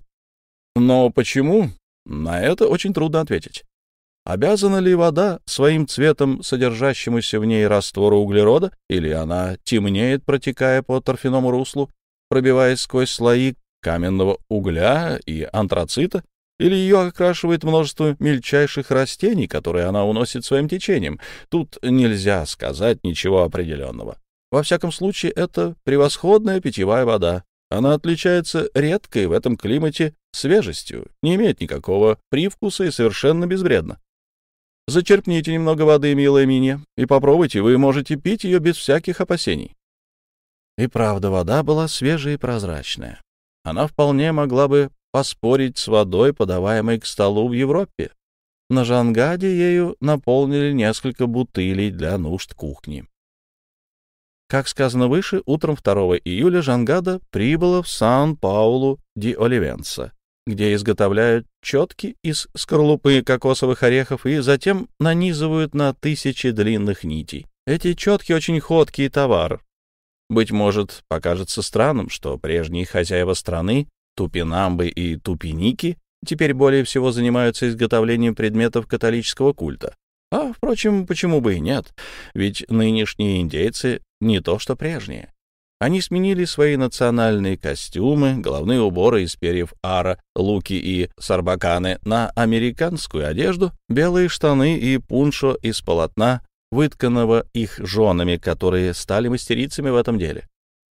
Сан-Паулу-ди-Оливенса — довольно значительный город. В нем не меньше двух тысяч жителей, выходцев из всех соседних племен. Теперешняя столица Верхней Амазонки когда-то была просто миссией, основанной в 1692 году португальскими кармелитами, а теперь перешедшей в руки миссионеров и иезуитов. В былые времена вся страна принадлежала племени Амагуа, что по-индейски означает «плоскоголовые». Название это произошло от варварского обычая сдавливать головку новорожденного между двумя дощечками, чтобы придать ей удлиненную форму, что считалось в ту пору очень модным. Но, как всякая мода, это тоже прошла. Головы у Амагова теперь естественной формы, и среди местных ремесленников, делающих четкие, вы уже не встретите никого с таким изуродованным черепом. Вся семья, за исключением Жама Гораля, сошла на берег. Торрес предпочел остаться на берегу и не выразил никакого желания познакомиться с Сан-Паулу-ди-Оливенса, хотя, по-видимому, не знал этого города. Надо признать, что этот авантюрист был не только молчалив, но и нелюбопытен. Бенито без труда произвел обмен товарами и пополнил груз на Жангаде. Вместе со всей семьей он встретил самый радушный прием у городских властей, коменданта крепости и начальника таможни, которым их должность нисколько не мешала заниматься торговлей. Они даже передали молодому человеку кое-какие местные товары, поручив ему продать их в Манаусе или Белене. Город состоял из 60 домиков, разбросанных на небольшом плато, возвышавшемся над берегом реки. Некоторые были крытые черепицей, что встречается довольно редко в здешних краях. И даже скромная церковь, посвященная святым Петру и Павлу, стояла под соломенной крышей. Комендант, его адъютант и начальник полиции приняли приглашение отобедать на Жангаде, и Жоам Гораль принял их с подавающей их званию учтивостью. Во время обеда Торос был разговорчивее, чем обычно. Он рассказывал о своих путешествиях вглубь Бразилии, как человек, знающий эту страну. Но, говоря об этих путешествиях, Торос в то же время бы спрашивал у коменданта, знает ли он Манаус, там ли сейчас комендант города, не отлучается ли в жаркое время года главный судья. Задавая все эти вопросы, Торос украдкой поглядывал на Жоама Гораля, это было так видно со стороны, что Бенито, с удивлением наблюдавший за ним, отметил про себя, как внимательно его отец прислушивается к странным вопросам Торреса. Комендант Сан-Пауло де Оливенса заверил Тороса, что власти в Манаусе находятся на своих местах, и даже попросил Жама Гораля передать им поклон. По всей вероятности, Жангада прибудет в этот город самое позднее недель через семь, между 20 и 25 августа. Вечером гости простились с семьей Горалей, а на утро 3 июля Жангада снова двинулась вниз по течению. В полдень она проплыла мимо устья Якурупы, оставив его влево от себя. Этот приток, напоминающий просто канал, соединяется с Исой, которая сама представляет собой левый приток Амазонки. Любопытное явление. В некоторых местах река питает собственные притоки. К трем часам пополудни Жангада прошла мимо устья Жандиатубы, которые катят с юго-запада свои могучие черные воды и, оросив земли индейцев Кулино, вливается в великую водную артерию, образуя устье шириной в 400 метров. Жангада миновала множество островов — Пиматикайра, Катурия, Чико, Матачина Одни были населены, другие необитаемы, но все покрыты роскошной растительностью, которая тянется сплошной зеленой каймой вдоль всей Амазонки. Глава 15. Все еще вниз по реке. Наступил вечер 5 июля. Со вчерашнего дня воздух стал душным и тяжелым, предвещая грозу. Крупные рыжеватые летучие мыши носились над самой водой, широко взмахивая крыльями. Среди них попадались темно-коричневые перо-валадоры со светлым брюшком, к которым Миня и еще больше Лина чувствовали инстинктивное отвращение. Это действительно мерзкие вампиры. Они высасывают кровь у скота и порой нападают даже на человека, когда его сморит сон на равнине. «Ох, какие гнусные твари!» — вскрикнула Лина, закрывая руками глаза. «Я их боюсь!» «Они и в самом деле опасны», — заметила Минья. «Верно, Мануэль?» «Да, очень опасны», — ответил он. «У этих вампиров особое чутье. Они как будто знают, где легче высасывать кровь, например, за ухом. При этом они не перестают махать крыльями, навевая приятную прохладу, и уснувшие продолжают крепко спать. Я слышал про людей, которые, не почувствовав боли, несколько часов подвергались такому кровопусканию и уже больше не проснулись. «Не рассказывайте нам таких ужасов, Мануэль», — сказала Якита, «а то Мини и Лина всю ночь не сомкнут глаз». «Не бойтесь», — ответил Мануэль. «Если понадобится, мы будем охранять их сон». «Тише», — вдруг перебил его Бенито. «В чем дело?» — спросил Мануэль. «Разве вы не слышите какой-то странный шум оттуда?» И Бенито указал на правый берег. «А ведь и в самом деле», — заметила Якита. «Что это за шум?» — спросила Минья. «Кажется, будто по берегу перекатывают гальку. «Понял, я знаю, в чем дело!» — вскричал Бенито. «Завтра на рассвете любители черепашьих яиц и маленьких свежих черепах найдут на берегу богатое угощение». Он не ошибся. Шум производило бесчетное множество черепах всевозможной величины, выползавших на берег для кладки яиц. Эти присмыкающиеся выбирают себе подходящее место в песке на берегу и закапывают туда яйца. Начинают они на закате солнца и кончают на рассвете. В эту минуту черепаха-вожак уже вышла из воды, чтобы найти удобное место. Тысячные стаи черепах вылезли следом за ней и принялись рыть лапами ямки. Проделав эту работу, черепахи откладывают туда яйца, а затем им остается только засыпать ямки песком и хорошенько утрамбовать своим брюхом. Для индейцев, живущих на берегах Амазонки и ее притоков, кладка черепахами яиц очень важное событие. Они подкарауливают черепах, сзывают племя барабанным боем, выкатывают яйца и делят добычу на три части. Одну для караульщиков, другую для всего племени, а третью для береговой охраны, которая наряду с полицией собирает дань с местных жителей. Те отмели, что обнажаются во время спада воды и привлекают наибольшее количество черепах, называются королевскими пляжами. Конец сбора черепашьих яиц — праздник для индейцев. Начинаются игры, пляски, пиршества. Это праздник и для кайманов, которые пожирают объедки. Черепахи и черепашьи яйца занимают очень значительное место в торговле по всему бассейну Амазонки.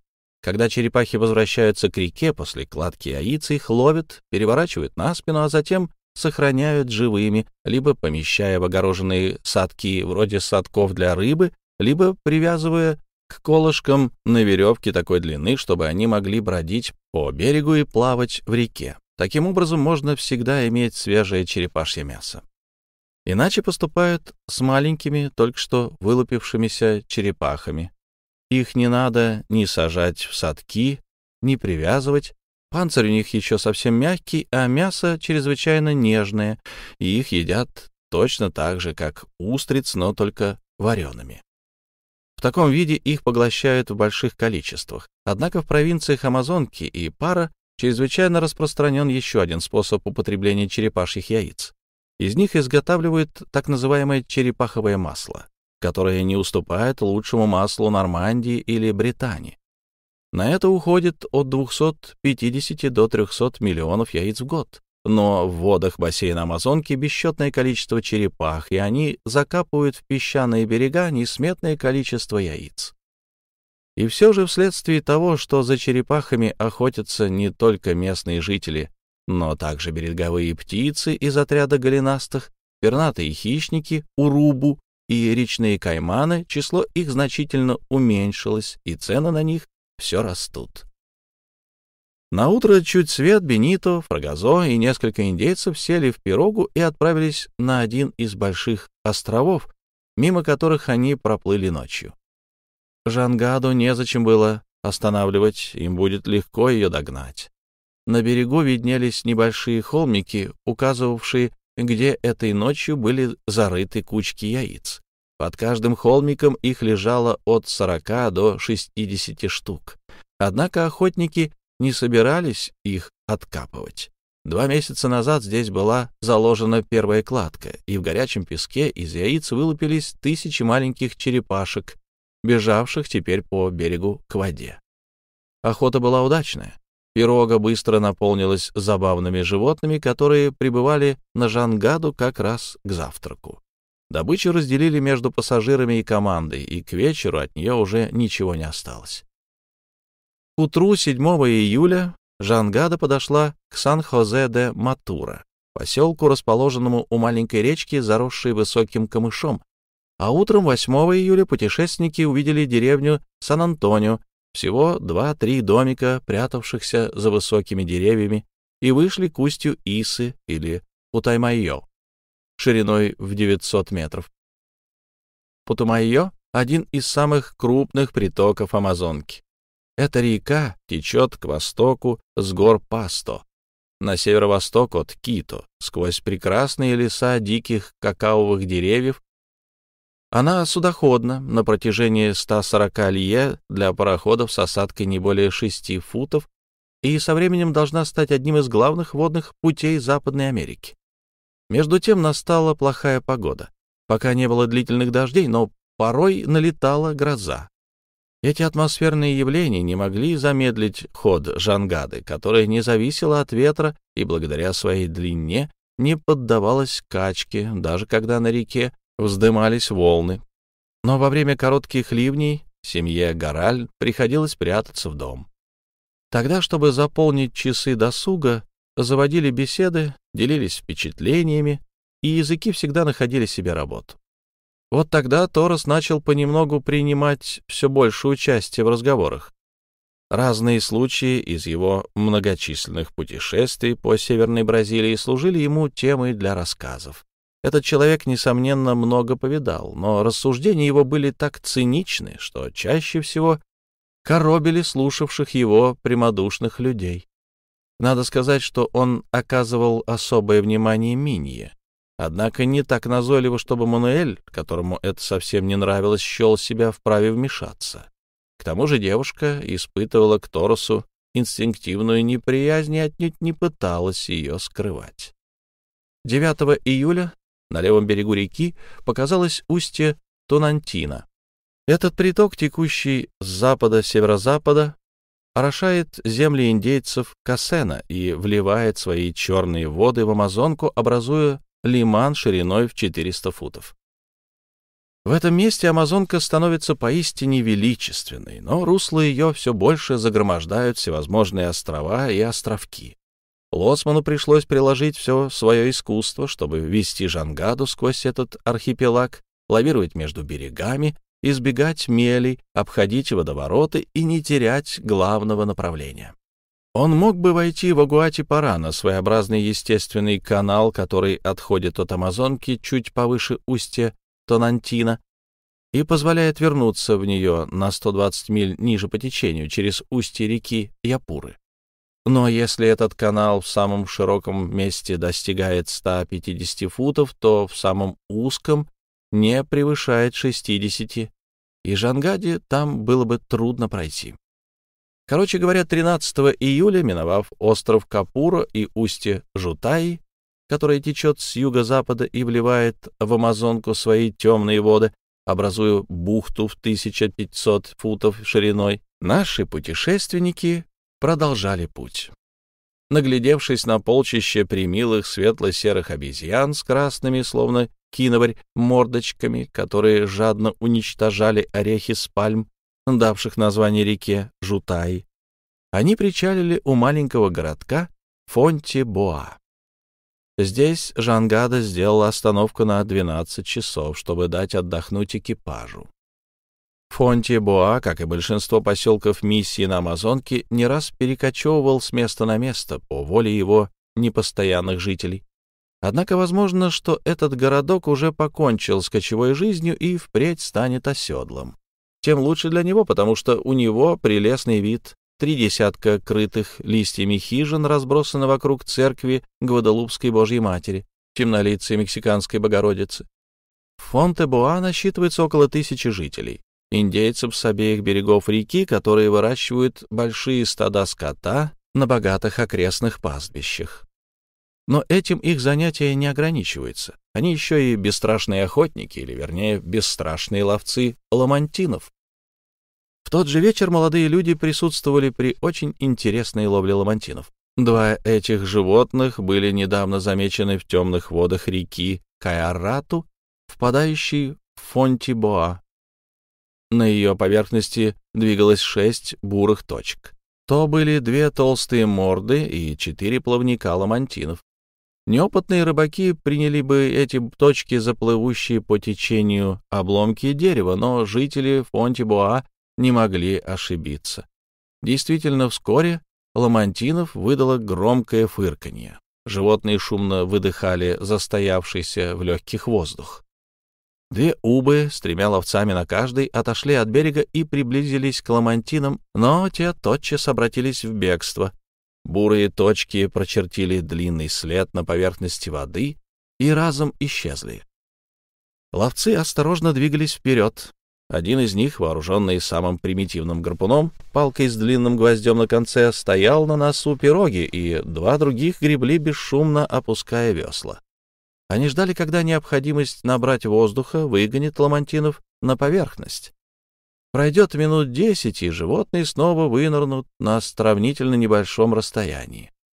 Так и случилось. Едва истекло это время, как невдалеке вновь появились бурые точки, и кверху с шумом взметнулись два фонтана, смешанные с воздухом воды. Убы подошли ближе. Разом взвились два гарпуна.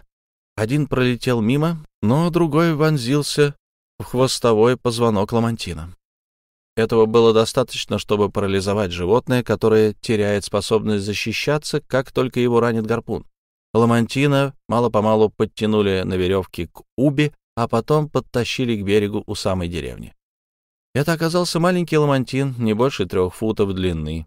Этих бедняк так беспощадно истребляют, что в водах Амазонки и ее притоков они встречаются все реже. Им не дают времени вырасти, и теперь эти водяные великаны достигают здесь не более семи футов. Разве можно сравнить их с 12 и 15 футовыми ламантинами, которых еще так много в реках и озерах Африки? Однако помешать их истреблению очень трудно. Мясо ламантинов превосходно на вкус, лучше даже свинины, а из его сала три дюйма толщиной вытапливают жир, который ценится очень высоко. В копченом виде мясо их сохраняется очень долго и служит здоровой пищей. К тому же выловить ламантина довольно легко, поэтому нечего удивляться, если этот вид животных будет скоро уничтожен. В наши дни взрослый ламантин, который прежде приносил два чана жира по 180 фунтов, теперь дает только 4 испанских ароба, то есть всего 200 фунтов. 19 июля на рассвете Жангада покинула Фонтибуа и поплыла между пустынными берегами вдоль очень живописных островов, поросших какаовыми деревьями. Небо было по-прежнему обложено тяжелыми, насыщенными электричеством тучами, которые предвещали новые грозы. Вскоре на правом берегу показалась река Журуа, текущая с юго-запада. Если подняться вверх по этому чистому потоку, питаемому множеством родников, то можно добраться до самого Перу, не встретив непреодолимых препятствий. «Быть может, — заметил Мануэль, — именно в этих краях следует искать потомков воинственных амазонок, которыми так восхищался Орельяна. Однако надо сказать, что теперь здешние женщины не живут обособленно, по примеру своих прародительниц. Они попросту жены своих мужей, сражаются бок о бок с ними и славятся своей храбростью. Жангада продолжала плыть вниз по течению, но теперь Амазонка представляла собой настоящий лабиринт. Река Япура, один из самых крупных притоков Амазонки, устье которого было на 80 километров ниже, текла почти параллельно Великой реке. Между ними образовались каналы, протоки, лагуны, временные озера, запутанная сеть водных дорог, что очень усложняло гидрографию местности. Но, хотя у Арауджи и не было гидрографической карты, вернее, всякой карты, служил ему опыт, и можно было залюбоваться, как ловко он маневрирует в этом лабиринте, никогда не сбиваясь и не теряя основного русла. Итак, благодаря его стараниям, 25 июля после полудня, пройдя мимо деревни Парани-Тапера, Жангада остановилась у входа в озеро Эго, или Фетте куда не имело смысла заходить, иначе пришлось бы возвращаться обратно, чтобы продолжить путь по Амазонке. Но город Эго довольно интересен. Стоило остановиться, чтобы его осмотреть. Поэтому решили, что Жангада пробудет здесь до 27 июля, а завтра, 26-го, вся семья отправится на берег в Большой Пироге. Таким образом, усердный экипаж Жангада получит заслуженный отдых. Ночь провели на якоре возле довольно высокого берега, и ничто не нарушало покоя путешественников. Кое-где на горизонте вспыхивали зорницы, но гроза прошла стороной, миновав озеро. Глава 16. Эго. 26 июля 6 часов утра Якита, Минья, Лина и двое молодых людей готовились сойти на берег. Жан Гараль, вначале не выражавший желания покидать Жангаду, на этот раз по настоятельной просьбе жены и дочери решил отложить свою ежедневную изнурительную работу и сопровождать их во время прогулки. А Торос не собирался осматривать Эгу к великому удовольствию Мануэля, который чувствовал к нему отвращение и ждал только случая, чтобы его выказать. Что касается Фрагазо, то он был больше заинтересован в посещении Эги, чем Табатинги, которая по сравнению с Эгой была лишь бледным поселком. Эго — главный город округа, насчитывает полторы тысячи жителей, в нем находятся все власти, представляющие администрацию такого значительного по местным масштабам города. Военный комендант, начальник полиции, мировой судья, начальник таможни, школьный учитель и воинская часть под командой офицеров разных чинов, если в городе живет столько должностных лиц с женами и детьми, то, надо думать, там нет недостатка в цирюльниках и парикмахерах. Поэтому Фрагазо не ожидал там для себя никакой поживы. Хотя наш Фигаро и не собирался заниматься в Эге своим ремеслом, он, разумеется, хотел участвовать в общей прогулке, потому что Лина сопровождала свою молодую хозяйку. Но когда все общество покидало Жангаду, он остался по просьбе Лины. «Господин Фрагазо», — сказала она, отведя его в сторону. «Что, сударыня?» — спросил Фрагазо. «Кажется, ваш друг Торос не собирается идти с нами в Эгу». «Да, он и впрямь остается на Жангаде, но я вас очень прошу, не называть его моим другом». А разве не вы надоумили его попроситься на Жангаду? Ведь сам бы он не додумался. Да, боюсь, в тот день, если говорить на чистоту, я сделал большую глупость. Если говорить на чистоту, этот человек мне совсем не нравится. А мне и того меньше. Притом, мне все время кажется, что я его уже где-то видел. Но у меня осталось лишь смутное воспоминание, и ясно только одно — впечатление было неприятное. Где и когда вы могли встретить этого Тороса? Неужели вы не можете вспомнить? А ведь было бы неплохо узнать, кто он особенно, кем он был. Нет, как я не стараюсь, когда это было, в каких краях, при каких обстоятельствах, никак не могу припомнить. Господин Фрагазо. Что, сударыня? Вам надо остаться на Жангаде, чтобы следить за Торосом, пока нас не будет. Что? Не идти с вами в Эгу и целый день вас не видеть? Я вас прошу. Это приказ? Нет, просьба. Я остаюсь. Господин Фрагазо. Что, сударыня? Благодарю вас.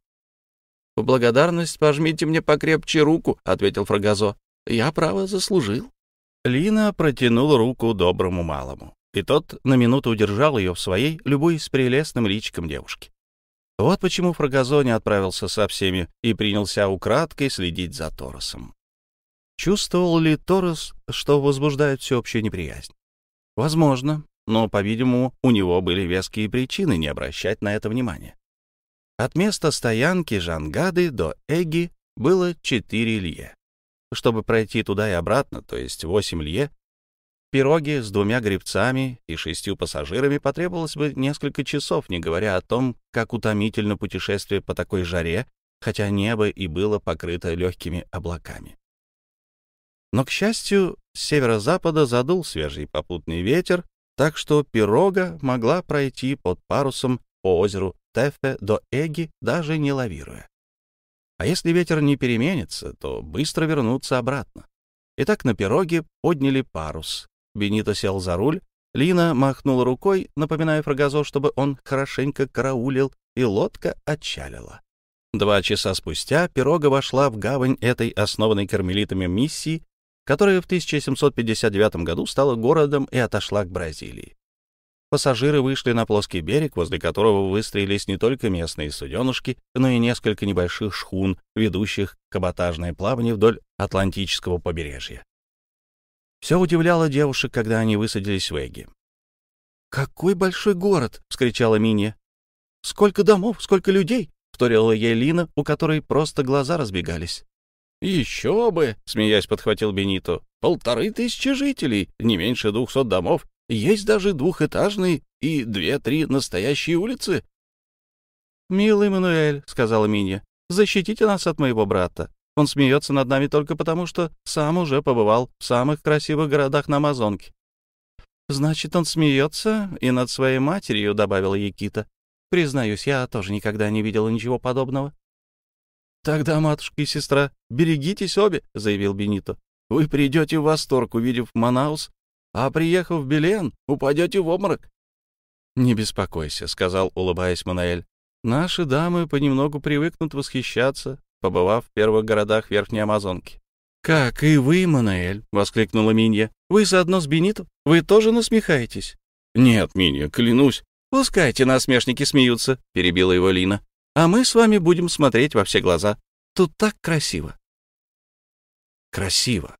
И всего-то куча глинобетонных или побеленных известью домиков, крытых чаще всего соломой или пальмовыми листьями. И лишь кое-где каменная или деревянная постройка с верандой, ярко-зелеными деревьями и ставнями, окруженная садиком с цветущими апельсинами. Было там, правда, и два-три учреждения, одна казарма и церковь Святой Терезы, которая по сравнению с Якитовской часовней казалась собором. Оглянувшись на озеро, можно было увидеть красивую панораму, обрамленную каймою кокосовых пальм, подступающих вплотную к водной глади, а в трех милях подальше, на другом берегу, живописную деревню Нагейра, домишки которой выглядывали из густой листвы старых олив. Но восхищение обеих девушек вызвало иное зрелище. Зрелище особенно интересное для женщин. Они залюбовались снарядами местных щеголих, носивших не простенькие платья уроженок племени Мурас, а одетых как настоящие бразильские горожанки. Да, жены и дочери здешних чиновников и крупных торговцев гордо носили парижские туалеты, правда, довольно старомодные, но ведь эго находится за 500 лье от пара, а пара за несколько тысяч лье от Парижа. Глядите, глядите скорее, до чего же красивые дамы и какие на них прелестные платья. Боюсь, они сведут нашу Лину с ума, засмеялся Бенито. Если бы эти дамы умели носить свои красивые платья, заметила Миня, они, может, не казались бы такими смешными. Поверьте, дорогая, сказал Мануэль, в вашем скромном ситцевом платье и соломенной шляпке вы куда изящнее всех этих дам в высоченных токах и юбках с валанами, которые чужды и их стране, и их народу. «Если я вам нравлюсь и так», — ответила девушка, — «то мне некому и нечем завидовать. Но ведь они пришли сюда, чтобы все осмотреть, поэтому они побродили по улицам, где оказалось больше ларьков, чем магазинов, погуляли по площади, где встречались местные франты и франтихи, задыхавшиеся в своих европейских костюмах, и даже позавтракали в гостинице, смахивавшей на постоялый двор, где они пожалели о вкусных блюдах, подаваемых каждый день на Жангаде. После обеда, состоявшего исключительно из черепашьего мяса в разных видах, Горали отправились еще раз полюбоваться озером, сверкавшим в лучах заходящего солнца, и вернулись на пирогу, пожалуй, немного разочарованные в красоте города, который можно было осмотреть за один час и немного уставший от прогулки по раскаленным улицам, таким непохожим на тенистые тропинки и китоса, и даже восторг любопытной Лины немного поостыл. Каждый занял свое место в пироге, ветер по-прежнему дул с северо-запада и к вечеру немного посвежел. Подняли парусы и пустились в обратный путь по озеру, питаемому темными водами реки Теффе по которой, как говорят индейцы, можно 40 дней плыть на юго-запад, и она все будет судоходна.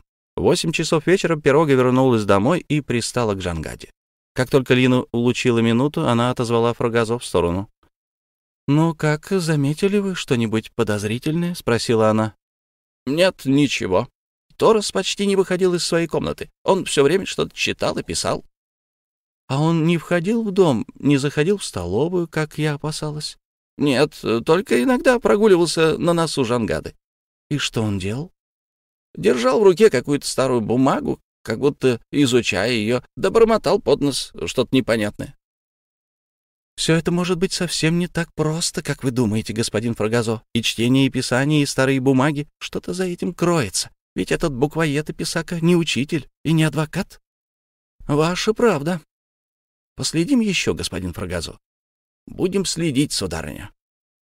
На завтра, 27 июля, как только расцвело, Бенито дал лоцману приказ отчаливать.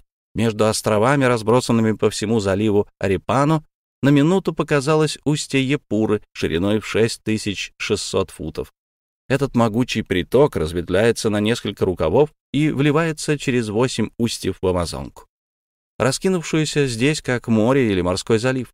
Епура бежит издалека, с высоких гор Колумбии, и течение ее лишь один раз преграждают водопады в 210 лье от впадения в Амазонку. Жанга доплыла весь день и к вечеру поравнялась с островом Епура, после которого остров стал меньше и плыть было значительно легче. К тому же довольно медленное течение позволяло без труда обходить островки, и Жангада ни разу не ткнулась в берег и не села на мель. На другой день Жангада плыла мимо широких, покрытых высокими дюнами берегов, образующих песчаный вал, за которым тянутся огромные пастбища, где можно было бы вырастить и откормить скот со всей Европы. Считается, что это самые богатые черепахами берега во всем бассейне Верхней Амазонки. Вечером 29 июля Жангада крепко пришвартовалась у острова Катуа. Здесь решили провести ночь, которая обещала быть очень темной. Солнце еще не зашло, когда на острове показалась толпа индейцев Мурас, потомков древнего и могучего племени, которое занимало когда-то более сталье вдоль побережья между Тефе и Мадейрой. Индейцы расхаживали взад и вперед по берегу, рассматривая неподалеку стоявший плот. Их было около сотни человек, вооруженных собаканами из местного тростника, вставленного для прочности в полый ствол карликовой пальмы. Жан Гораль, оторвавшись на минуту от работы, занимавшей его все время, приказал хорошенько следить за этими индейцами и не раздражать их. В самом деле борьба с ними была бы неравной. Индейцы необыкновенно ловко мечут из сарбаканов отравленные ядом стрелы, которые летят на 300 шагов и наносят неизлечимые раны. К счастью, индейцы не предприняли никаких враждебных действий, хотя известно, что они ненавидят белых. Правда, они не так воинственны, как были их предки. Когда стемнело, на острове за деревьями послышались звуки дудочки, наигравшей печальную мелодию. Ей ответила другая дудочка. Эта музыкальная перекличка длилась две-три минуты, а затем индейцы исчезли. Фрагазо, развеселившись, решил спеть им в ответ песню на свой лад, но Лина вовремя остановила его, прикрыв его рот рукой, и не дала блеснуть своими певческими талантами. 2 августа в три часа пополудни, пройдя еще 20 лье, Жангада подошла к озеру Апуара, из которого вытекает река того же названия, а два дня спустя остановилась около пяти часов у озера Куари. Это одно из самых больших озер, сообщающихся с Амазонкой оно служит водоемом для нескольких рек. В него впадают пять или шесть потоков, там они смешивают свои воды и через узкий проток вливаются в главную водную артерию. Путешественники издали посмотрели на высокие домики деревни Такуамири, стоящие на сваях, как на ходулях, чтобы спастись от наводнений при половоде, часто заливающим эти низкие места, и вскоре Жангада пристала на ночь к берегу. Плот остановился против селения Куари, состоящего из дюжины довольно ветхих хижин, которые прячутся в густой чаще апельсиновых и тыквенных деревьев. Вид этой деревушки очень часто меняется в зависимости от подъема или спада воды. Порой озеро представляет собой обширный водоем, порой превращается в узкую протоку, такой мелкую, что даже перестает сообщаться с Амазонкой. На рассвете 5 августа Жангада снова пустилась в путь прошла мимо протока Юкуры, входящего в запутанную сеть озер и рукавов, и утром 6 августа подошла к озеру Миана. За это время на плоту не случилось ничего нового, жизнь там текла с почти методичной размеренностью. Фрагазо по настоянию Лины не переставал следить за Торосом, Несколько раз он пытался выведать у него что-нибудь о его прошлом, но авантюрист упорно уклонялся от таких разговоров и в конце концов замкнулся и стал чрезвычайно осторожен с цирюльником. Но с семейством Гораль его отношения не изменились. С Жоамом он говорил мало, зато охотно обращался к Яките и ее дочери, делая вид, что не замечает их явной холодности. Впрочем, обе утешали себя тем, что по прибытии Жангады в Манаус Торос уйдет, и они никогда больше о нем не услышат. Якита следовала советам отца Пасани, который уговаривал ее набраться терпения. Но доброму пастырю было труднее удержать Мануэля, решительно желавшего поставить на место втершегося к ним наглеца, которого незачем было пускать на Жангаду. В тот вечер случилось лишь одно небольшое происшествие. Спускавшаяся вниз по течению пирога по приглашению Жама Гораля пристала к Жангаде. «Ты плывешь в Манаус?» — спросил он индейца, стоящего в пироге с веслом. «Да», — ответил индейец. «Когда ты там будешь?» «Через неделю». «Значит, ты попадешь туда гораздо раньше нас. Не передашь ли ты это письмо по адресу?» «Охотно». «Возьми же его, мой друг, и отвези в Манаус». Индеец взял протянутое ему горалем письмо вместе с горстью рейс в награду за услугу. Никто из членов семьи Гораля, уже ушедших в дом, не узнал об этом случае.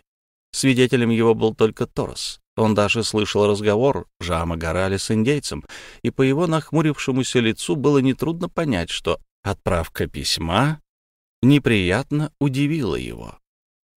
Глава 17. Нападение. Между тем Мануэль, так ничего и не сказав Торосу, чтобы избежать какой-нибудь бурной сцены на Жангаде, решил на другой день договориться о нем с Бенито. «Бенито», — начал он, уведя его на нос Жангады, — «мне надо с тобой потолковать». Бенито, всегда такой веселый, взглянув на Мануэля, остановился, и лицо его омрачилось. «Я знаю о чем. О Торосе?» «Да». «Я тоже собирался поговорить с тобой, Мануэль». «Значит, и ты заметил, что он волочится за Миней?» — воскликнул Мануэль бледнее. «Надеюсь, ты не станешь ревновать ее к подобному человеку», — вспыхнул Бенито. «Конечно нет. Боже, у меня упаси нанести такое оскорбление девушке, которая скоро будет моей женой. Нет, Бенито. Она сама не выносит этого проходимца. Дело совсем не в этом. Но мне противно смотреть, как этот пройдоха навязывает свое общество твоей матери и сестре, как он старается втереться в вашу семью, которую я считаю своей. «Мануэль, я разделяю твое отвращение к этому подозрительному субъекту», — мрачно сказал Бенито. «И если бы считался только со своими чувствами, я бы давно выгнал его с Жангады, но я не смею». «Не смеешь?» — вскричал Мануэль, схватив Бенито за руку. «Как не смеешь?» «Послушай, Мануэль», — продолжал Бенито, — «ты хорошо присмотрелся к Торосу, правда? Ты заметил, что он увивается за моей сестрой? Да, в этом нет сомнения. Но ты увидел одно, а другое проглядел. Этот подозрительный человек глаз не сводит с моего отца, следит за ним с непонятным упорством, как будто замышляет против него что-то злое. Что ты говоришь, Бенито? Разве у тебя есть основания думать, что Торос желает зла твоему отцу? Никаких. Ничего такого я не думаю. Это только предчувствие. Но понаблюдай хорошенько за Торосом. За выражением его лица, и ты увидишь, как он злобно усмехается. Стоит ему только взглянуть на отца. Тогда тем больше причин его прогнать. Тем больше или тем меньше. Я боюсь, Мануэль. Чего? И сам не знаю, но убедить отца высадить Тороса, быть может, неблагоразумно. Повторю тебе, я боюсь, хотя у меня нет ни одного факта, который объяснил бы мой страх. Произнося эти слова, Бенито весь дрожал от гнева. «Значит, ты думаешь, — проговорил Мануэль, — что надо выждать?» «Да, выждать, и пока не принимать решения, а главное — быть все время на чеку». «В конце концов, дней через двадцать мы будем в Манаусе», — заметил Мануэль. «Там Торос должен остаться. Он нас покинет, и мы навсегда от него избавимся, а до тех пор не будем спускать с него глаз. Ты понимаешь меня, Мунель? Конечно, понимаю. Мой друг, мой брат, хоть я и не разделяю, не могу пока разделять твоих опасений. Какая может быть связь между твоим отцом и этим проходимцем? Твой отец, несомненно, никогда его не видел. Я не говорю, что отец знает Тороса, — ответил Бенито. Но мне кажется, Торос что-то знает об отце. Что делал этот человек возле нашей фазенды, когда мы встретили его в лесу? Почему он отказался тогда от предложенного ему гостеприимства, а потом все так подстроил, чтобы мы взяли его на плод? Мы прибываем в Табатингу, а он уже тут как тут, словно дожидался нас. Случайно ли эти встречи, или они произошли по заранее обдуманному плану? Наблюдая упорный и в то же время ускользающий взгляд Тороса, я снова вспоминаю эти странные совпадения. Не знаю, я теряюсь и ничего не могу объяснить. И как это пришло мне в голову пригласить его на нашу жангаду? «Успокойся, Бенито, прошу тебя». «Мануэль», — воскликнул Бенито, не в силах справиться с волнением. «Поверь, если б дело шло обо мне, я, не раздумывая, выкинул бы за борт этого человека, который внушает нам такое отвращение, но если и правда дело идет об отце, я боюсь, что, поддавшись своим чувствам, только на порчу. Внутреннее чутье говорит мне, что опасно действовать против этого коварного врага, пока он сам себя не выдаст. И тогда это уже будет наше право и долг. В сущности, на Жангаде он всегда на виду, и если мы будем оба оберегать отца, мы рано или поздно заставим Тороса сбросить личину и выдать себя, как бы искусно он не вел игру. Значит, надо подождать. Появление на палубе Тороса прервало этот разговор. Тот искоса поглядел на молодых людей, но не сказал им ни слова. Бенито не ошибался, говоря, что Торос не спускал глаз с Жоама Гораля, когда думал, что за ним никто не наблюдает. Нет, Бенито не ошибался, уверяя, что лицо Тороса становится зловещим, когда он смотрит на его отца. Какая же таинственная связь соединяла двух этих людей? Как мог один воплощение благородства быть связанным с другим, разумеется, сам того не зная. При таком положении вещей, когда молодые люди объяснились и за Торосом стали следить с одной стороны Бенито и Мануэль, а с другой Лина и Фрагазо, Вряд ли ему удалось бы сделать какой-нибудь ход, который они бы тотчас не пресекли. Быть может, Торос это понял. Но так или иначе он этого не показал и ни в чем не изменил своего поведения. Довольные тем, что объяснились, Мануэль и Бенито дали друг другу слово неотступно следить за Торосом, стараясь, однако, не вызвать у него подозрений. В следующие дни Жангада прошла мимо рек Камара, Ару, Журипари, которые текут параллельно правому берегу Амазонки, но не втекают в нее, а убегают на юг, где сбрасывают свои воды в реку Пурус и уже вместе с ней вливаются в Великую реку. 10 августа в 5 часов вечера Жангада стала на якорь у Кокосового острова. Здесь находился поселок Серингейро, или заготовителей каучука. Добывается он из дерева серингера, которое ученые называют сифония эластика. Говорят, что вследствие плохого ухода за деревьями и неумелой эксплуатации число их в бассейне Амазонки уменьшается. Но все же леса каучуковых деревьев на берегах Мадейры, Пуруса и других притоков Великой реки еще очень обширны. На Кокосовом острове десятка-два индейцев добывали и обрабатывали каучук, что делается чаще всего в мае, июне и июле.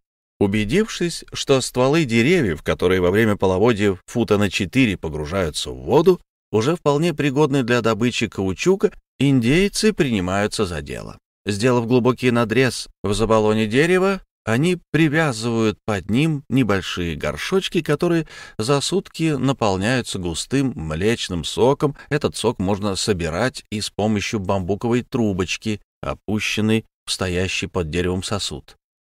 Добытый сок индейцы окуривают на костре, чтобы сохранить содержащееся в нем смолистое вещество. Набрав сок деревянным совком, его держат в дыму, отчего сок почти сразу густеет, принимает желтовато-серую окраску и понемногу затвердевает. Образующийся каучук снимают с совка слой за слоем и сушат на солнце, после чего он еще твердеет и становится обычного коричневого цвета Тогда каучук готов. Бенито, воспользовавшись случаем, скупил у индейцев весь каучук, хранившийся в их стоявших на своих хижинах. Назначенная им цена была достаточно высокая, и они остались очень довольны. Спустя четыре дня, 14 августа, Жангада подошла к устью Пуруса. Это река, еще один из самых больших притоков на правом берегу Амазонки, судоходна даже для крупных судов на протяжении свыше 500 лье. Она течет с юго-запада, и устье ее достигает 4000 футов ширины.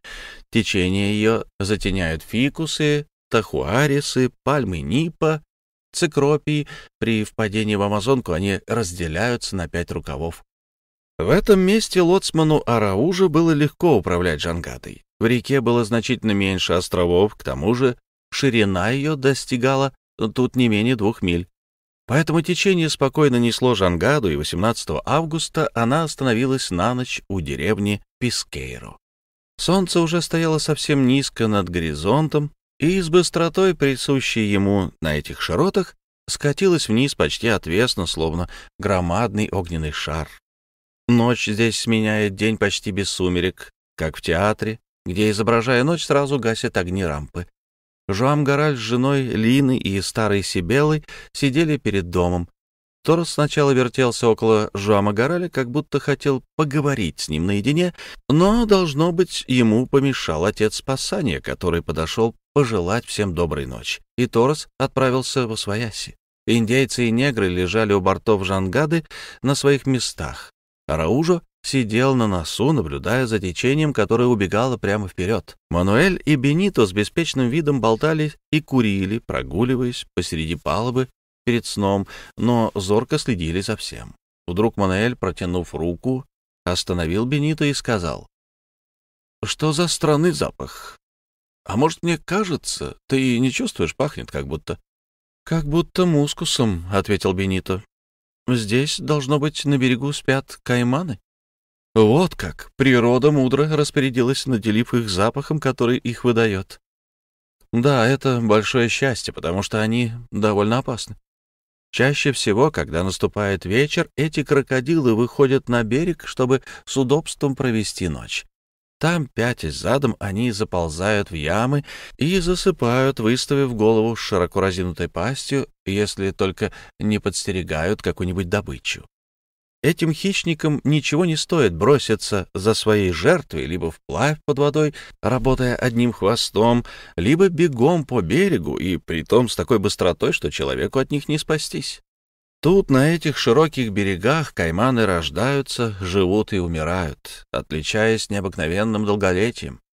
Старых столетних кайманов можно узнать не только по зеленоватому мху, покрывающему их спину и бородавкам, усеявшим кожу, но и по кровожадности, которая с возрастом все усиливается. Как правильно сказал Бенито, эти животные бывают очень опасны, и нужно остерегаться их нападения.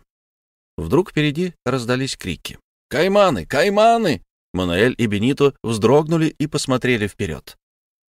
Трем большим кайманам, длиной от 10 до 12 футов, удалось взобраться на жангаду. «Хватайте ружья! Хватайте ружья!» — закричал Бенито, делая знак индейцам и неграм, чтобы они отошли назад. «Бегите домой!» — подхватил Мануэль. «Прячьтесь скорее!» В самом деле нечего было и пытаться сразу напасть на кайманов, значит, прежде всего следовало укрыться от них. В одно мгновение все разбежались, семья Горалей скрылась в доме, к ней тотчас присоединились и двое молодых людей. Индейцы и негры попрятались в своих шалашах и хижинах. Запирая двери дома, Мануэль спросил, «А где Минья?»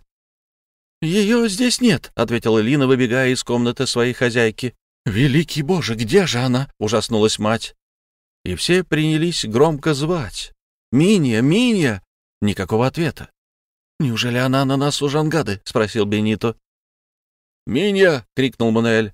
Оба юноши, Фрагазо, Жамгараль, не думая об опасности, бросились из дома с ружьями в руках. Не успели они выйти на палубу, как два каймана повернулись и побежали им навстречу. Меткая пуля Бенито попала в глаз одному из чудовищ, и смертельно раненый кайман, опрокинувшись на бок, забился в предсмертных судорогах. Но тут подоспел второй, он несся вперед, и удержать его было невозможно. Громадный хищник бросился на Жама Гораля, сбил его с ног ударом хвоста и прыгнул на него, разинув пасть. В эту минуту из каюты выскочил Торос с топором в руке и нанес такой ловкий удар, что топор вонзился по самую рукоятку в челюсть Каймана, где и застрял. Кровь заливала зверю глаза, он бросился в сторону, свалился в реку и исчез. «Минья! Минья!» Вне себя звал Мануэль, прибежавший на нас Жангады. Вдруг девушка появилась. Сначала она спряталась в будке Арауджо, но третий кайман опрокинул будку мощным ударом хвоста, и теперь Минья бежала к корме, преследуемая по пятам чудовищем, которое уже было от нее шагах в шести. Минья упала. Второй выстрел Бенито не остановил каймана. Пуля скользнула по шкуре животного, не пробив ее. Монуэль кинулся к девушке, чтобы подхватить, унести, вырвать ее у смерти, но сильный удар хвоста сбил с ног и его. Миния потеряла сознание. Казалось, она погибла, пасть каймана уже раскрылась над ней. Но тут на него ринулся фрагазо и вонзил ему кинжал в самую глотку, рискуя, что кайман откусит ему руку, если вдруг сомкнет свои страшные челюсти. Фрагазо вовремя одернул руку, но не успел увернуться, и кайман, падая, сбросил его в воду, на которой расплывались большие красные пятна. «Фрагазо! Фрагазо!» — закричала Лина, упав на колени у борта Жангады. Минуту спустя Фрагазо показался на поверхности реки. Он был цел и невредим. С опасностью для жизни спас он девушку, которая уже понемногу приходила в себя, Теперь все протягивали ему руки — Мануэлья, Кита, Минья, Лина, так что Фрагазо растерялся и, в конце концов, пожал руку юной мулатке. Однако, если Фрагазо спас Минью, то Жамгараль был, несомненно, обязан своим спасением Торосу. Значит, авантюрист не желал смерти Гораля. Приходилось признать этот очевидный факт. Мануэль шепнул об этом на ухо Бенито. «Верно», — в замешательстве согласился Бенито. Ты прав, теперь у нас будет одной тяжелой заботы меньше. И все же, Мануэль, мои подозрения не прошли, ведь можно быть злейшим врагом человека, но не желать его смерти. Между тем же Амгараль подошел к Торосу. «Спасибо, Торос», — сказал он, протягивая ему руку. Ничего не отвечая, Торос отступил на несколько шагов. «Торос», — продолжал Гораль, «Я сожалею, что ваше путешествие скоро окончится, и через несколько дней нам придется расстаться. Я вам обязан». «Вы мне ничем не обязаны, Жам-Гораль», — перебил его Торос. «Ничьей жизнью я так не дорожу, как вашей.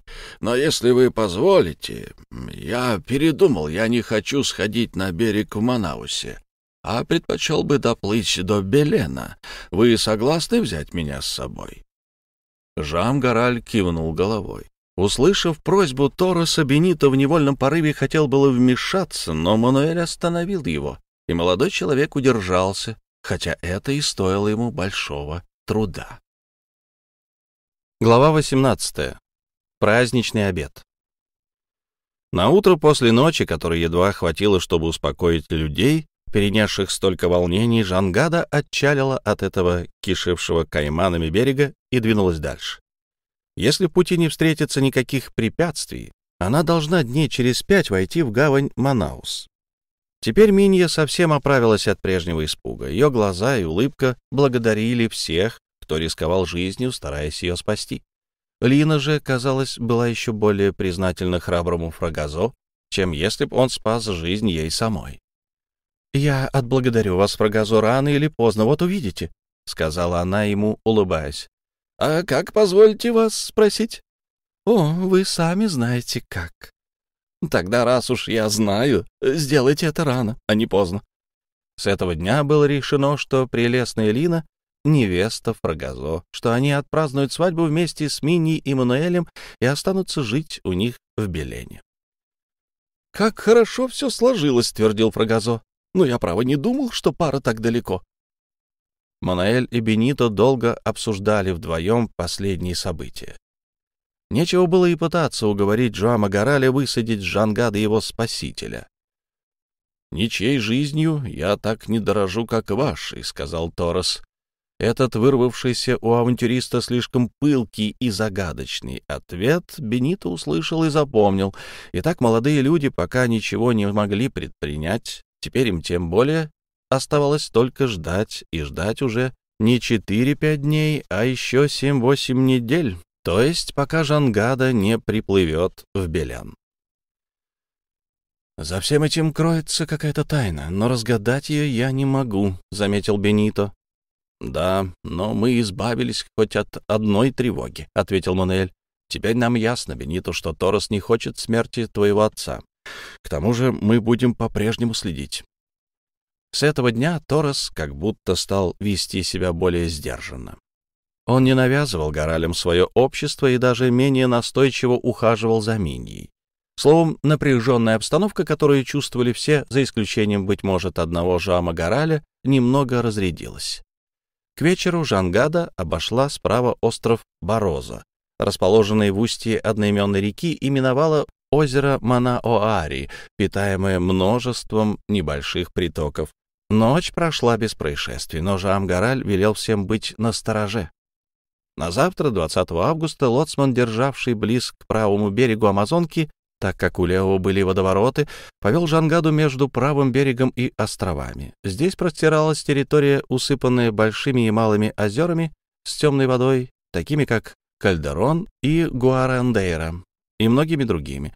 Этот озерный край указывал на близость Рио-Негру, самого значительного из притоков Амазонки. До этого места Великая река еще называлась Салимоэнс, но после впадения в нее Рио-Негру она обретала то название, под которым известна как самая крупная река на свете. В этот день Жангаде пришлось плыть в очень своеобразных условиях. Рукав, выбранный лоцманом между островом Кальдерон и берегом, был очень узок, хотя и издали казался широким. Дело в том, что часть острова лишь чуть-чуть поднималась над водой и была еще затоплена после половодья. По обеим сторонам протоки стояли рощи исполинских деревьев, кроны которых уходили ввысь на 50 футов, а широко раскинутые ветви сплетались над водой, образуя своды громадной зеленой аркады. Трудно себе представить что-нибудь более живописное, чем этот затопленный лес на левом берегу, как будто посаженный посреди озера. Могучие стволы вставали из спокойной и прозрачной воды, в которой сложное переплетение ветвей отражалось с необыкновенной четкостью. Отражение деревьев не могло бы быть совершенней, даже если бы они были вставлены в огромное зеркало наподобие тех миниатюрных клумб, которыми украшают праздничные столы. И никто бы не уловил разницы между отражением и реальностью. Казалось, деревья стали вдвое длиннее и заканчивались внизу и наверху широким зеленым шатром, образуя как бы два полушария, между которыми плыла Жангада. Лоцману пришлось пропустить плот под эти аркады, о которых тихо плескалась вода. Отступать было поздно, но лоцман маневрировал с большой осторожностью, чтобы избежать толчков и слева, и справа. Тут Арауджи показал все свое искусство, причем ему отлично помогала его команда. Деревья служили прочной опорой их длинным баграм, и плод не терял нужного направления. Малейший толчок мог повернуть Жангаду, и, наскочив на деревья, эта махина развалилась бы на куски. Тогда погиб бы, если не экипаж, то, по меньшей мере, ценный груз. «Как здесь красиво», — сказала Миния, «и как было бы приятно всегда плыть вот так, по спокойной воде, под защитой от солнечных лучей». «Это было бы приятно, но опасно, милая Минья», — ответил Мануэль. «Пироги здесь, конечно, нечего опасаться, но длинному плоту гораздо спокойнее плыть по широкой водной глади реки. «Не пройдет и двух часов, как этот лес останется позади», — сказал Лоцман. «Тогда давайте смотреть во все глаза», — воскликнула Лина. «Ведь эта красота так быстро промелькнет. Ах, поглядите, вон стая обезьян, они резвятся на верхушках деревьев, а вон птицы, они отражаются в прозрачной воде. А цветы распускаются на самой поверхности реки, и течение колышет их, словно ветерок», — подхватила Минья. «А длинные лианы причудливо извиваясь, перекидываются с дерева на дерево», — прибавила юная мулатка. «Но на конце лианы не висит фрагазо», — откликнулся ее жених. «Признайтесь, Лина, в Икитовском лесу вы сорвали редкий цветок». «Полюбуйтесь-ка на этот цветок. Другого такого не найдешь», — насмешливо ответила Лина. «Ах, посмотрите сюда, какие чудесные растения и она указала на кувшинки с гигантскими листьями и бутонами величиной с кокосовый орех. А дальше, там, где вырисовывался залитый водою берег, виднелись заросли тростника мукумус с широкими листьями и глубокими стеблями, которые словно расступаются, пропуская пирогу, а потом сами смыкаются за ней. Здесь было раздолье для охотника, так как среди густых зарослей, качавшихся по воле волн, водилось несметное множество водяных птиц.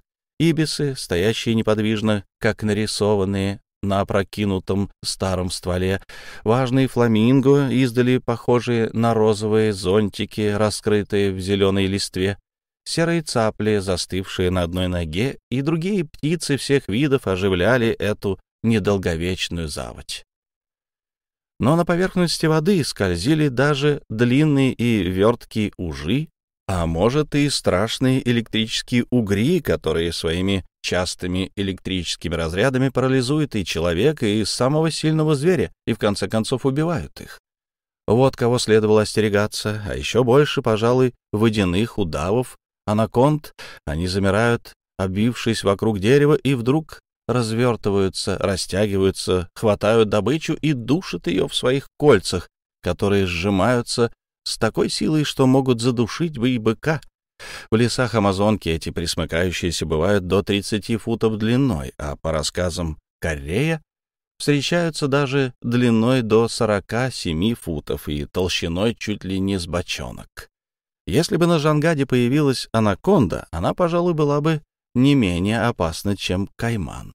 К счастью, нашим путешественникам не пришлось бороться ни с электрическими угрями, ни со змеями, и плавание по затопленному лесу, длившееся часа два, закончилось без происшествий. Прошло три дня, Жангада приближалась к Манаусу. Еще сутки, и она подойдет к устью Рио-Негру и остановится напротив столицы Амазонской провинции. В самом деле, 23 августа в 5 часов вечера она остановилась перед северным мысом острова Мурос у правого берега Амазонки. Оставалось только наискось пересечь реку и, пройдя около трех миль, войти в гавань. Но лоцман Араужо вполне разумно не хотел двигаться дальше ввиду приближения ночи. Чтобы пройти оставшиеся три мили, потребуется около трех часов, а чтобы пересечь течение, лоцман должен прежде всего ясно видеть. Этот день, завершавший первую часть пути, решили закончить торжественным обедом. Половина Амазонки была пройдена, и это следовало отметить веселой трапезой. Все сговорились выпить за здоровье реки Амазонки стаканчик другой благородного напитка, который изготовляют на холмах Порто и Сетубала. Заодно решили отпраздновать и помолвку Фрагазо с прелестной Линой. Помолвку Мануэля и Мини уже отпраздновали на Фазенде в Икитосе несколько недель тому назад. После молодых господ настала очередь и этой верной пары. Итак, вместе со всей почетной семьей Горалии за стол села Лина, которая должна была остаться в услужении у своей молодой хозяйки, и Фрагазо, собиравшийся поступить на службу к Мануэлю Вальдосу. Молодая пара заняла отведенное им почетное место. Торос, естественно, тоже присутствовал на этом обеде, поддержавшем честь поварихи и славу кухни на Жангаде. Авантюрист, сидевший против Жама Гораля, был молчалив и больше слушал, чем говорил. Бенита из-под тишка внимательно наблюдал за ним. Торос пристально смотрел на Жама, и глаза его странно сверкали. Так хищник старается заворожить свою жертву, прежде чем броситься на нее. Мануэль больше разговаривал с невестой, но то и дело поглядывал на Тороса. Однако он лучше, чем Бенито, применился к создавшемуся положению, которое, если и не изменится в Манаусе, то наверняка изменится в Белене. Обед прошел довольно весело. Лина оживляла его своим радостным смехом, а Фрагазо — забавными шутками. Отец Пасани приветливо поглядывал на маленькое общество, которое он так любил, и на две юные пары, которые вскоре благословит его рука. «Кушайте, кушайте, отец», — сказал Бенито под конец, присоединяясь к общему разговору. «Окажите честь этому обручальному обеду. Вам надо набираться сил, чтобы обвенчать сразу такую уйму людей». «Ничего, мой милый», — ответил отец спасания. «Найди-ка и ты красивую и честную девушку, которая согласится выйти за тебя, и ты увидишь, достанет ли у меня сил обвенчать заодно и вас». «Прекрасный ответ!» — вскричал Мануэль. «Выпьем за скорую свадьбу Бенито». «Мы подыщем ему в Белене хорошенькую молодую невесту», — поддержала его Минья. «Тогда он не отвертится, поступит так же, как и все». «За свадьбу господина Бенито», — провозгласил Фрагазо, который был бы рад, чтобы все переженились вместе с ним. «Они правы, сынок», — заметила Якита. Я тоже выпью за твою свадьбу, и дай бог, чтобы ты был так же счастлив, как будут Минья с Мануэлем, и как были мы с твоим отцом. — И надо надеяться, будете всегда, — вставил вдруг Торос, и ни с кем не чокнувшись выпил стакан портвейна. — Каждый из нас — кузнец своего счастья. Трудно сказать почему, но это пожелание в устах авантюриста произвело на всех тягостное впечатление. Мунель, желая развеять неприятное ощущение, сказал, «Послушайте, отец, раз уж мы об этом заговорили, нет ли на Жангаде еще какой-нибудь пары, которую надо бы обвенчать?» «Как будто нет», — ответил отец спасания. «Вот разве Торос, вы, кажется, не женаты?» «Нет, я холост и всегда был холостяком». Тут Бенито и Мануэлю показалось, что, сказав это, Торос заглянул в глаза Миньи.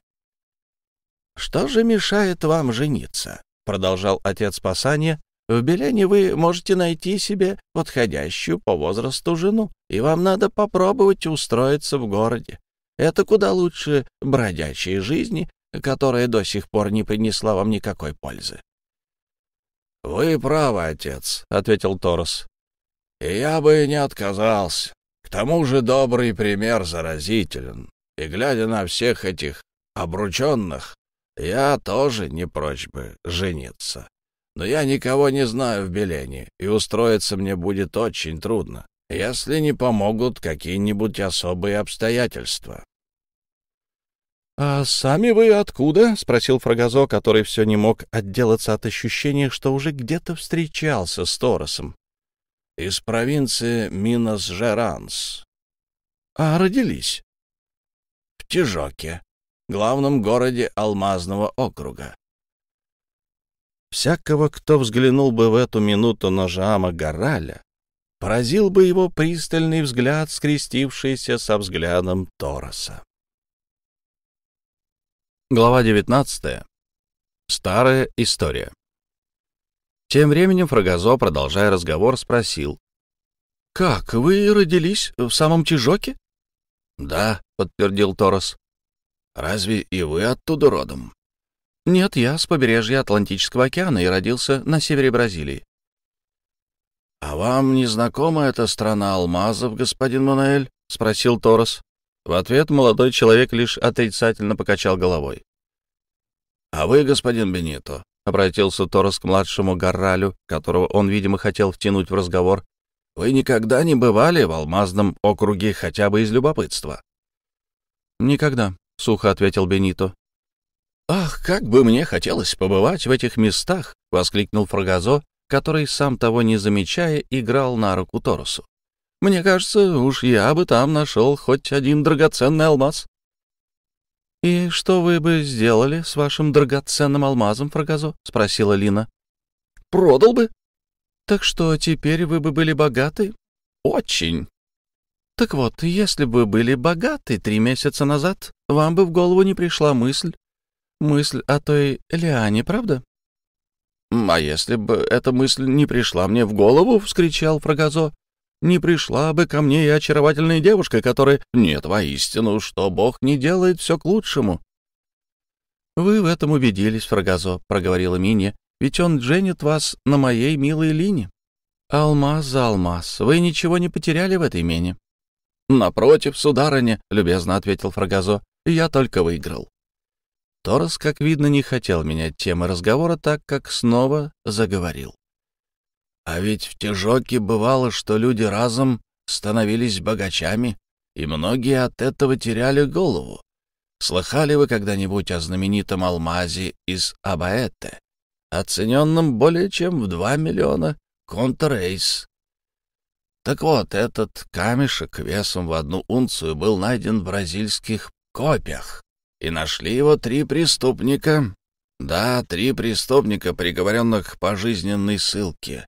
Нашли случайно в реке Абаэте, за 90 лье от Серрода Фрио.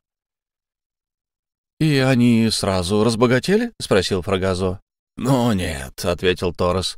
«Алмаз был передан управляющими копьями. Когда его оценили, португальский король Иоанн VI велел его просверлить и носил на шее в торжественных случаях. А ссыльные получили свободу. И это все. Но человек поизворотливее извлек бы из этого немалую выгоду.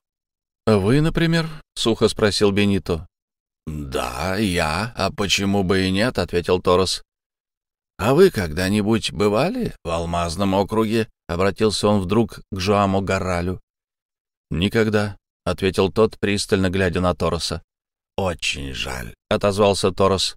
«Вам следовало бы когда-нибудь съездить туда. Это очень любопытно, уверяю вас. Алмазный округ как бы вклинивается в самое сердце обширных бразильских владений и похож на большой парк 12 лье в окружности.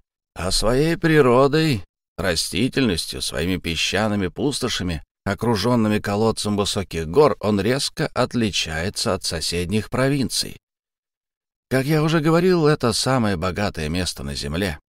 С 1807 по 1817 год там ежегодно добывали около 18 тысяч карат алмазов. Да, вот где люди могли разом разбогатеть. И не только те, кто обшаривал горы, взбираясь до самых вершин в поисках драгоценных камней, но и контрабандисты, сбывавшие их тайком. Теперь добывать их не так-то легко, и две тысячи негров, работающих в государственных копиях, вынуждены отводить воду из рек, чтобы добывать со дна песок, в котором вкраплены алмазы. Прежде все было гораздо проще. «Что говорить?» — откликнулся Фрагазо. «Прошли хорошие времена». Однако и теперь нетрудно добыть алмаз незаконным путем попросту говоря, украсть. Вот так в 1826 году, мне было тогда 8 лет, в Тижоке произошла ужасная драма, показавшая, что преступники ни перед чем не остановятся, когда могут, совершив дерзкий налет, сразу захватить целое состояние. Но вам это должно быть неинтересно. «Напротив, Торос, продолжайте», — ответил Жам Гараль до странности спокойным голосом. «Хорошо. Так вот, на этот раз дело шло о краже алмазов. А горсть этих крошечных камешков стоит миллион, а то и два. И Торос, лицо которого вдруг выразило неизменную алчность, невольно раскрыл и сжал руку в кулак. «Вот как было дело», — продолжал он. «В Тяжоке имеют обыкновение один раз в год вывозить все собранные алмазы за год. Их делят на части и раскладывают по величине, пропустив сквозь 12 сит с разным отверстием. Затем их зашивают в мешки и отправляют в Рио-де-Жанейро. Но груз этот стоит несколько миллионов. И, как вы догадываетесь, его хорошо охраняют. Служащий, назначенный управляющим копьями, четверо конных и десяток пеших солдат из стоящего в провинции полка, таков обычно конвой. Сначала они заезжают в Вилларику, где главный управляющий ставит на мешки свою печать, а потом продолжают путь до Рио-де-Жанейро. Надо добавить, что из осторожности день отъезда всегда держится в тайне. В 1826 году молодой чиновник по фамилии Дакоста, лет 23, некоторое время уже служивший в Тижоке в канцелярии главного управляющего, придумал следующий смелый ход. Он сговорился с шайкой контрабандистов и сообщил им день выхода конвоя. Хорошо вооруженная и довольно многочисленная шайка злоумышленников тотчас приняла меры. В ночь на 22 января за Вилла-Рикой грабители неожиданно напали на солдат охраны. Конвой мужественно защищался, но был весь перебит, за исключением одного солдата. Несмотря на тяжелые раны, ему все же удалось бежать и сообщить об ужасном нападении. Бандиты не пощадили чиновника, сопровождавшего ценный груз. Он пал под ударами злодеев, и тело его, наверное, было сброшено в пропасть, потому что его так и не нашли. «А что же до Коста?» — спросил Жам Гараль. Преступление не пошло ему на пользу. Обстоятельства сложились так, что подозрения вскоре пали на него. Его обвинили в том, что он руководил грабежом. Напрасно уверял он, что невиновен. По своему положению он должен был знать, на какой день назначен выход конвоя. Он один мог предупредить шайку злодеев. Он был обвинен, брошен в тюрьму, осужден и приговорен к смерти. А смертный приговор приводился в исполнение через 24 часа. «И несчастный был казнен?» — спросил Фрагазо. Его заключили в тюрьму в Виларике, и ночью, за несколько часов до казни, то ли действуя в одиночку, то ли с помощью сообщников, но он бежал из тюрьмы. «И с тех пор никто никогда не слыхал об этом человеке?» — спросил Жам Гараль. «Никогда», — ответил Торос. «Должно быть, он уехал из Бразилии и живет теперь припеваючи где-нибудь в далеких краях на краденные деньги». «Пусть лучше живет в нищете», — проговорил Жам Гараль. И пусть Господь покарает его, послав угрызение совести за содеянное преступление», — добавил отец спасания. Тут собеседники, кончив обедать, встали из-за стола и вышли подышать свежим вечерним воздухом. Солнце садилось, но до наступления ночи оставалось еще не меньше часа. «Такие истории не назовешь веселыми», — заметил Фрагазо. «И начало нашего обручального обеда было гораздо приятнее конца». «И все из-за вас, Фрагазо», — ответила Лина. «Как из-за меня?» «Зачем вы все время расспрашивали об этом округе и об алмазах? Какое нам до них дело?» «А ведь и верно. Черт побери!» — воскликнул Фрагазо. «Но я никак не думал, что разговор закончится так печально». «Выходит, вы первый виноваты. И первый наказан, потому что не слышал вашего смеха за десертом. Вся семья отправилась вперед на нос Жангады. Мануэль и Бенито шагали рядом, не говоря ни слова, и Кита с дочерью следовали за ними тоже молча. Всех охватила непонятная тоска, словно предчувствие нависшей опасности. Торос не отходил от Джама Гораля, который, опустив голову, казалось, глубоко задумался. Вдруг Торос положил ему руку на плечо. «Жоам Гараль», — сказал он, — «мне надо поговорить с вами. Вы можете уделить мне четверть часа?» Жоам Гараль посмотрел на него. «Здесь?» «Нет, наедине». «Ну что ж, пойдемте». Оба повернули назад, вошли в дом, и дверь за ними захлопнулась. Трудно описать, что почувствовали оставшиеся, когда Жам Гараль и Торос ушли вдвоем. Что могло быть общего между этим авантюристом и достойным хозяином икитосской фазенды? Казалось, угроза страшного несчастья нависла над семьей Горалей, но никто не решался об этом заговорить. «Мануэль», — сказал Бенито, схватив его за руку и отводя в сторону, — «что бы ни случилось, этот человек высадится завтра в Манаусе». «Да, это необходимо», — ответил Мануэль. «А если из-за него если из-за него с моим отцом случится какое-нибудь несчастье, я его убью. Глава 20. Лицом к лицу. Одни в комнате, где их никто не мог ни видеть, ни слышать, Жоам Гараль и Торос с минуту смотрели друг на друга, не произнося ни слова. Неужели авантюрист не решался начать разговор? Или он предвидел, что Жан Гараль ответит на все его вопросы презрительным взглядом? Да, конечно, и потому Торос не спрашивал. С самого начала он утверждал, выступал в роли обвинителя. «Жам», — начал он, — «ваша фамилия не Гараль, а Дакоста». Услышав эту фамилию, Жам Гараль невольно вздрогнул, но ничего не ответил.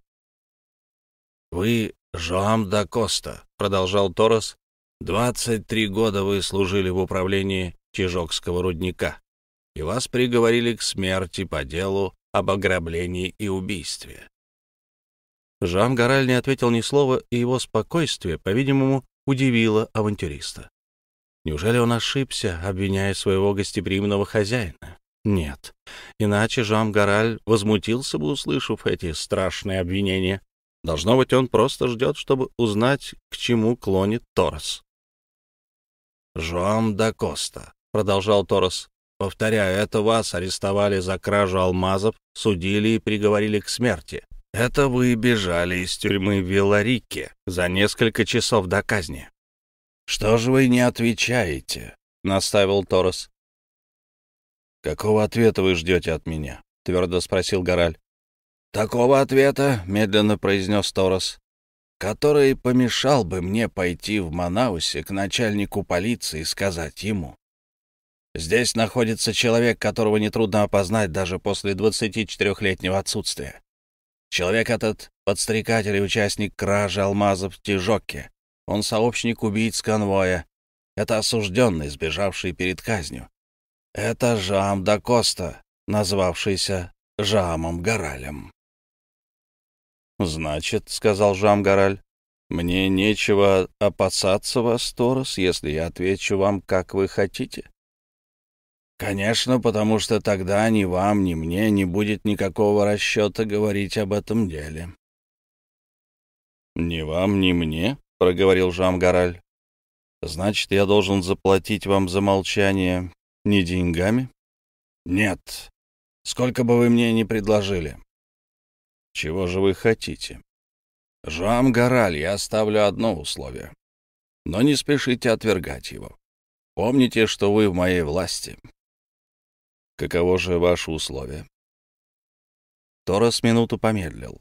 Его удивляло поведение этого человека, жизнь которого была в его руках. Он ждал ожесточенного торга, просьб, слез. Перед ним был преступник, осужденный за техчайшее злодеяние, но он даже не дрогнул. Наконец, скрестивши руки, Торос сказал. «У вас есть дочь. Она мне нравится, и я хочу на ней жениться». Как видно, Жам Гораль ожидал всего от подобного человека, и потому, выслушав его, не потерял самообладание. «Стало быть, — проговорил он, — достопочтенный Торос хочет войти в семью убийцы и грабителя. «А уж это дело мое. Я сам знаю, как мне поступать», — буркнул Торос. «Я хочу быть зятем Жама Горали и буду им». «Однако вам кажется известно, Торос, что моя дочь выходит замуж за Мануэля Вальдеса. Откажите Мануэлю Вальдесу. А если моя дочь не захочет?» «Я знаю ее. Если вы ей расскажете все, она согласится», — бесстыдно ответил Торос. «Все?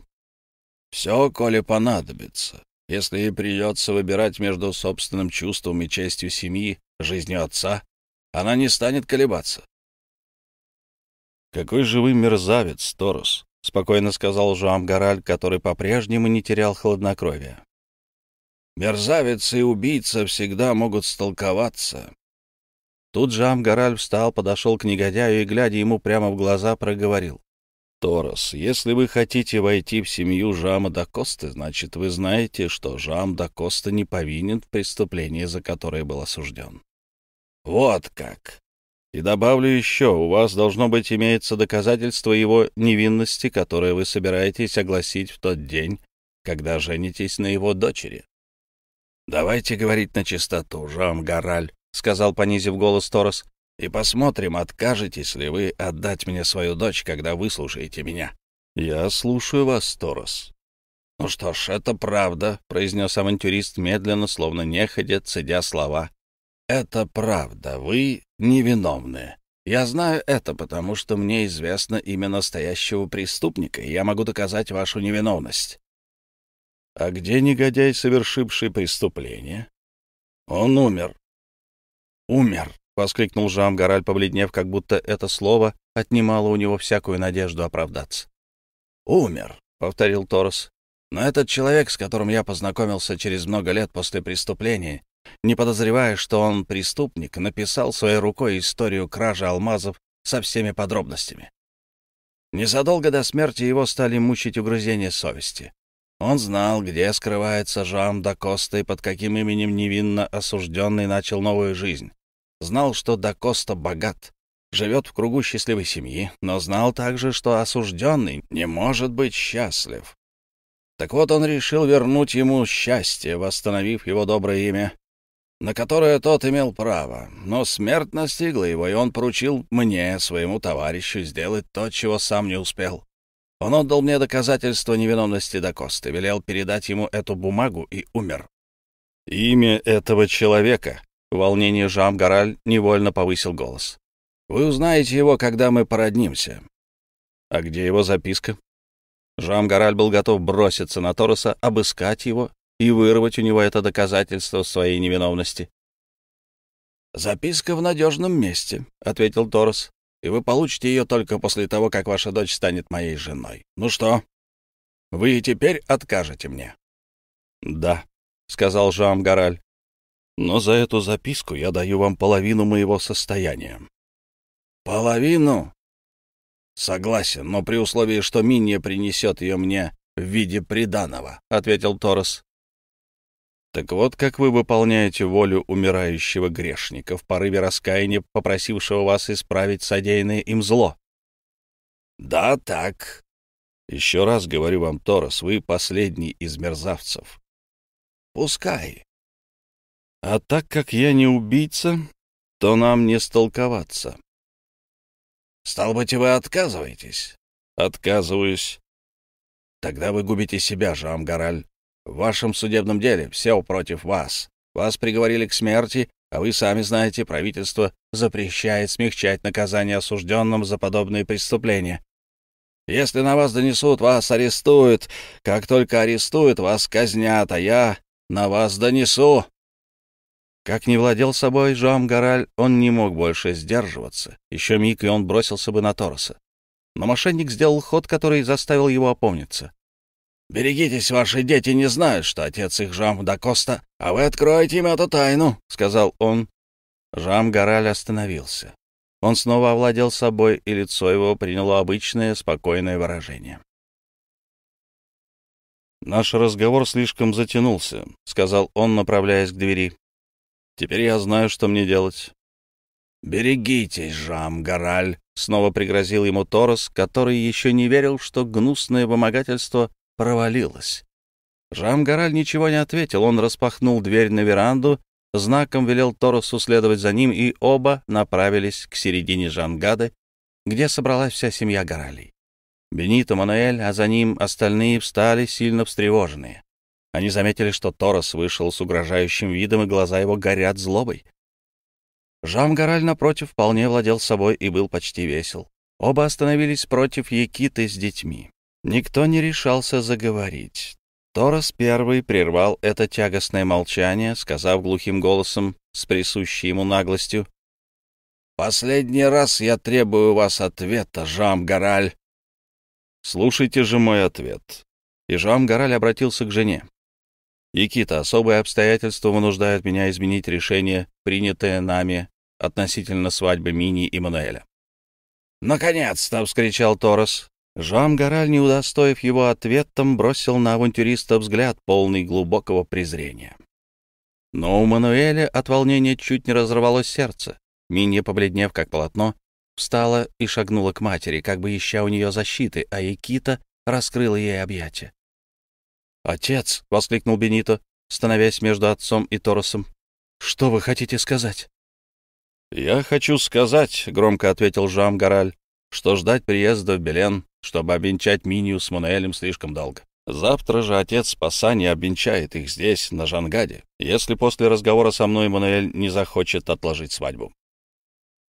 «Ах, что вы, отец!» — воскликнул молодой человек. «Подожди называть меня отцом, Мануэль», — промолвил Жам Гораль, и в голосе его зазвучала невыразимая боль. Торос стоял, скрестив руки, и оглядывал всех с беспримерной наглостью. «Стало быть, это ваше последнее слово?» — спросил он, протягивая руку к Жаму Горалю. «Нет, не последнее». «Что же вы скажете еще?» «Вот что, Торос, я здесь хозяин, и вы тотчас, угодно вам или не угодно, покинете Жангаду». «Да, тотчас!» — вскричал Бенито. «Или я выкину его за борт!» Торос пожал плечами. «Оставьте угрозы», — бросил он. Они ни к чему, я и сам хочу немедленно сойти на берег. Но вы еще вспомните обо мне, Жам Гораль. Мы снова увидимся с вами и очень скоро. «Если это будет зависеть от меня, — ответил Жам Гораль, — то, быть может, даже скорее, чем вам бы хотелось. Завтра же я буду у судьи Рибейро, главного судьи провинции. Я предупредил его о моем приезде в Манаус. Если посмеете, приходите туда и вы. — К судье Рибейро? — пробормотал Торос, явно сбитый с толку. — Да, к судье Рибейро, — повторил Жам Гораль. Затем он презрительным жестом указал Торосу на пирогу и приказал четырем гребцам немедленно высадить его на ближайшем берегу острова. И негодяй скрылся, наконец. Вся семья, еще не оправившись от волнения, молча ждала, когда заговорит ее глава. Но тут Фрагазо, не вполне отдавая отчет себе, в серьезности положения со свойственной ему живостью обратился к Жама Горалю. «Если господин Мунель обвенчается завтра на Жангаде...» «Вы обвенчаетесь одновременно с ним, друг мой», — ласково ответил Жам Гораль. И, сделав знак Мануэлю, он удалился с ним в свою комнату. Разговор Жама Гораля с Мануэлем продолжался около получаса, но всем казалось, что прошла целая вечность, пока дверь снова не отворилась. Мануэль вышел один. В глазах его сверкала благородная решимость. Подойдя к Киките, он назвал ее матушкой, Минью своей женой, а Бениту братом. Затем, повернувшись к линии, Фрагазо сказал «До завтра» и ушел. Теперь он знал все, что произошло между Жамом Горалем и Торосом. Узнал он и то, что Жам Гораль рассчитывал на поддержку судьи Рибейро, с которым без ведома семьи уже год состоит в переписке, что он разъяснил судье свое дело и убедил его в своей невиновности. Гораль смело пустился в это путешествие с единственной целью — добиться пересмотра несправедливого обвинения, жертвой которого он стал, и не дать дочери и зятю попасть в такое же ужасное положение, какое ему пришлось так долго терпеть самому. Да, теперь Мануэль все это знал. Он знал также, что Жам Гораль, или вернее, Жам да Коста, невиновен. И благодаря своему несчастью этот человек сделался Мануэлю еще дороже. Но одного он не знал, что существует письменное доказательство невиновности Жама Гораля и что оно находится в руках у Тороса. Жам Гораль хотел предоставить судье возможность воспользоваться этим доказательством, которое должно было принести ему оправдание, если только Торос не солгал. А пока Мануэль сказал, что пойдет к отцу Пасани и попросит его все приготовить для венчания обеих пар, на завтра, 24 августа, за час до начала брачного обряда, большая пирога, отчалив от левого берега, пристала к Жангаде. 12 гребцов быстро пригнали ее из Манауса, в ней сидели полицейские и начальник полиции, который, назвав себя, поднялся на Жангаду. В эту минуту Жамгараль и его близкие уже в праздничном платье вышли из дома. «Где Жамгараль?» — спросил начальник полиции. «Это я», — ответил Жамгараль. «Жамгараль», — провозгласил начальник полиции. «Вас звали раньше Жоам да Коста. Один человек носил два имени. Вы арестованы». Услышав эти слова, ошеломленные Якита и Мини замерли не в силах двинуться с места. «Мой отец — убийца!» — закричал Бенито и хотел броситься к Жаму Горалю, но отец знаком приказал ему замолчать. «Я позволю себе задать только один вопрос», — твердым голосом сказал он, обращаясь к начальнику полиции. «Кто дал приказ о моем аресте? Главный судья Рибейро?» «Нет», — ответил тот, — «приказ о немедленном аресте дал его заместитель. У судьи Рибейро вчера вечером был апоплексический удар а в два часа ночи он умер, не приходя в сознание. «Умер!» — вскричал Жам Гораль, которого, казалось, сразило это известие. «Умер! Умер!» Но вскоре он снова поднял голову и обратился к жене и детям. «Дорогие мои, один судья Риберо знал, что я невиновен. Его смерть может оказаться роковой для меня, но все же не надо приходить в отчаяние». Начальник полиции подал знак полицейским, и они подошли, чтобы увести Жама Гораля. «Говорите же, отец!» — закричал Бенито, обезумев от горя. «Скажите слово, и мы вас отстоим. Мы готовы силой исправить ужасную ошибку, жертвой которой вы стали». «Здесь нет ошибки, мой сын. Жам Гораль и Жам да Коста — одно лицо. Да, я в самом деле Жам да Коста. Я честный человек, из-за судебной ошибки 23 года назад был несправедливо приговорен к смерти вместо настоящего преступника. Я клянусь перед Богом, головой моих детей и их матери в своей полной невиновности. «Вам запрещены всякие переговоры с вашей семьей», — сказал начальник полиции. «Вы арестованы, Жам Гораль, и я должен выполнить приказ со всей строгостью». Жам Гораль движением руки остановил своих близких и потрясенных слуг. «Пусть свершится людское правосудие», — сказал он, пока не свершилось правосудие Божие и, высоко подняв голову, вошел в пирогу. Воистину казалось, что из всех присутствующих один Джоам Гораль выдержал, не дрогнув, обрушившийся на него тяжкий удар.